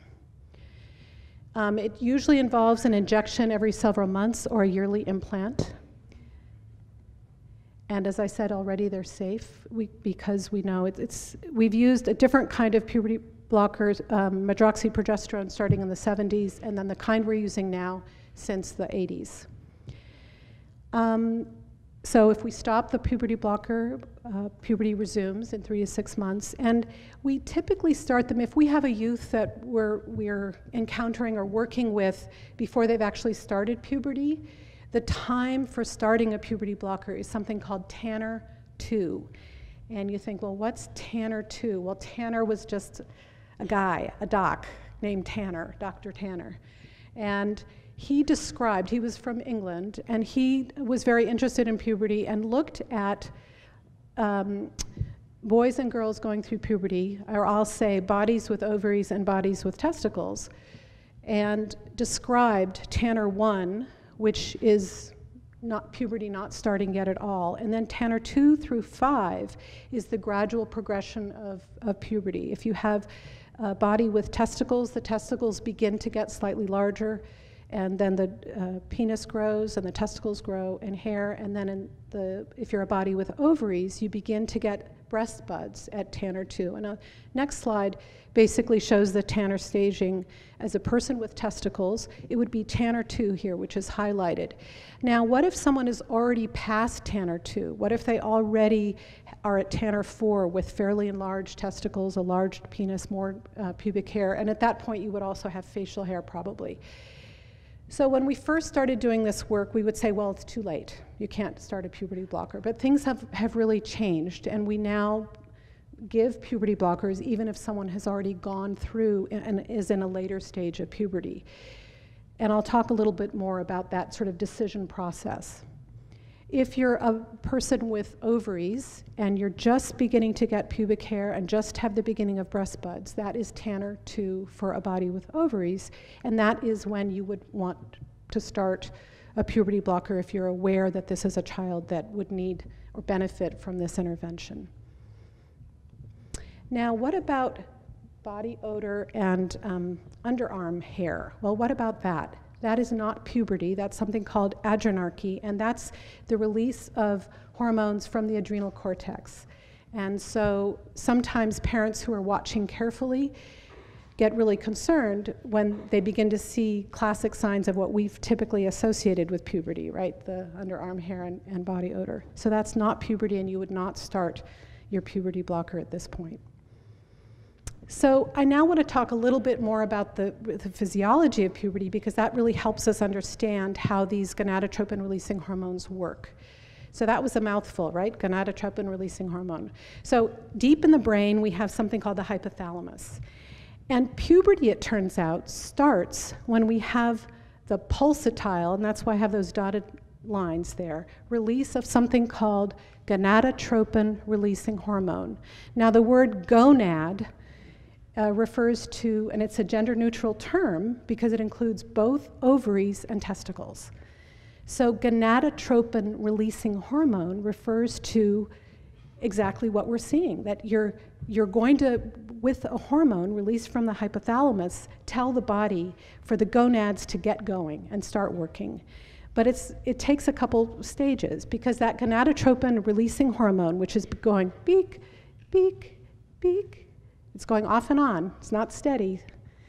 Goes to the pituitary, and the pituitary goes, Oh my gosh, I can feel pulsatile releases of gonadotropin releasing hormone. It's time for me to release luteinizing hormone and follicle stimulating hormone. hormone. So, LH and FSH, which are luteinizing hormone and follicle stimulating hormone, those are both in bodies with testicles and bodies with ovaries. It's not just bodies with ovaries. They say, okay, I'm going down to the gonads. And, and the gonads are the testicles and the ovaries, and they are going to make, if you have ovaries, estrogen and progesterone, and actually, you actually have testosterone in there as well. And if you've got uh, testicles, you make predominantly testosterone. But testosterone and estrogen basically go back and forth between each other. So we all have uh, a little bit of all. But so, how do the blockers work then? Okay, so we got the hypothalamus, and it's puberty starting, and I have that pulsatile release of gonadotropin releasing hormone. Well, if I give a gonadotropin releasing hormone analog, which means structurally similar, or agonist, which means makes more of it. That's, can you see that? That's what that says. The red doesn't show up well, but that says GnRH agonist. Then the pituitary goes, oh my God, there's so much of that stuff, I gotta turn off. I can't, do, we can't, this is too much. I have to regulate things. So I'm to turn off, so I'm not to make luteinizing hormone and follicle stimulating hormone, and I'm therefore not going to tell the gonads to make hormones. So it's very elegant. This is extraordinary. I mean, it's beautiful, right? Extraordinary. So that's how the gonadotropin releasing hormone uh, agonists work. Okay. Oh, there was that last step. Okay. So they come either as an injection, either in the muscle or in the skin, under the skin, or as a pellet there, like a rod. They're very expensive, unfortunately. So the one on the left there is Lupron or Eligard. Those are the brand names. What's interesting is that Lupron is marketed for women with a variety of conditions where they need to turn off the, um, the ovaries. And guess what? That is like 20 times more expensive than Eligard that's marketed for men with prostate cancer. There you see it. It's exactly the same medicine. This is my, like, really? How deep does gender stuff go? Okay. On the right there is um, Histrelin, which is either Supprelin, which is a brand name for the medicine give for, that's given for precocious puberty. Anyone want to guess how much that costs for one implant? $23,000. And the one on the left, Vantas, is marketed for uh, men with prostate cancer, and I can um, buy it as a provider for $2,300. So that tells you like the differences between marketing for men and women. Bodies with ovaries, bodies with testicles, really. But the implant is uh, made to be used um, for one year, although we found that it lasts really usually for two years. So funding this is incredibly difficult because historically, when gender care was not covered by insurances, there were actually exclusions for gender care. This was extremely difficult, and the gender spectrum conferences over the years, you know, we'd have parents in tears because they couldn't afford to buy the implant or to buy the uh, blocker. Well, now with the Affordable Care Act, we finally have access for this care, and it's spectacular. And we're very lucky in the state of California. Many states do, still don't have protection. Uh, we do with our uh, California non discrimination clause. Um, but I'm still having trouble. I spend hours and hours and hours getting things covered. And we do, we can help each other. The Transgender Law Center and the National Center for Lesbian Rights are very, uh, you know, helpful in this regard. Oops. Yeah, okay. So, what about the pros and cons of puberty blockers? This is not an easy decision. In some cases, it's obvious in some cases as well. And really, the important thing is to individualize the decision. There's not one, you know, it's the person in front of you, it's not a protocol. And so, I think this slide will really change for me over, you know, shortly, but basically, the pros are that you, you buy time to explore gender identity, and I already referenced the fact that many kids really know it's, they don't need time, but the family does. Um, so we prevent undesired, irreversible changes of puberty. And so if you have, can prevent the development of breasts or um, Adam's apple or facial hair, markers of secondary sex characteristics or markers that are secondary sex characteristics, this is very powerful, um, can prevent then costly surgery and procedures. Um, we really see improved function in kids, and um, then typically we use lower doses of the cross hormones, although I think that's probably not a hugely compelling reason, although for some providers it is. So the cons are really that we don't fully understand the effects on brain development, although in the studies that have been done, that's looking to be a non-issue. When we first started using puberty blockers in this older age group, we were concerned that there would be an issue, and it's really not panning out. There's um, sort of complex issues around height, final height, um, that I think we're still understanding. The effects on bone density are a consideration, and really when you add the cross hormone, then those those issues appear to go away, although I think we still have to look really encourage young people to be engaged in physical activity so their bones are getting strong and calcium and other ways to support bone density and bone strength. It's incredibly expensive, and that's you know, in the, in the best of worlds, that would not be a reason to not give this medication. And, but then fertility is an issue that we're now looking at, and I'll spend a little time at the end, because if you've blocked the development of the gonads, then at this point in time, having your own biological children is less, is really not uh, feasible right now. But there's a lot of, well, I'll wait for the slides. It's, you know, from the field of uh, pediatric oncology, we're getting um, fertility uh, futures um, as a possibility. So, what about a kid who's been on a blocker and they're now getting older? What, what happens next? So, this is another area of controversy because the studies from Holland started cross hormones at the age of 16, mm. and there was nothing medical about that. 16 is the age of consent. In Holland, kids are adults at the age of 16. And so it was the protocol started by having the kids start the cross hormone, which means estrogen or testosterone, when they turn 16. Well, in this country, do you think waiting till you're 16 is going to work to, to, to have your puberty? It's kind of late. So, um, okay, sorry, I have to change thoughts here. So, you have an option um, of stopping the puberty blocker and going through your own biological puberty or your, the puberty of your um, gonads. So that's an option. The point is that everyone, but the point of the slide is everyone has to go through puberty at some point. We need, we need hormones, the sex hormones, for our bone density. You can stop the uh, agonists and start cross hormone therapy, so that's an option.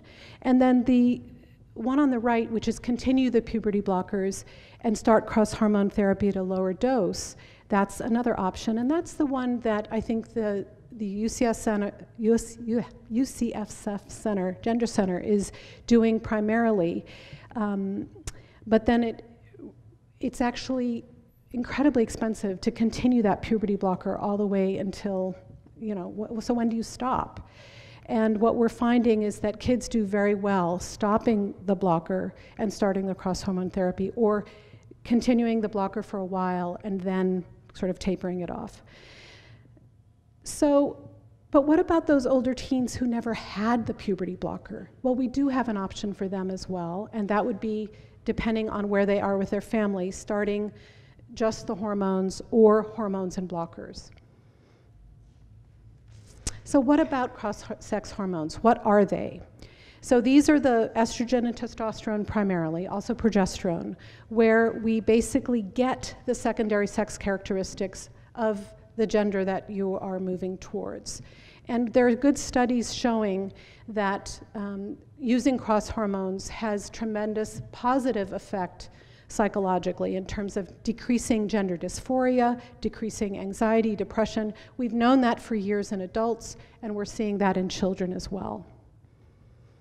I want to really do a shout out to the non binary transition. So, in all of my conversation right now, we're sort of you know, looking at going one direction or another, and it, there are a lot of youth that, and adults that don't want to go into towards the other box. They want to be uh, in a non binary place. And I just want to shout out to this website uh, by Micah, M I C H A H, um, as a great resource for learning more about non binary transition.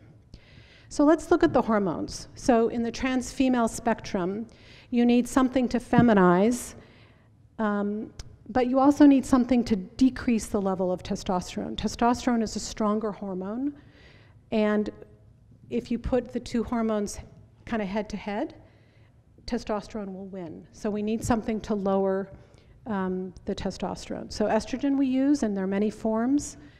An anti-androgen, which is really what will lower that testosterone, and sometimes progesterone. For the trans male spectrum, it's simpler. We just use a prescription or a medication to masculinize, and that would be testosterone. And there, likewise, there are many different forms.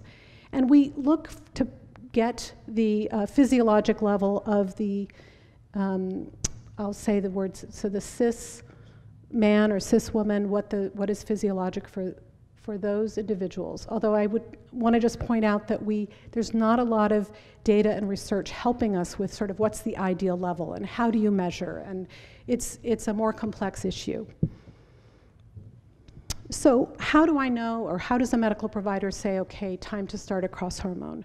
So, we have guidelines, and I just want to point out they are guidelines, they're not rules, they're not in cement or stone. And this is the World Professional Association of Transgender Health, or WPATH. And basically, the guidelines are that someone have persistent gender dysphoria, meaning that they're not comfortable in the gender that they were assigned at birth. They're able to to provide informed consent, and that means that they basically understand how the medication works. And if they're not 18, and this because the age of consent in the U.S. is 18, then they need parental or guardian consent, and so that's makes sense. You want to involve the family. If they have concurrent medical or mental health problems, it states that those should be addressed. Now that's complicated sometimes because as I think Diane pointed out, gender is sometimes the cure. So, in order for someone's severe anxiety and depression to go away, you can't wait for that to go away. You actually need to use the cross hormone to decrease the anxiety and depression. And that's been very problematic, I think, for people who read the uh, guidelines literally or for who aren't deeply um, involved in this work. Because they're like, oh, no, no, you can't start that hormone because they're not uh, stable enough. And so, um, you know, this is exquisite work. To be, you know, so maybe start the hormone very, very, very low level. Just begin. And so oftentimes that's hugely calming for an individual to at least be on the journey, at least be starting the process. So the version 7, I have to, is so much, written in 2011 or published in 2011, is so much better than the previous version which had things like real life experience, which was you had to live in the gender before you could get the hormones, which was often unsafe.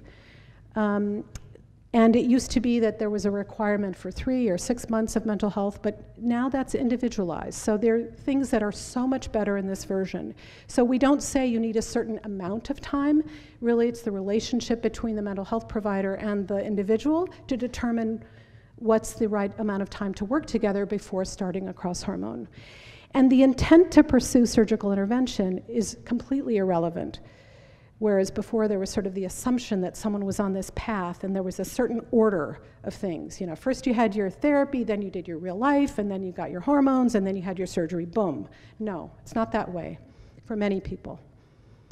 So let's do a little bit of a deeper dive into the hormones. It's slow. So both moving, and I just want to point out that I used the word feminize, and I there was Joel's not there right now, but um, you know we need other we need better language, but that's the language we have right now to move in the direction of getting breasts and hips. Um, but what are the patient's goals? That's probably the most important thing as you're working with um, someone, and and the goal may not always be achievable because genetics is, you know, genetics. And so it may not, your mother may have had large breasts, but you may not because you have your own genetics. And this is frustrating and difficult for folks. So I just want to go a little bit in deeper into what is involved. So there are many different forms of estrogen, but the safer forms, in terms of safety, in terms of less likely to cause a blood clot, would be things that are not oral. So that avoids the first pass of the liver and decreases the risk of a blood clot. So using the oral form of estrogen, the safer form under the tongue, a patch or a cream or into the muscle.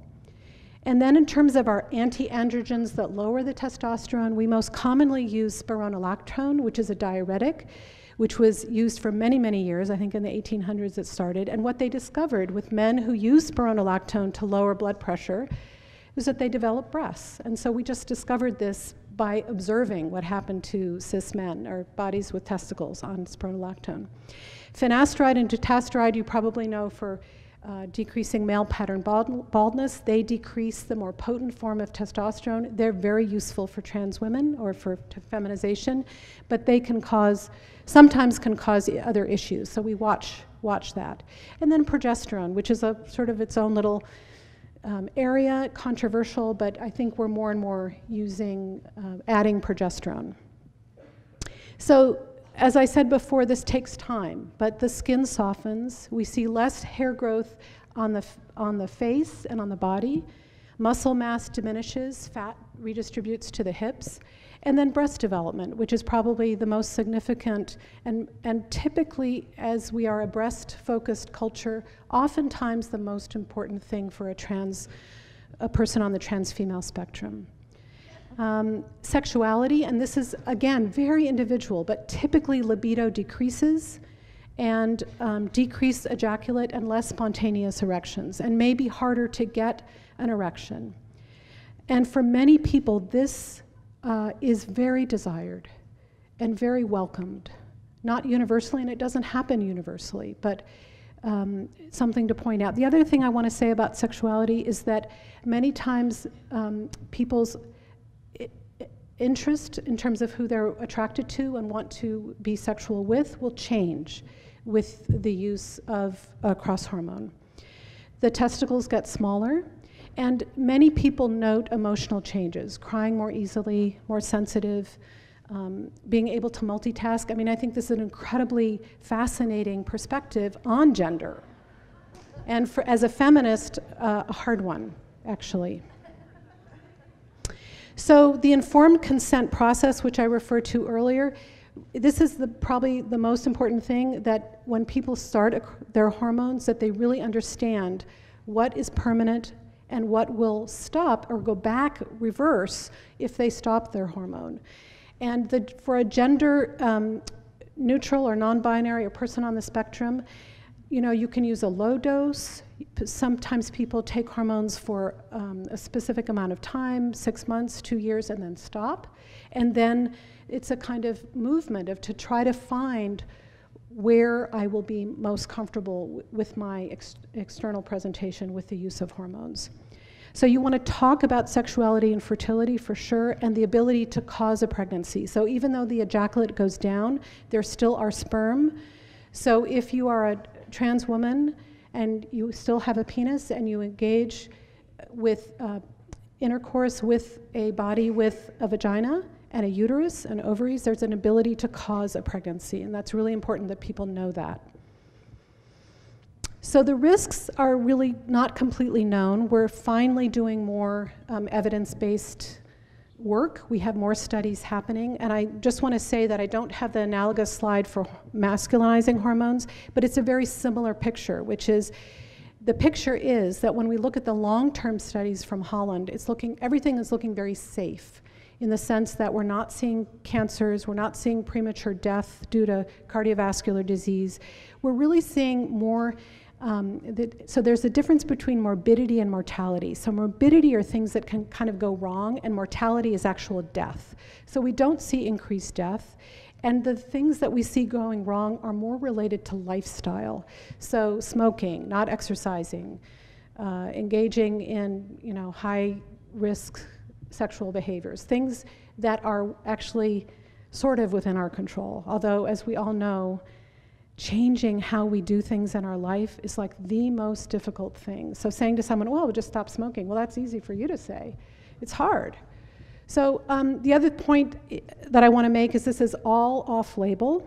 We don't have uh, FDA approval for any of this. And we do a lot of things in medicine that way. This is not unique to gender care. So that shouldn't frighten anyone.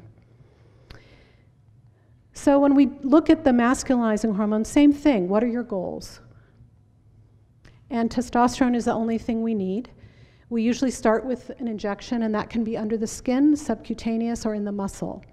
And it was Norm Spacks from uh, Boston who really discovered the use of subcutaneous uh, testosterone. We, it was, it's always been used intramuscularly for cis men, and, but um, Norm Spack uh, discovered that. Um, it's when, if you put it under the skin, it is metabolized more quickly, and so you have to use a weekly dosing. Whereas if it's in the muscle, you have a little more leeway about, about length between your dosing. You can use a gel, cream, or patch, and more and more people are going that way rather than doing self injection. We always used to think like there was something magical about starting with an injection, but in fact, many people transition beautifully just using a topical. Um, so, this is what happens with testosterone. Voice deepens, and that sometimes is the first thing that a person will notice. And even, even on, I'm using lower and lower doses of testosterone now, and uh, men on even just the tiniest amount will say the first or second week they notice uh, the voice lowering. Having no period is often a very, very important thing for someone on the transmasculine spectrum. Although, again, there's some people for whom that, that is not the priority. So, so important to figure out what is important for this person, and that will help you direct your um, therapy sometimes. Uh, male pattern bald, uh, sorry, facial hair, body hair often occurs, although again, for some people really want, you know, a full beard, and other people are like, no, no, no, I don't want facial hair. And unfortunately, we don't have the power to sort of turn it off or on. It is what it is, and it's really your genetics. Increased muscle mass, it happens. Change of fat, it happens. Enlargement of the clitoris um, can happen to a degree that actually that enlarged clitoris becomes, a, well, is a phallus and can be used even before surgery for penetrative intercourse. Um, and then the emotional changes that we saw with estrogen, also we see changes with testosterone. And again, I think this is really individual. Um, men will share with me that they have more difficulty accessing their feelings, but if they really pay attention to it, it's almost like a muscle that they have to keep, but they have to work harder at it. Again, very hard for me as a, to see this uh, when I started doing this work. It was painful. Increased libido is, is pretty much, you know, we see that very often, but again, not universally.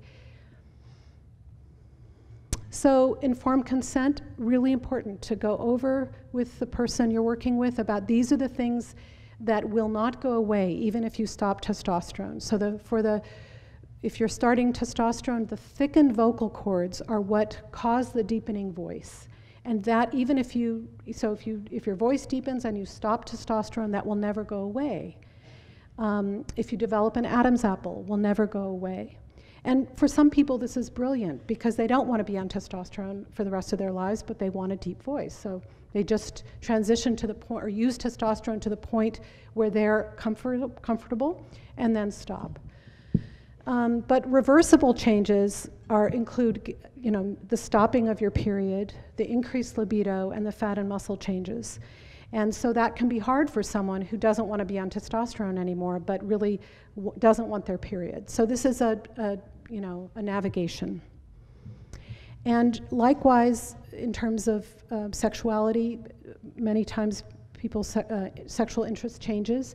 And ovulation can occur on testosterone. So it's so important to review. If a trans man is having sex with a body with a penis that has sperm, they can get pregnant.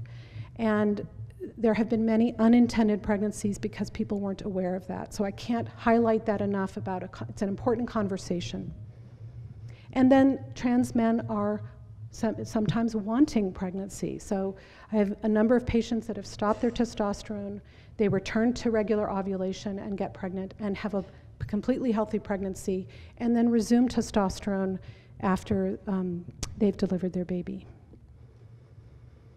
And the PAPS matter for trans men is just a shout out. We don't have time today to go into healthcare for trans people, but if you have an organ or a part of your body that needs to be checked regularly, it still needs to be checked, whether or not you're on testosterone or not, or estrogen. So let me just look at my time. Okay, we're okay. Um, So I can't say this strongly enough. Trans people, gender expansive people may or may not want surgery. That is a very individual decision. It's not a given that someone will want surgery. And in our California Department of Motor Vehicles, we have a box for gender, we, have a form for gender change. And there's when it, it'll say male, female, and it'll say complete or transitional. And now the complete, what does that mean? Aren't we all transitioning always for a whole life, wherever, whether we're doing gender care or not, or gender work or not? So there's actually an amazing movement. Where's Vic Campbell? Vic has been working for three years to get the Department of Motor Vehicles to change that so it doesn't say complete or transitional. And there is something you can sign outside. You can sign to, to get involved with this, and we're going to be doing a whole campaign to get rid of those uh, very disrespectful boxes.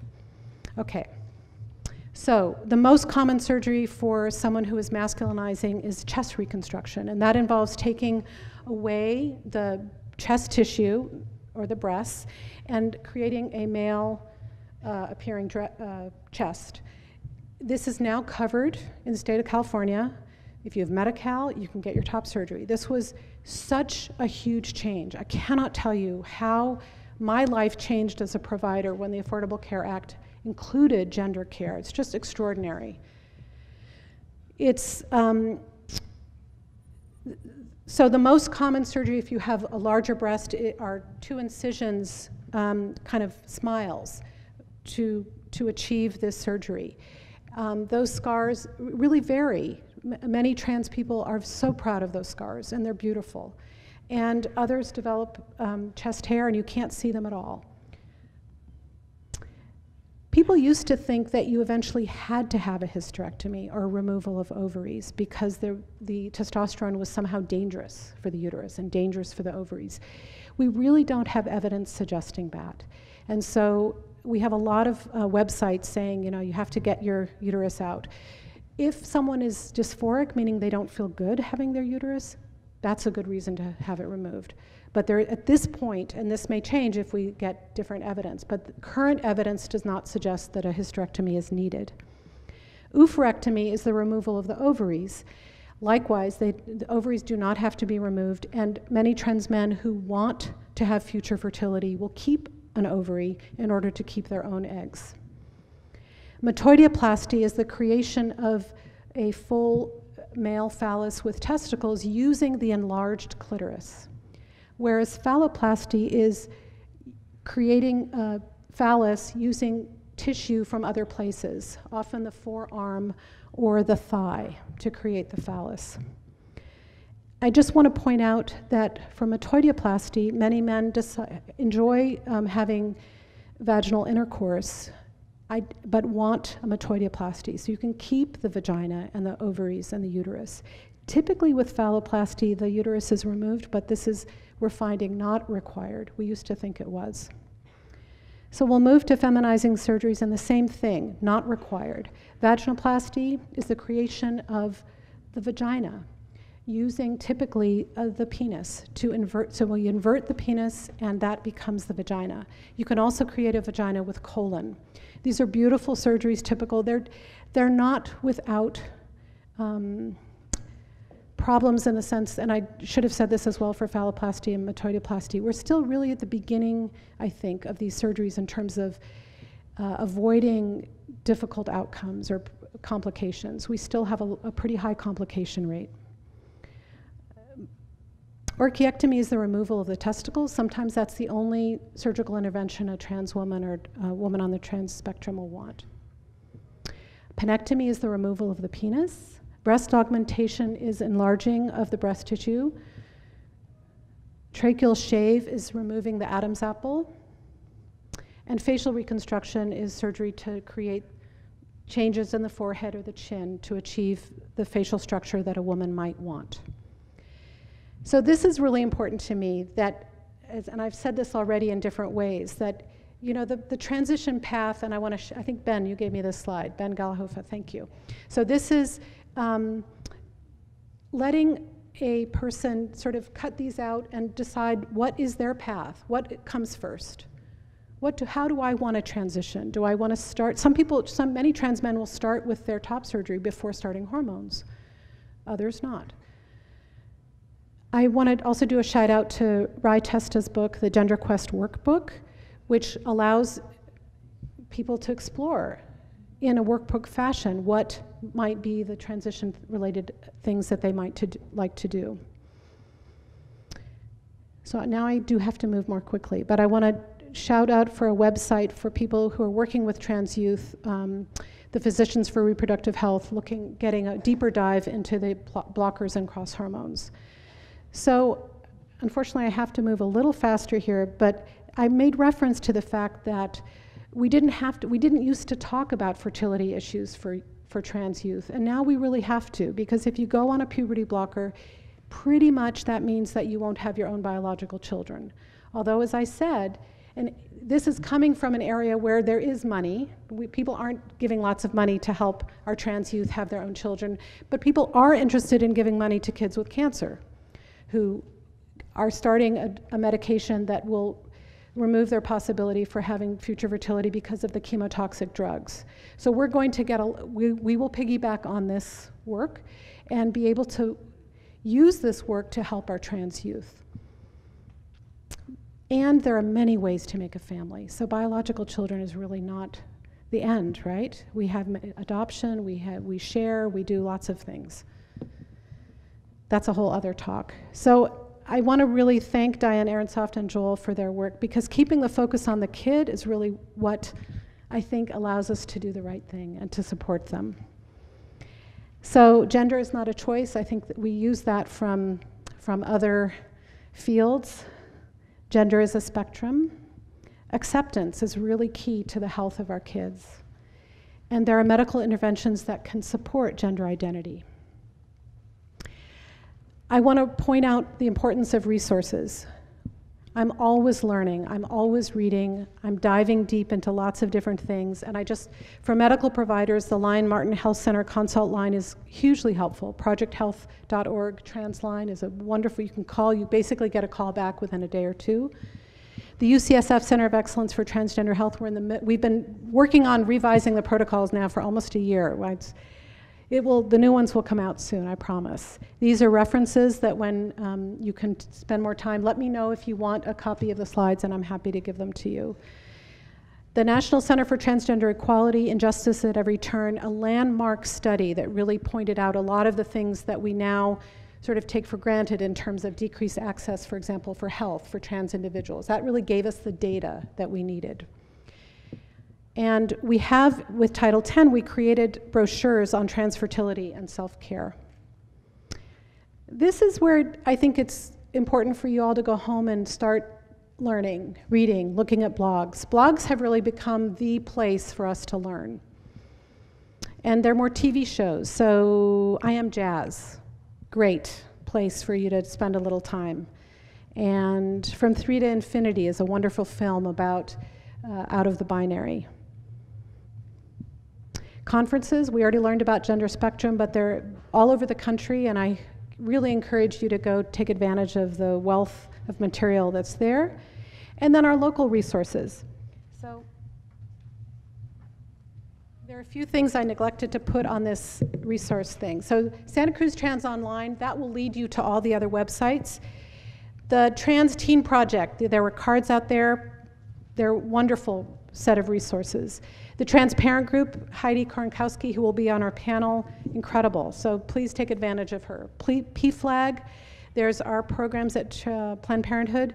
California Rural Legal Assistance, fantastic. And then the Gender Specialist Clinical Team of the Central Coast.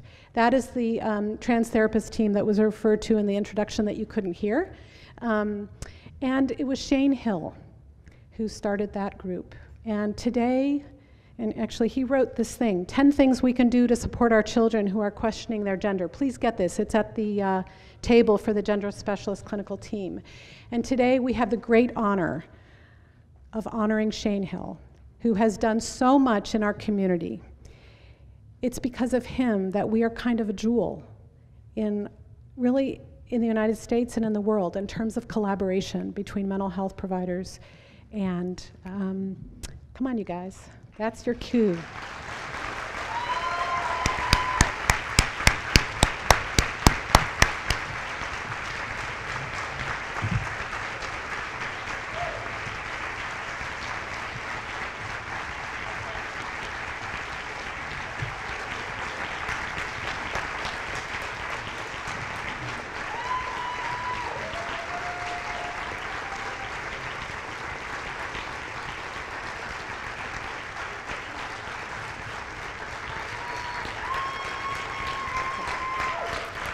Okay, guys.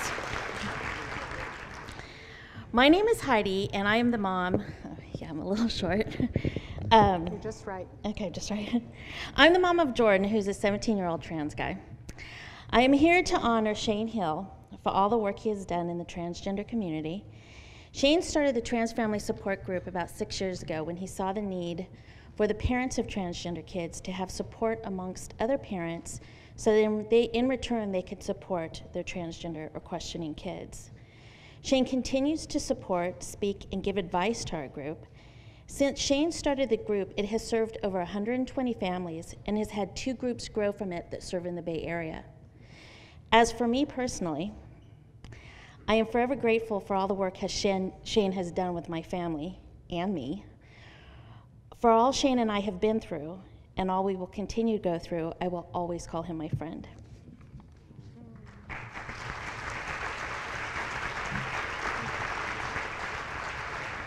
Uh, hi, my name is Jordan Korenkowski. I'm the 17-year-old trans guy son of Heidi Korenkowski.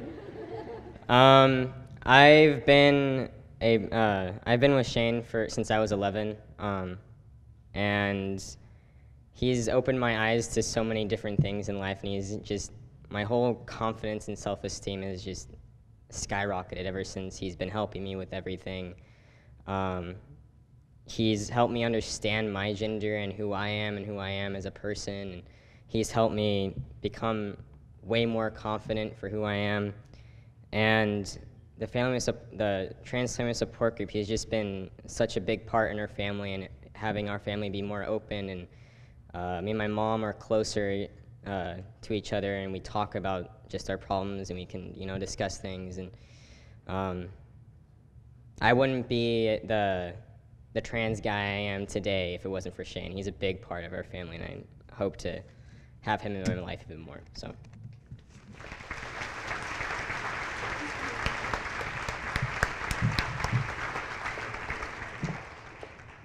Hi, I'm Daniel Blumrosen. I'm a local marriage and family therapist and a trans guy and a gender therapist. It's my pleasure to honor my friend and colleague, Shane Hill. We've known each other for many, many years, and um, when we thought about all the different areas he's impacted the trans community, we realized we needed a herd of people to, to do that because he's really done so many things for so many people. So um, I'm here to thank him on behalf of the Gender Specialist Clinical Team of the Central Coast, the Santa Cruz Trans Family Support Group, Planned Parenthood Mar Monte, Westside Health Center, and the John E. Natterney Calciano Memorial Youth Symposium Advisory Committee. We wish to thank him for and commemorate his extraordinary service with a redwood tree planted in his honor on the Central Coast.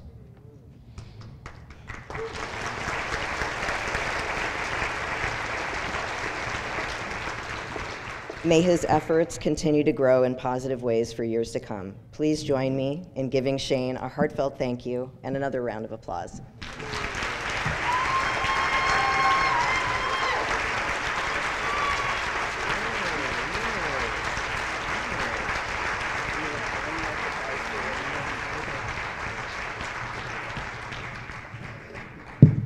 Well, good afternoon. Uh, my name is John Leopold. I'm a county supervisor. And when I walked in here and I saw that uh, Jen Hastings was giving a presentation, I thought, oh my goodness, I have to follow Jen Hastings at an event like this. And then just hearing this powerful testimony uh, before me, I realized that I have a much harder job than what they originally asked me. Uh, 20 years ago, I had the good fortune of being the executive director of the Santa Cruz AIDS Project. And uh, Dr. Shane Hill was hired as part of the uh, AIDS project and was a core member of, uh, of that uh, staff uh, that per, as a single purpose AIDS service provider in Santa Cruz County provided incredible resources uh, to the community. So it is great pleasure today that as a county supervisor that I can recognize uh, Shane's work. And I'm not sure if everybody knows uh, all the history of Shane, and I'll only say the parts that I'm allowed to. There's probably things that I'm not allowed to talk about.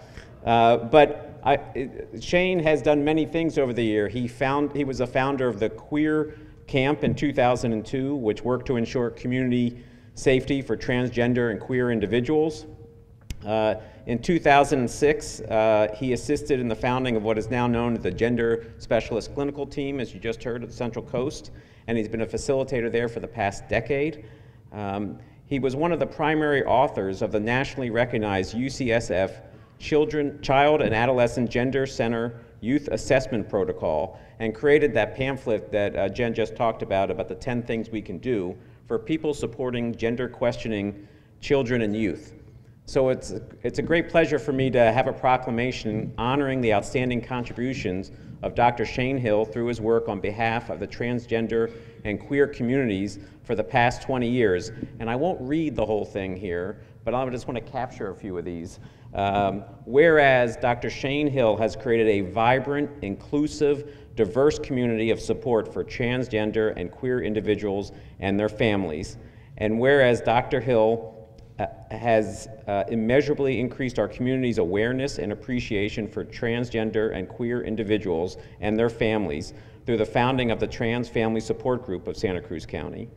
And whereas Dr. Hill has unstintingly provided countless hours of consultation, education, and training to professionals and laypeople in diverse settings to ensure informed, quality care for transgender and queer individuals and their families, and whereas Dr. Hill has done this all with joy, generosity, expertise, and steadfast commitment, now therefore I, John Leopold, 1st District Supervisor of Santa Cruz County, eh, on behalf of the entire Board of Supervisors, hereby thank, honor, and commend Dr. Shane Hill for his two decades of exceptional work on behalf of communities of, the, of Santa Cruz County.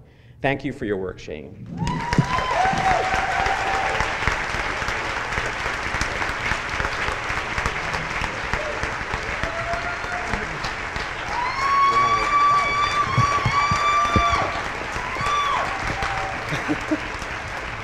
Oh my goodness. Oh my goodness, that's a lot. That's a lot of acknowledgement, you guys. Um, so right now I'm incredibly grateful. I can't believe you guys did this.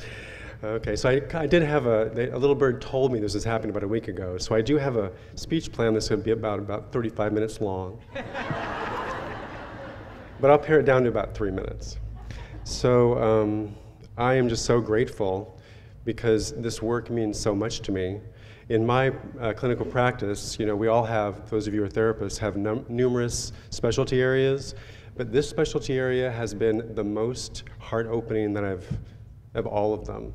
I have transformed more as a person in all of my work, and um, I really can't tell you in words how important this means to me that you are all here today. And I'm so proud of us in Santa Cruz that we have 450 people here learning about trans issues. This is incredible. Yeah.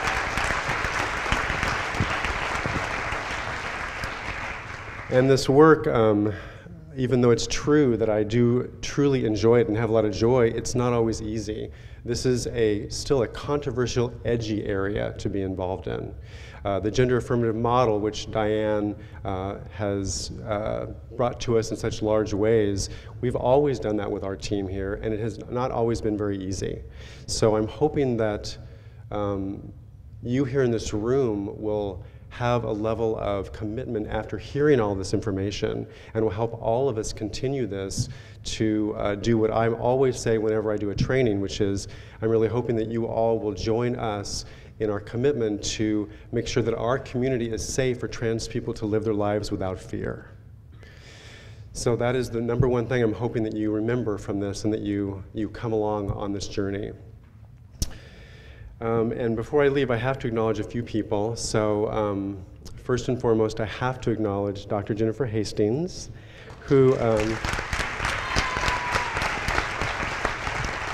in fact, you can come over here, Jen, because Because truly, what's happened is that uh, Jen has held the, um, the medical piece, and I, for we're both together for over a decade now, have the medical piece and the mental health piece, and we've been this kind of sort of dynamic duo in Santa Cruz for trans issues, uh, doing our best to really um, expand the number of medical providers and mental health providers that work with trans people in an appropriate, sensitive, aware way um, in order to educate as many people as possible. So we're continuing to do this, and one of the things that my part of this was to do is to create a team of people, and so we started off with eight people 10 years ago. 10 years ago, by the way, this very month, and um, now we have 32 members on our team. So it's very exciting. And so um, I want to acknowledge them. And first of all, I want to acknowledge the four people that have now recently um, joined to be a leadership team for us. And so I'm going to ask all of you guys to stand up, and I want you to stay standing so that everyone in the room gets to see all of you together. So um, I'd like to um, ask these people to stand as our leadership team. So Finn Grattan, wherever you are, Finn, please stand up. Marin Martin, please stand up, Marin Martin. Ben Galhufa, please stand, Ben and of course Daniel Blumrosen, who's right here. So let's just have an applause for all of them.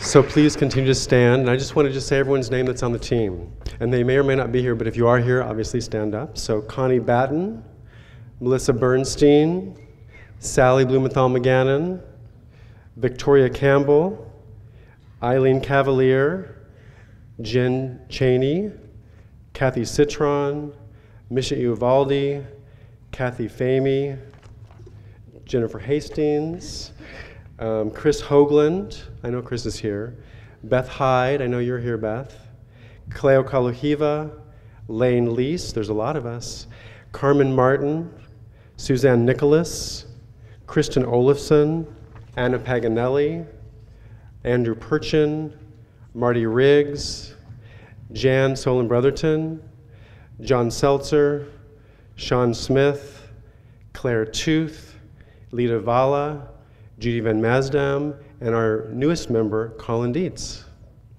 So these are all the gender specialists in our community. Please, let's give a hand to these people.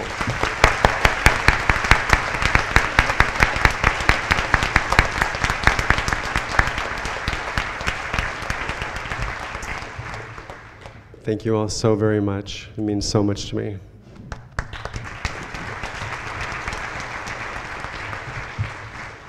So the next part of our program is a panel, and I'll just move my last slide. So there's my email if you want it.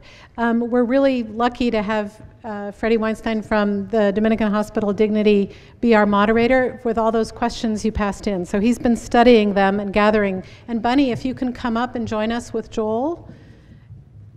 And Diane and, and uh, Freddie will take it away. And I see more questions here. Well, welcome to the home stretch. So I'd like to once again invite back our uh, scheduled speakers, Diane and Jennifer and Joel.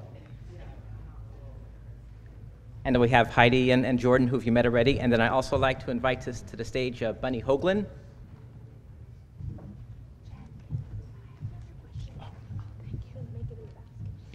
So as questions come up uh, during the panel presentation, please just drop them here at the, uh, the basket. And we'll look to get to them as, as we uh, uh go through our panel here.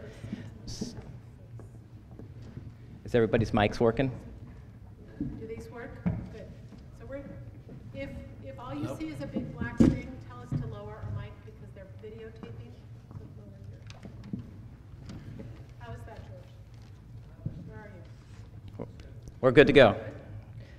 So, um, since we've already heard quite a bit from uh, Diane and, and, Joel and Jennifer uh, this morning already, I'd like to maybe begin the panel by um, allowing some of our newer members to um, as much as they're comfortable, share their story um, and uh, uh, sort of thoughts and uh, maybe about today and, and, about their own personal experiences, and perhaps maybe begin with uh, Heidi. Thank you.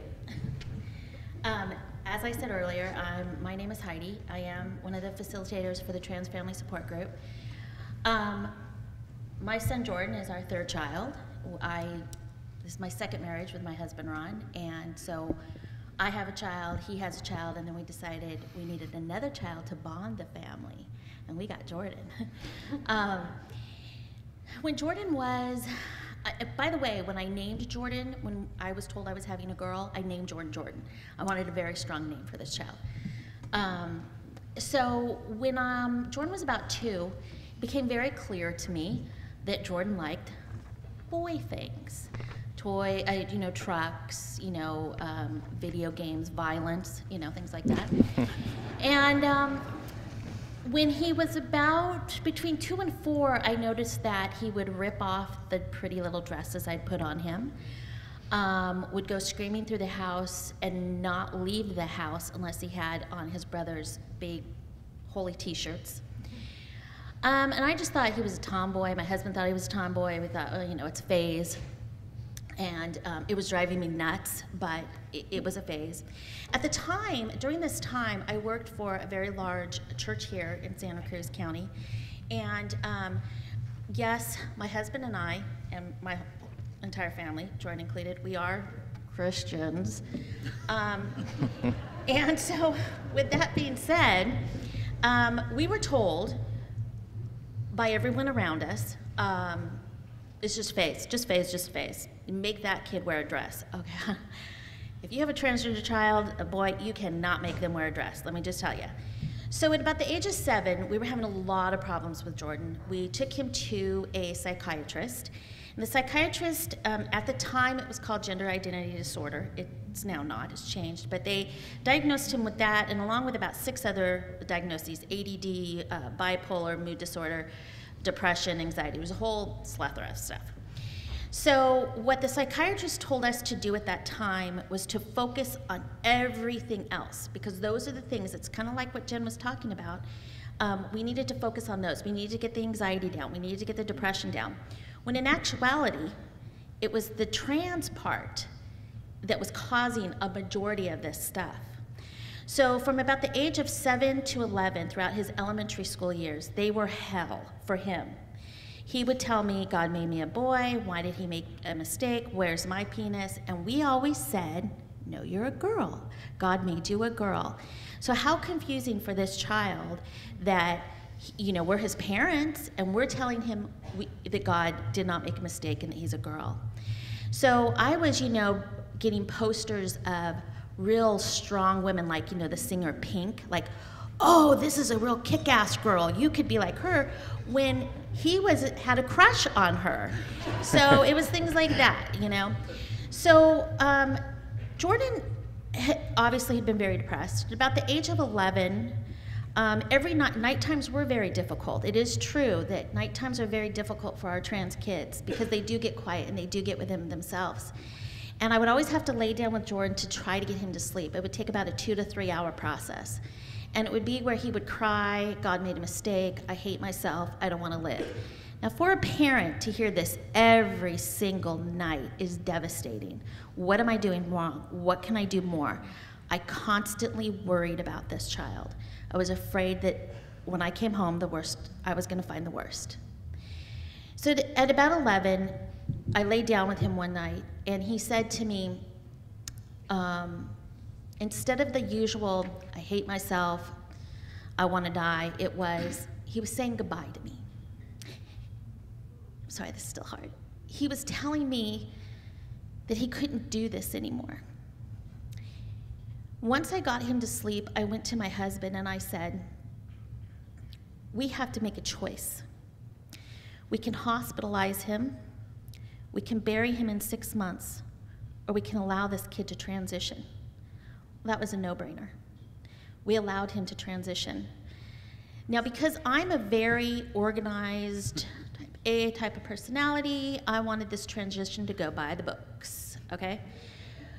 When we sat down and showed Jordan the Barbara Walters special, he said, Oh my God, oh my God, that's me. We said, Okay, we're gonna let you transition. Now, I thought I had a good few days to get my organization attack. No, the next day I was getting phone calls from all his friends' parents saying, What's going on? Jordan says he's taking medicine to become a boy. And I'm like, Holy shit. Okay, I can do this.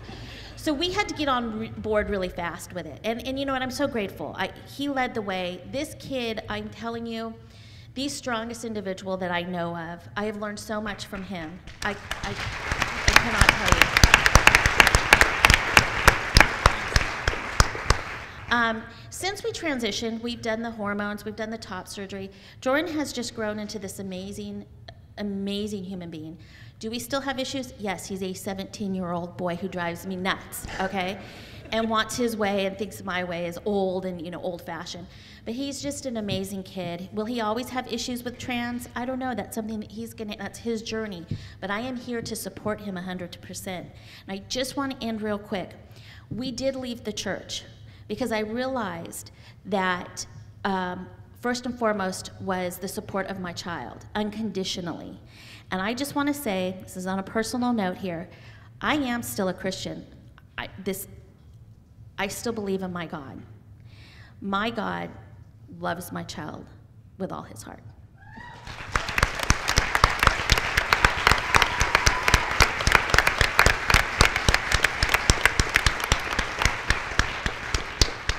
Well, well, thank you very, very much for that. Uh, Jordan, can we hear uh, maybe a little bit about your story and, and uh, if you also had some thoughts about this morning's speakers and presentations that you wanted to share as well? Okay. Um, well, I think when I was younger, I used to tell my mom uh, that I want to be a boy or I wish I was a boy because, again, she would always tell me, no, you're a girl, you're a girl. So it's like, okay, I can't really get through that and telling I am. I'm just going to have to get used to just saying I wish, right? Like, wannabe. And then um, I do kind of remember, um, not, I don't remember uh, doing it, but I remember my mom telling me it was Easter. We were supposed to go to church and have a nice, like, service. And so my mom put me in a dress, walked in the other room, and while she left the room, she could hear me screaming, literally tearing it off. So then I just went to church in like dirty blue jeans and a really big T-shirt. Um, that ain't that was kind of a big signal, but um, when I first transitioned, I was really self-conscious of who I was. I was really scared of the um, comments I'd get, the type of you know behavior people would have around me, how I'd be treated, like at schools and stuff like that. And over the you know the six year process of me going on Lupron, uh, having testosterone, having the top surgery, I look back on my 11 year old self and I say, who is that? Like how how have I become such a much more confident and independent young man? And it's just incredible to have and to look at all the support and all the people around me and to find that I like am actually happy for once in my life as who I am. And having, you know, waking up in the morning not thinking of like, oh, man, I wish I had, you know, a penis or whatever. I'm waking up and saying, you know what, I'm, I'm, I'm gonna have a good day today. I look good. I'm gonna shower, I'm gonna do my hair, I'm gonna, you know, put some cologne on, and I'm gonna go have fun somewhere. You know, I can finally have that confidence in myself and not keep thinking of the negatives. Um, yeah. Well, thank you very much.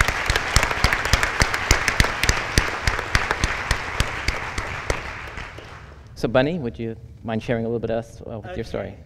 Um, I'm 16. My name is Bunny, and I'm agender. I use they them pronouns, and I'm a junior in high school. Okay, that's that's me. Um, so my story isn't that interesting. I mean, I I was always like trans, like I was never a cis boy. That never happened. Sorry, mom. Um, like, I was always, I'm assigned male at birth. Um, I was always very like feminine. I always liked feminine stuff. I wish that that went to my fashion sense because all I wore for like 15 years of my life was gym shorts and gym clothes. Rip, rip, rip in peace. Anyway, um, and so yeah, I was just like a feminine boy at the time. But then And I would have been non binary a lot faster, let me tell you, if I knew that existed. Like, all I was told was this stigmatized version of a trans girl is like my only other option. And that it would mean so many bad things to be like a trans woman. And they made it sound disgusting and stigmatized, and it's like something you don't want to be, like taboo. And I, of course, know that's not true at all, but like, that's all I thought existed.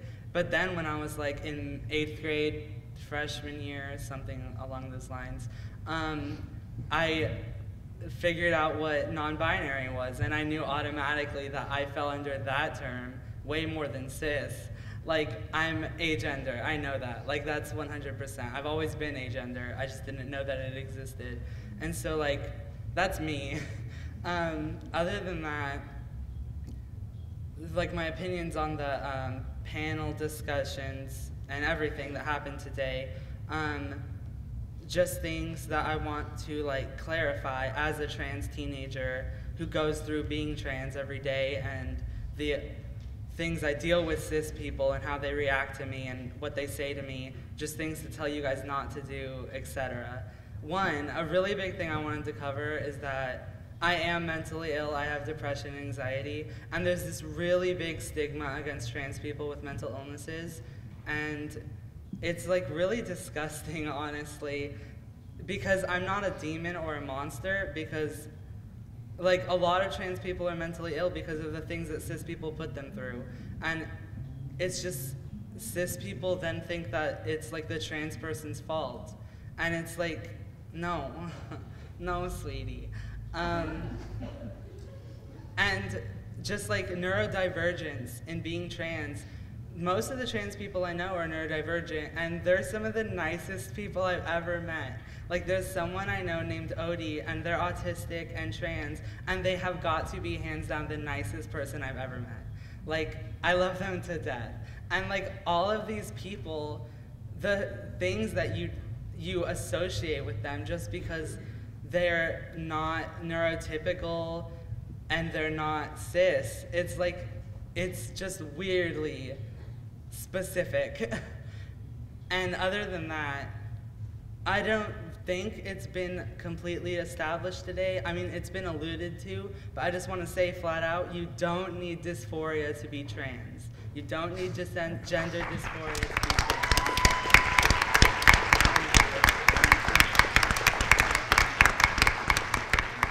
And overall, I just want to say that trans people deserve a safe place to live. Thank you.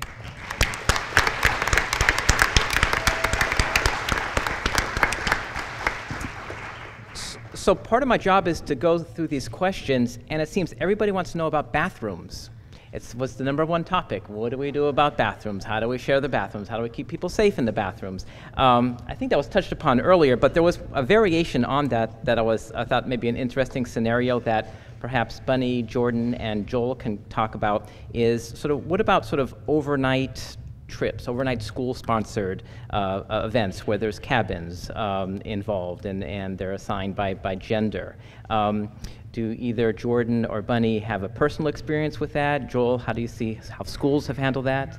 Um, Um, Jordan, looks like you want to go first.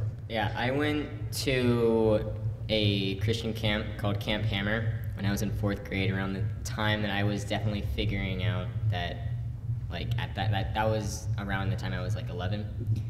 And I went to the camp identifying as female and dressing as in female clothes and put into a, a girl's cabin. Only because I told him he was a girl. Yeah. And I mean, you know, I didn't want to be in the girls' cabin at all, but it, it you know, it, it was what it, it, is what it is at that point. Um, but I felt very singled out. I very I felt really weird and awkward talking with the girls. Like they talk about like this boy that they saw at the swimming pool earlier today and talking about his eyes and his eyelashes. And I'm just there like, can we talk about maybe like video games or oh, what about that sports game that was on last weekend? You know, like I just I don't really want to talk about that stuff. Um, and it was also kind of hard to find guy friends there because they see a girl go up to talk to them and they just automatically think that we're flirting with them. No, it's not like that. No, it's weird. And um, they, they, I stopped really going to, I, I left early because I didn't like it at all. But I went to a camp uh, for trans kids called Camp Aranu'tiq. And that definitely was an eye opener because I didn't really think that there were other trans kids out there. I thought there was the only one in the world who was trans and who, you know, had this stuff going on. But when I went there, there were so many kids there that looked and were just normal people. And when I got there, I was greeted by um, this one kid, and he said, "Oh, let's just go, let's go walk around and go talk." And we met up with a bunch of other kids, and we, you know, I automatically had best friends at camp. And um, yeah, that's my experience. Yeah, thank you. Bunny, did you have any uh, thoughts or experiences yourself? Okay, so for me, bathrooms, I have never liked public bathrooms. I never will. They're gross. And so, like, like even when I was a cis boy, I just like, which I never was. I don't know. When when people thought I was a cis boy, I just like didn't even use public bathrooms. They're gross. Who wants to go in there? Like, I don't have the time or the patience, so I just don't really have an experience with them. But like, when I do need to use the bathroom, I just use the like girls' bathroom because I'm less likely to be beat up because people see like pink and skirts and even though it's not my fault that the only cute clothes they make are like girl coded, like that's not my fault. I'm sorry. Anyway, so I'm less likely to be like attacked if I go in a girls' bathroom. So that's that's basically all I have there. Thank you. And Joel, how, Yeah. how have schools handled that? This is certainly a loaded issue. Um, one of the things that we try to work with schools around is this notion of uh, access to restrooms, locker rooms, and changing areas. And while there's variations with each of those, there's some basic principles that apply. And the first is that there needs to be options for all and restrictions for none. What that means is that we need to make non stigmatized options available for anyone that needs it. So let me back up a little. What frequently gets said for kids like Jordan or Bunny or someone who identifies as transgender in some ways, why can't they just use fill it in? The nurse's restroom the, the staff restroom some some restroom out there for them. Well if you think about the history of our country we've had bathrooms for other people for a lot of times. And they didn't work and they never have and at the heart of many civil rights battles have been restrooms. For a lot of transgender people, options are not options at all, especially if they're actually not optional. If it's the only choice, you can't call it an option.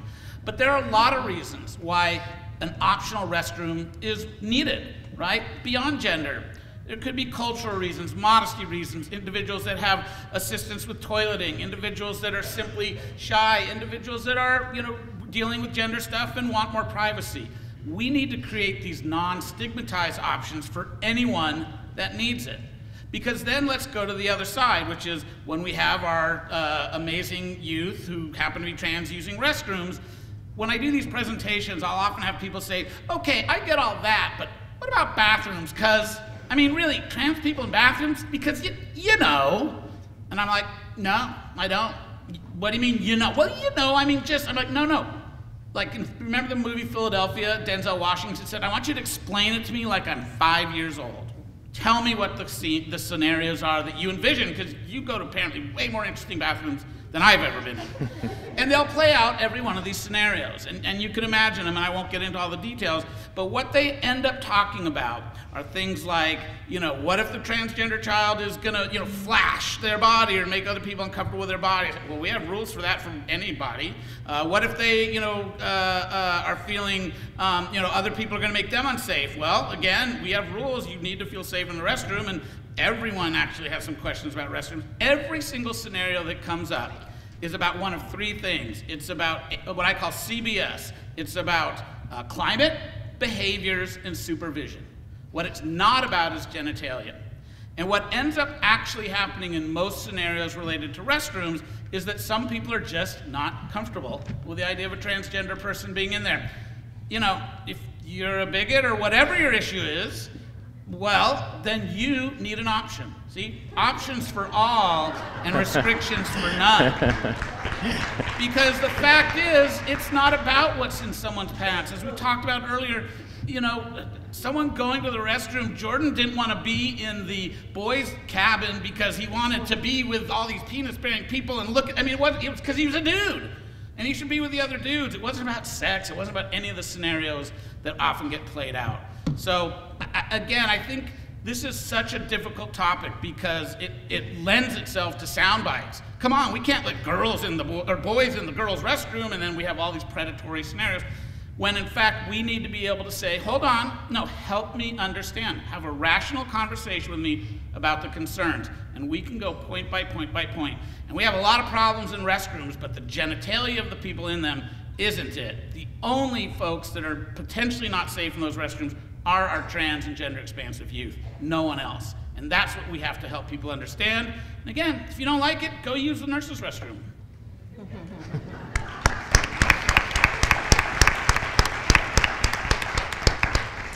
So, so Diane, there are a couple of questions came up around the interface between gender identification and sexual identification, and how one might sort of play off the other. Whereas gender identification, you know, uh, predates sexual identification, and, and thoughts of sort of the interface between the two. So one of the things I will say is typically all of us were in touch with our gender before we were in touch with our sexual identities. However, sexual identities start much, much earlier than the general theories tell us. Because, for example, when you have a three-year-old who is imagining they're going to be the prince marrying the princess, sexual identity is beginning. It's already beginning way early on, but usually we know our gender first. We can learn, as I talked about with the proto uh, transgender kids, sometimes you learn about your gender through sexual encounter, and sometimes you learn about your sexual identity through your gender encounter. So I will tell a personal story that may help in terms of answering this. I am the mother of an orange. When my child was between one and two, I would not be able to differentiate yet my child from one of the apples because I had a child who liked all his sister's stuff, but particularly her costumes, stole her toys. And I will just say one uh, story. I, I was a feminist mother. I had a daughter first. We wanted to raise our children gender neutral around activities. So when I had worked in the area of daycare, I knew you don't have a doll corner and a truck corner. You, you mix it all up. You just have toy shelves made that for my daughter very carefully. The trucks gathered dust for almost four years. The week her, her, little brother was born, I see her madly rushing from her bedroom to his new room, and she's got things under her shirt. And I said, I said Rebecca, where are you going? what are you doing? Out fell all these trucks and, and boy toys. She said, well, I don't play with them, maybe he will. So they all ended up in his room. The only thing he ever used any of them for was he turned the dump truck into a cradle for one of his dolls. That was it. so he, um, I followed his gender development in the 1970s. Is what he was a boy in a tutu, and of course people would always say to us, uh, "Don't you think you should stop that?" Or we're really worried about him, or I think he's going to be gay. And we would say, look, we don't know who he's going to be, but we're trying to just help him be who he is now. So the end of the story is he grew up to be a gay man. He is one of the proto-gay kids. He was a, an orange. And if you saw him now, you would not recognize him at all as the little boy with the tutu. And I will say that in all, I've worked with many kids who explored their gender on the way to discovering their sexual identity, who Later, when I, they're in high school and they come back to me, they repress their earlier lives. They don't even remember it. And one of the theories about this is because of the culture we live in, there are so few examples of books for little kids where the prince can fall in love with the prince. Therefore, cognitively, when you're little and you are a cis boy and you like the prince, you get the idea, well, the only way to do that is to become the princess. So I will be a princess. Then you get a little older and your cognition changes and you go, oh my God, I don't have to be the princess. I can be the prince who has the prince.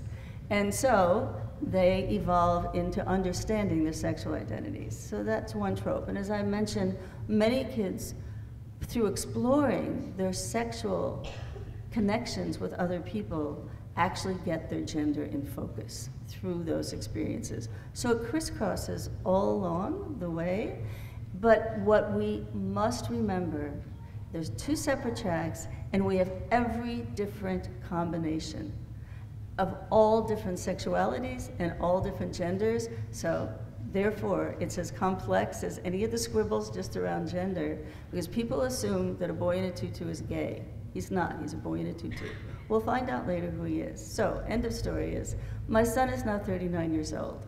So I decided to finally ask him the question, so if you were born, if you were five years old in 2015, instead of in the early 1980s, do you think your path would have been different?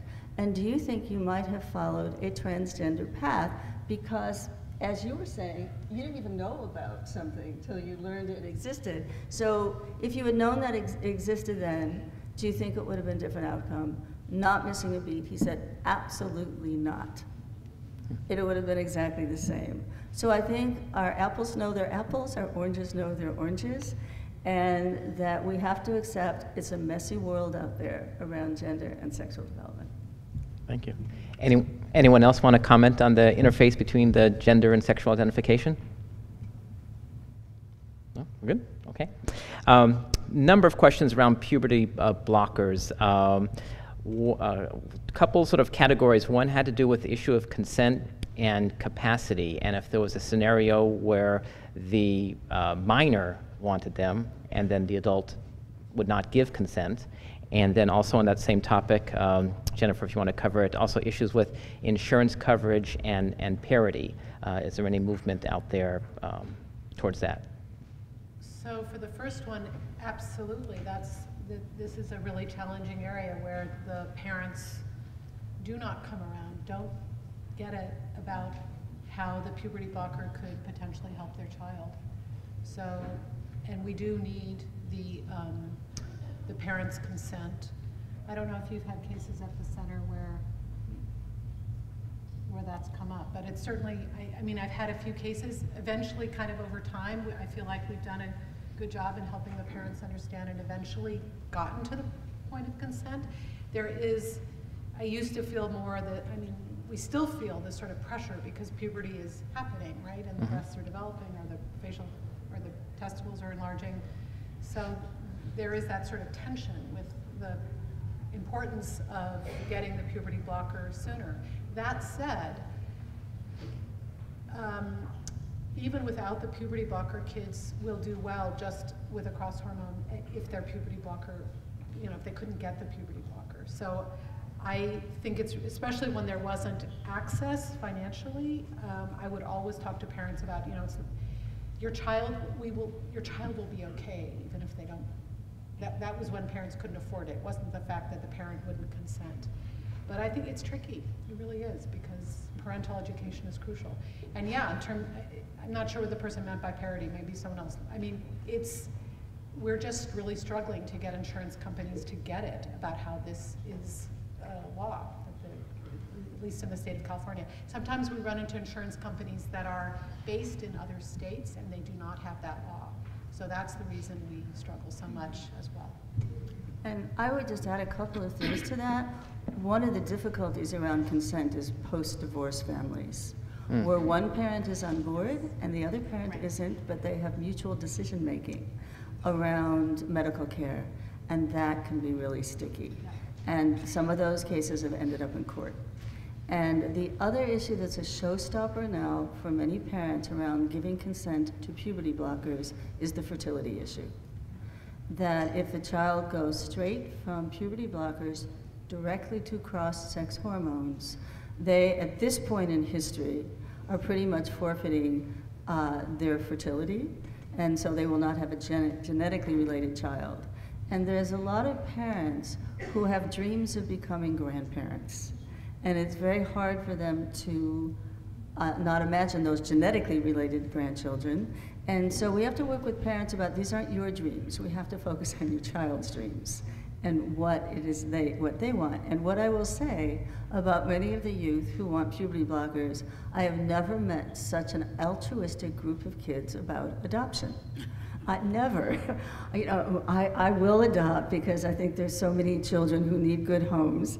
And I think that's both um, heartfelt, but also it's they're trying to tell us the most important thing to me right now is being able to have every opportunity to have my gender affirmation be as complete as possible. And anything else is secondary. The question is, can an 11-year-old, 12-year-old at that level of development be really thinking and know what they want at age 30 around their fertility? So the answer to that is, we don't stop twice about instituting treatments for cancers for children that will compromise their fertility same treatments in some way, whatever it is. We don't say we're not going to give them the, the treatment for cancer because it's going to compromise their fertility. That for some of the youth, having the gender affirmation interventions are as life-saving as the oncology services for children who have cancer. And I'll just add one other piece, which is, you know, when we're working with families, one of the key things is what is the leverage point for that family. And that begins with tell me why you don't want your child to do this. Because in hearing the answer, you may very well find, like, oh, okay, well, if we could address that or help you understand that a little bit more fully, the answer might change. And I just why I, I appreciate Heidi, the work you're doing, and any of those out there that are, are working with families so that not only are you supporting those families, but they're then willing to tell their stories to another family who maybe isn't quite there. So let me not try to convince you. Would you be willing to talk to another dad who has a child your age, who has a similar background, who had many of these same fears? Would you be willing to at least talk to him to hear his perspective on the very same questions you're asking yourself? Because the fact of the matter is, at the end of the day, it is the parent's call. Our hope is that they will truly make an informed decision. And I feel like one of our roles is to say, just make sure you have all the information as you make that decision, which includes you can either have grandchildren or not have a kid anymore, either because they've ended the relationship with you, or in some cases because they've chosen a, a more dangerous path for themselves. And you know, again, we can't guilt families into it, but they need to have the information, and then they can. Then, then you've got to look yourself in the mirror and make the decision you're going to make about these issues. Thank you. Um, a couple of the educators in our audience had questions related to incorporating uh, the diverse transgender issue into um, reproductive health curriculum, sex education within the classroom. Um, be interesting to hear uh, maybe from uh, Jordan and Bunny as students, and and um, uh, so Joel as, as, kind of the, the educator, um, uh, sort of thoughts, experiences. How, how did you see it done in, in, in your schools? Uh, basically sex ed and, and incorporating, or did they incorporate any transgender, transgender issues at all within the sex ed program? Um, yes, um, the school I'm currently enrolled in, Delta, the sex ed program,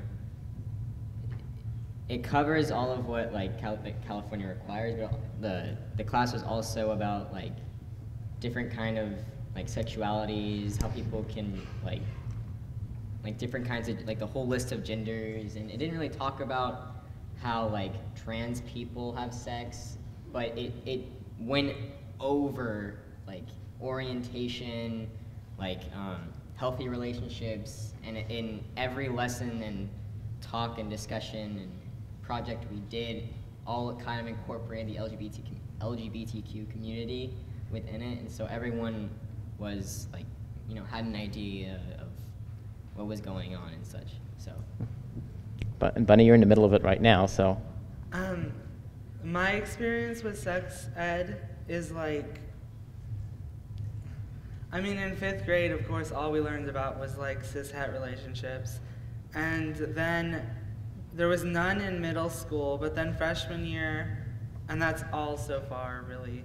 Um, they, so, like a trans senior came in to our health classroom and talked about their experiences, but it wasn't really sex ed at all, actually.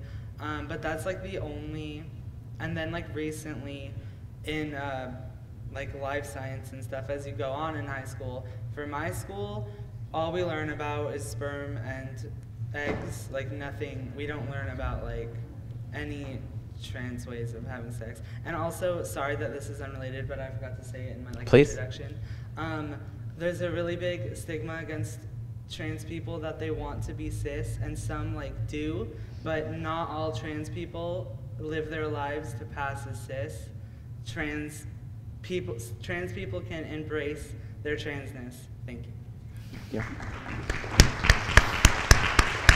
Yeah, I was, I'm, I'm really excited, Jordan, to hear your experience because unfortunately that's not totally common, although um, a couple things folks should be aware of. Just this year, a bill was passed now requiring puberty education to bring LGBT and particularly gender identity issues into the mix. Um, so if you're an educator, you should talk to your uh, uh, directors of instruction and, and, pupil personnel about some of those issues because no longer in California is it a choice. Um, I also want to do a shout out to an organization called Advocates for Youth which put together an incredible, uh, very LGBT, particularly gender inclusive uh, sex ed curriculum and sexual health curriculum. What we found are sort of four key ideas that should inform any sex ed or puberty ed uh, program. The first is the idea that rather than talking about little boys grow up to be like their daddies and little girls grow up to be like their mommies, is to talk about our pathways to adult bodies. Get it out of the boy girl thing and instead talk about unique pathways to adult bodies that everyone in the room is on right? Because of course we all change at different rates. Some of us have help from doctors, some of us don't. Some of us have changes starting to happen when we don't want them, and some of us can't wait and they haven't happened, right? So one is the principle of it's not about boys becoming men and women becoming or girls becoming women. It's about young people becoming adults and finding their adult bodies. The, the second is to talk about pathways to family because again, it's not just sperm and egg, and that's how babies get made. Half the kids in the class are like, really? That's not my story because I'm adopted. I was an egg donor. I was this.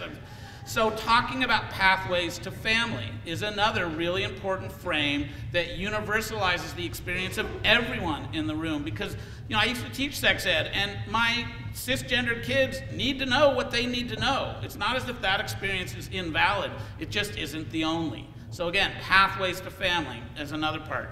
A third part is um, simply getting away, and we joked about it, from the gendered language. Boy bodies and girl bodies, no. Bodies with penises, bodies with vulvas, bodies that produce eggs sometimes, bodies that produce sperm sometimes. Sometimes these bodies do these things. Bodies with these parts change in these ways, are, are designed to do these things.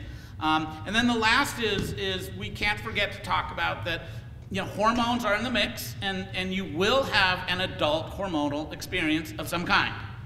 Most of you will have bodies that produce hormones, but not everyone.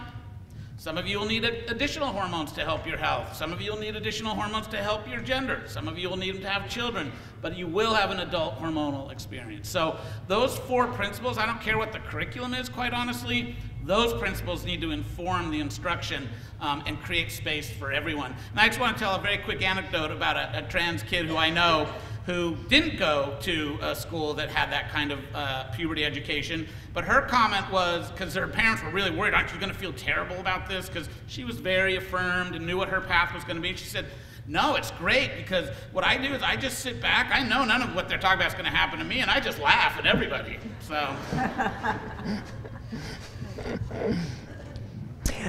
Other kind of topic had sort of come up about challenging home environments, specifically for uh, cultural, um, ethnic, and, and religious uh, issues. Um, thoughts, resources um, uh, for those type of, of, situations, and that could be to anybody. Or um, you know, Heidi, it sounds like you might have had some personal uh, experience with that. Um, maybe you can kind of kick it off. Sure. I um, I have, you know, uh, like I said, I I was raised Southern Baptist, mm-hmm. and my grandfather was a, a minister, and um, you know, he's he was not happy because I have probably ten gay cousins, and I mean our family's pretty vast and and so for me, um, although I was very open to the LGBT community, I still had a lot of pressure about what the organized religion was telling me, what the Bible said about my family and especially my son. And um, so I will just say that it, it took me from when he- Jordan was diagnosed at seven to age 11, unfortunately, to get away from that. It took me uh, those years to clue in that no, I need to not listen to this organized religion, I need to listen to my heart. And um, what I say to parents when they do come to see me that um, are religious, and that is their concern, um, it's your relationship with your God is between you and your God, and there's no other middle person that needs to be a part of it. And um, I say, you know, I know that I'm I'm going to heaven. Okay, that's my belief, and so is my son, and so is everybody else in this room. And so, you know, when when I our group is not religious at all. But when people want to talk to me about the religion, I just say, you know, the best that I can do is, is, is give you an example. And I will say this it's men that have the hard time, okay? It's the dads that really struggle. And what I find so interesting and kind of comical is that I'll say to dad if I'm talking to him on the phone or in person, hey, have you met my husband Ron? He likes to drink beer and watch hockey. And before you know it, they are bonding, and pretty soon after that, the acceptance of their child goes pretty quick. And we've seen that a handful of times in the group. So I think that for the cultural for the men is they just need to see other dads that it's okay these dads accept their kids and then for religious part of it, it it's all i think it's it's your own journey and you just have to kind of I, I like i say just use this as an example. And you really have to come to your own you know your own belief system. But i do want to say this real quick. Um, once we transition Jordan. When I say transition Jordan, he was transitioned when he was two, but once we allowed it, um, we did get the phone calls of you're a sinner, you're going to hell, we will not allow your child to play with our children anymore. Um, that was very difficult. But what I came out of that is this that if I truly am listening to the teachings of what I believe in, which are love, how is that love? And so that's what I just try to say. Whatever, whatever religion you're in, basically those teachings are of love and acceptance, no matter what religion really you're a part of. And so, if your child, are you loving and accepting your child according to those teachings? And that's what I think it's all about. Thank you. Diane? And I wanted to just piggyback on what Heidi said. And Joel made reference to cognitive dissonance as a really good thing for us to shake us up. And in my work with families, I always use the cognitive dissonance model when the beliefs are not in concordance with, a child, with what a child is telling me about their gender. So, and it goes like this. Um, somebody's, uh, and you start where, where people are at, and you have these, if you think of it as a balancing scale. On the one hand, my belief system says that it's a sinful thing to be anything but cisgender and straight. That's what I've learned in my belief system. On the other hand, I have a child who showed up, who I started loving the day they were born, who is now telling me either that they're transgender or they're gay, whatever it might be. I have a conflict here. My beliefs are in conflict with my love for my child. So I will hope that love will conquer all. And that it is the love for your child that will pull you along around taking a look at those belief systems and challenging them because your child is teaching you something else. And, in, and I will say very optimistically that given time and listening and dialogue, it works. Mm-hmm. And so I encourage everybody to think of that balancing model. And there's one thing I will add how I tip the scales. I will, I will say, look, I have to also step in as an expert here. It's my job to let you know just some of the risk factors if you stay with this stance. It, the risk factors, I'm not saying it'll happen to your child, but the risk factors are for anxiety, depression, self-harm, trauma, suicidality. Nobody wants that for their child. And when they put that on the scales, it also affects the balancing act. And I just want to finish with one thing.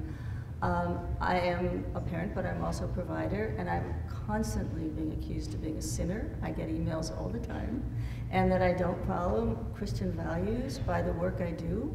And the only thing I can say about that is I'm Jewish.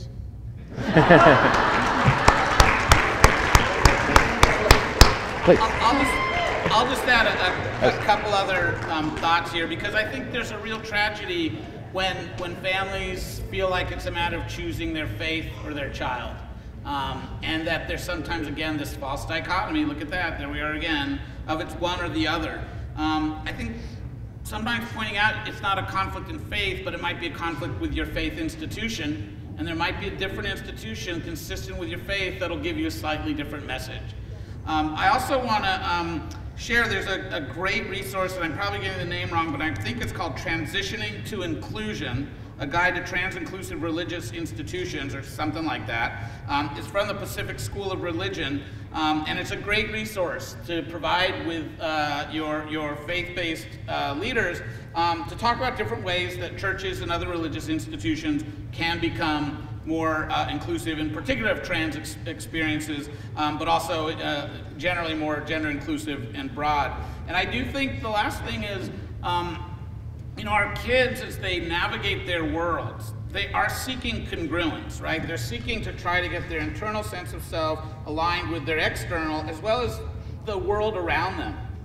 And there are times when they may be in context in which getting congruence between your family's religious beliefs and your gender may be a stretch that they may not be able to, to make. It may not happen. What are then other ways that we can build your resilience? And you need to maybe meet your parents where they are to the extent you can, or uh, also just simply, you know, avoid that area of conflict. But to echo what Diane said, um, there's really clear research about the, the, the negative impact of religious-based condemnation um, on a young person's health and well-being, and again, parent, make an informed decision. So um, those are some ideas. Thank you. Jennifer? I, yeah, I want to add that in Santa Cruz we have Out in Our Faith, which has 25 congregations, Buddhist, Jewish, Catholic. It, I pulled a list up here. So Out in Our Faith is a local resource. I also, on a just slightly different tangent, really want to uh, do a shout out to Big Brothers, Big Sisters of Santa Cruz County. We're just, I'm going to say we because I get to be part of them, uh, doing a new trans and gender diverse mentoring program. So that's another Hmm. resource for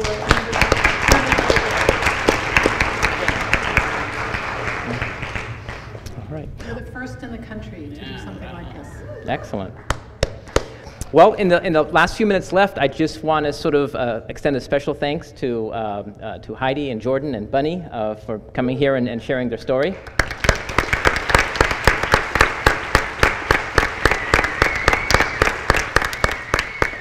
And to our uh, rest of our panel members for doing such a fantastic job and making uh, year 18 a success. I think 450 is our biggest, uh, other than methamphetamine. I think methamphetamine caught up with you guys, so no, no, no.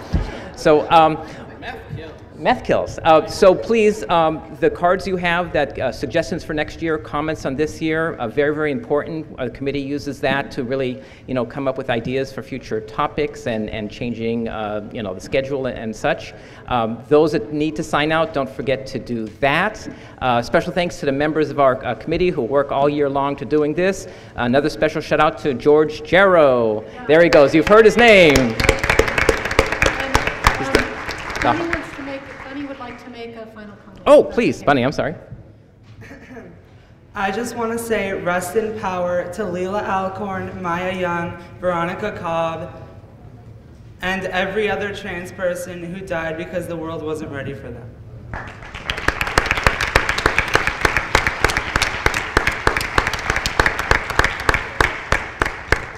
All right. Well, we'll see you next year. Thank you very, very much for attending.